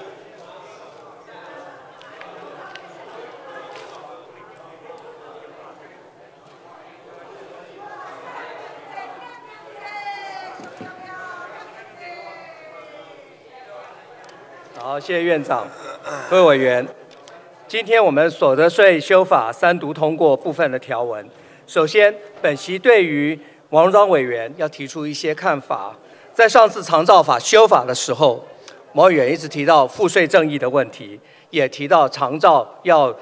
用税收制，但实际上却收不到。而在此次修法，也没有正视我们长照裁员短缺的窘状，有点为德不足。今天所得税修法有考虑到少子化的问题，所以有提高了幼儿学前特别扣除额十二万，但是却没有回应到大专现在呃学生招收率的问题，所以没有增加才学贷的扣除额，实在有点可惜。昨天赖院长对媒体表示。改善薪资低薪最有效的方式是鼓励投资。当投资增加，市场的动能增加，自然而然能够提供很多的工作机会，薪资就可以提高。但从本次的税改来看，执政党的方向显然违背了目前的国际潮流。目前国际上对企业减税，台湾却逆向操作，从现行国民党坚持的十七趴加到了二十趴。忽略了目前国际上纷纷针对企业减税的趋势。本次税改让各界疑惑：增加企业经营成本的税收，要怎么样的吸引外资前来投资？要怎样达到赖院赖院长口中的提高薪资的效果？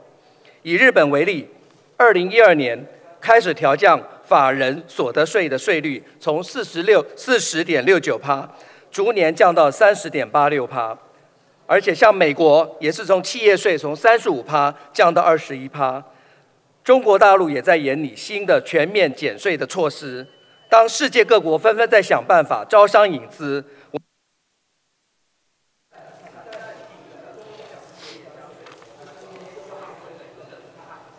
谢谢陈委员。下一位，请曾委员民中。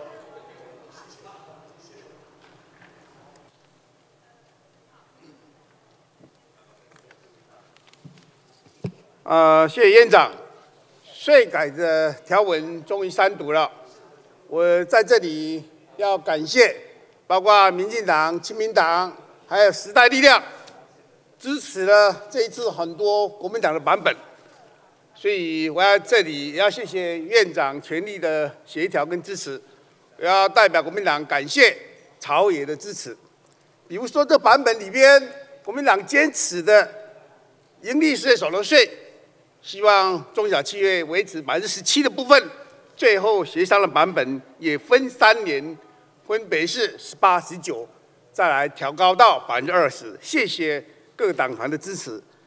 另外，有关标准扣除额也参考了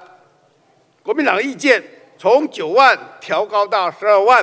薪资特别扣除额从十二万八也参考国民党意见，调高为二十万。身心障碍特别扣除额由现在十二万八，完全采纳国民党版本为二十万。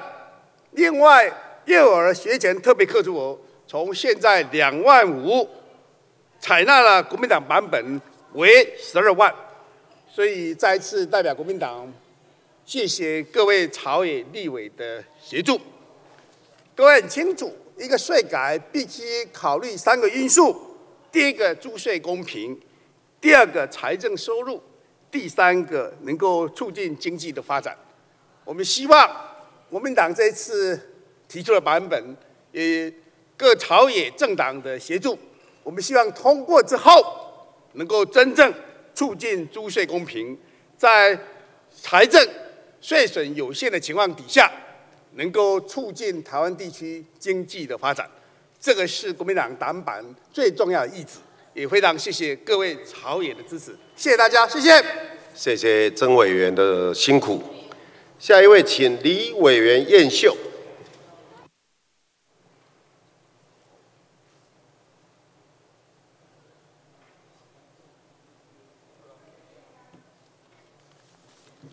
院长在现场，还留在现场，各位同仁，大家晚安哦。税改。这一次经过两天的讨论，终于非常顺利的通过。我也必须提醒民进党所有的同仁，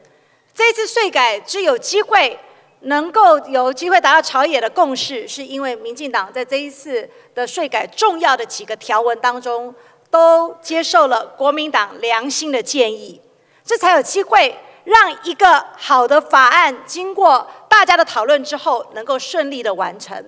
在这一次的税改当中，国民党有三个坚持，包括扣除额的部分，包括盈利所得的部分，还有鼓励鼓励的部分，鼓励所得的部分。扣除额的部分包括受薪阶级，现在低薪的部分。包括低薪的部分没有办法，政府没有能力解决低薪的问题，它也没有节税的空间，所以这一次低薪阶级包括受薪阶级的扣除额的部分，我们有许多的坚持。那当然，这个版本这次的版本几乎都是朝向接受国民党的版本，但是在这一次所有修正条文当中，我个人仍旧有两个非常大的遗憾。第一个是新增学贷特别扣除额的部分，清贫族、呃厌世代。其实是非常闷的哦，就是就是说，他们现在年轻人刚步入社会，还背着学贷，那现在的薪资又不是特别的高，所以我们仍旧希望，接下来包括在新增学贷的部分的扣除额，在下一个阶段六月份，如果有机会税改再一次讨论的同时，我们也希望并进来。那另外一个，其实是这一次我们在看到行政院版本，国民党非常坚持的部分，就是在鼓励的部分，关于鼓励所得的大户。我们仍旧希望是能够达到量能课税的目的。那这个部分虽然没有办法百分之百达到国民党的要求，但是我们也从现在行政院的版本二十六个 percent 增加要求到二十八个 percent，增加两个 percent，但是也增加了现在我们的税收的部分，拿增加了税收去补现在受薪阶级我们最后所要求得到的，包括幼儿照顾的部分哦，呃，增加幼儿学前照顾的特特别的扣除额，所以这次的税改，我们虽然。不是非常非常的满意，但是我们觉得对于受薪阶级税改的部分，我们仍旧希望可以达到一定照顾的目的。那这就是这一次国民党努力的方向，也希望在六月份有机会大法官。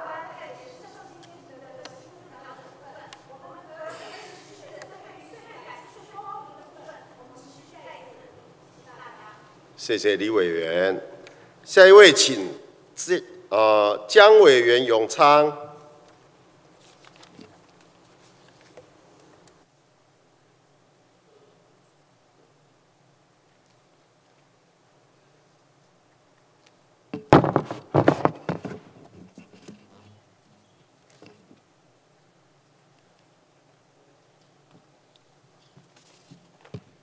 院长、议会各位同仁，这次能够达成税改的目的，友善投资台湾，增加就业机会，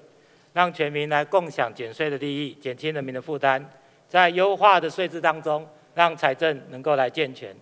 这次税改当中，包括重所税率好的边际税率四十五 percent 好拿掉之后只剩四十，以及营所税十七调降调升到二十，在鼓励。所得能够分离课税，以及有几项的这个扣除额额度的一个增加，那很高兴大家能够在多数面向当中有共识，顺利通过法案。税收是财政政策的一种，财政是政府各项政策当中的其中一种，也不能只有寄望于税改了，政府仍要透过其他的一个方式，哦，来让人民的照顾、国家的发展达到目的。那我自己个人是非常的高兴说。在各个方法的一个提出当中，有关于扣除额，在这个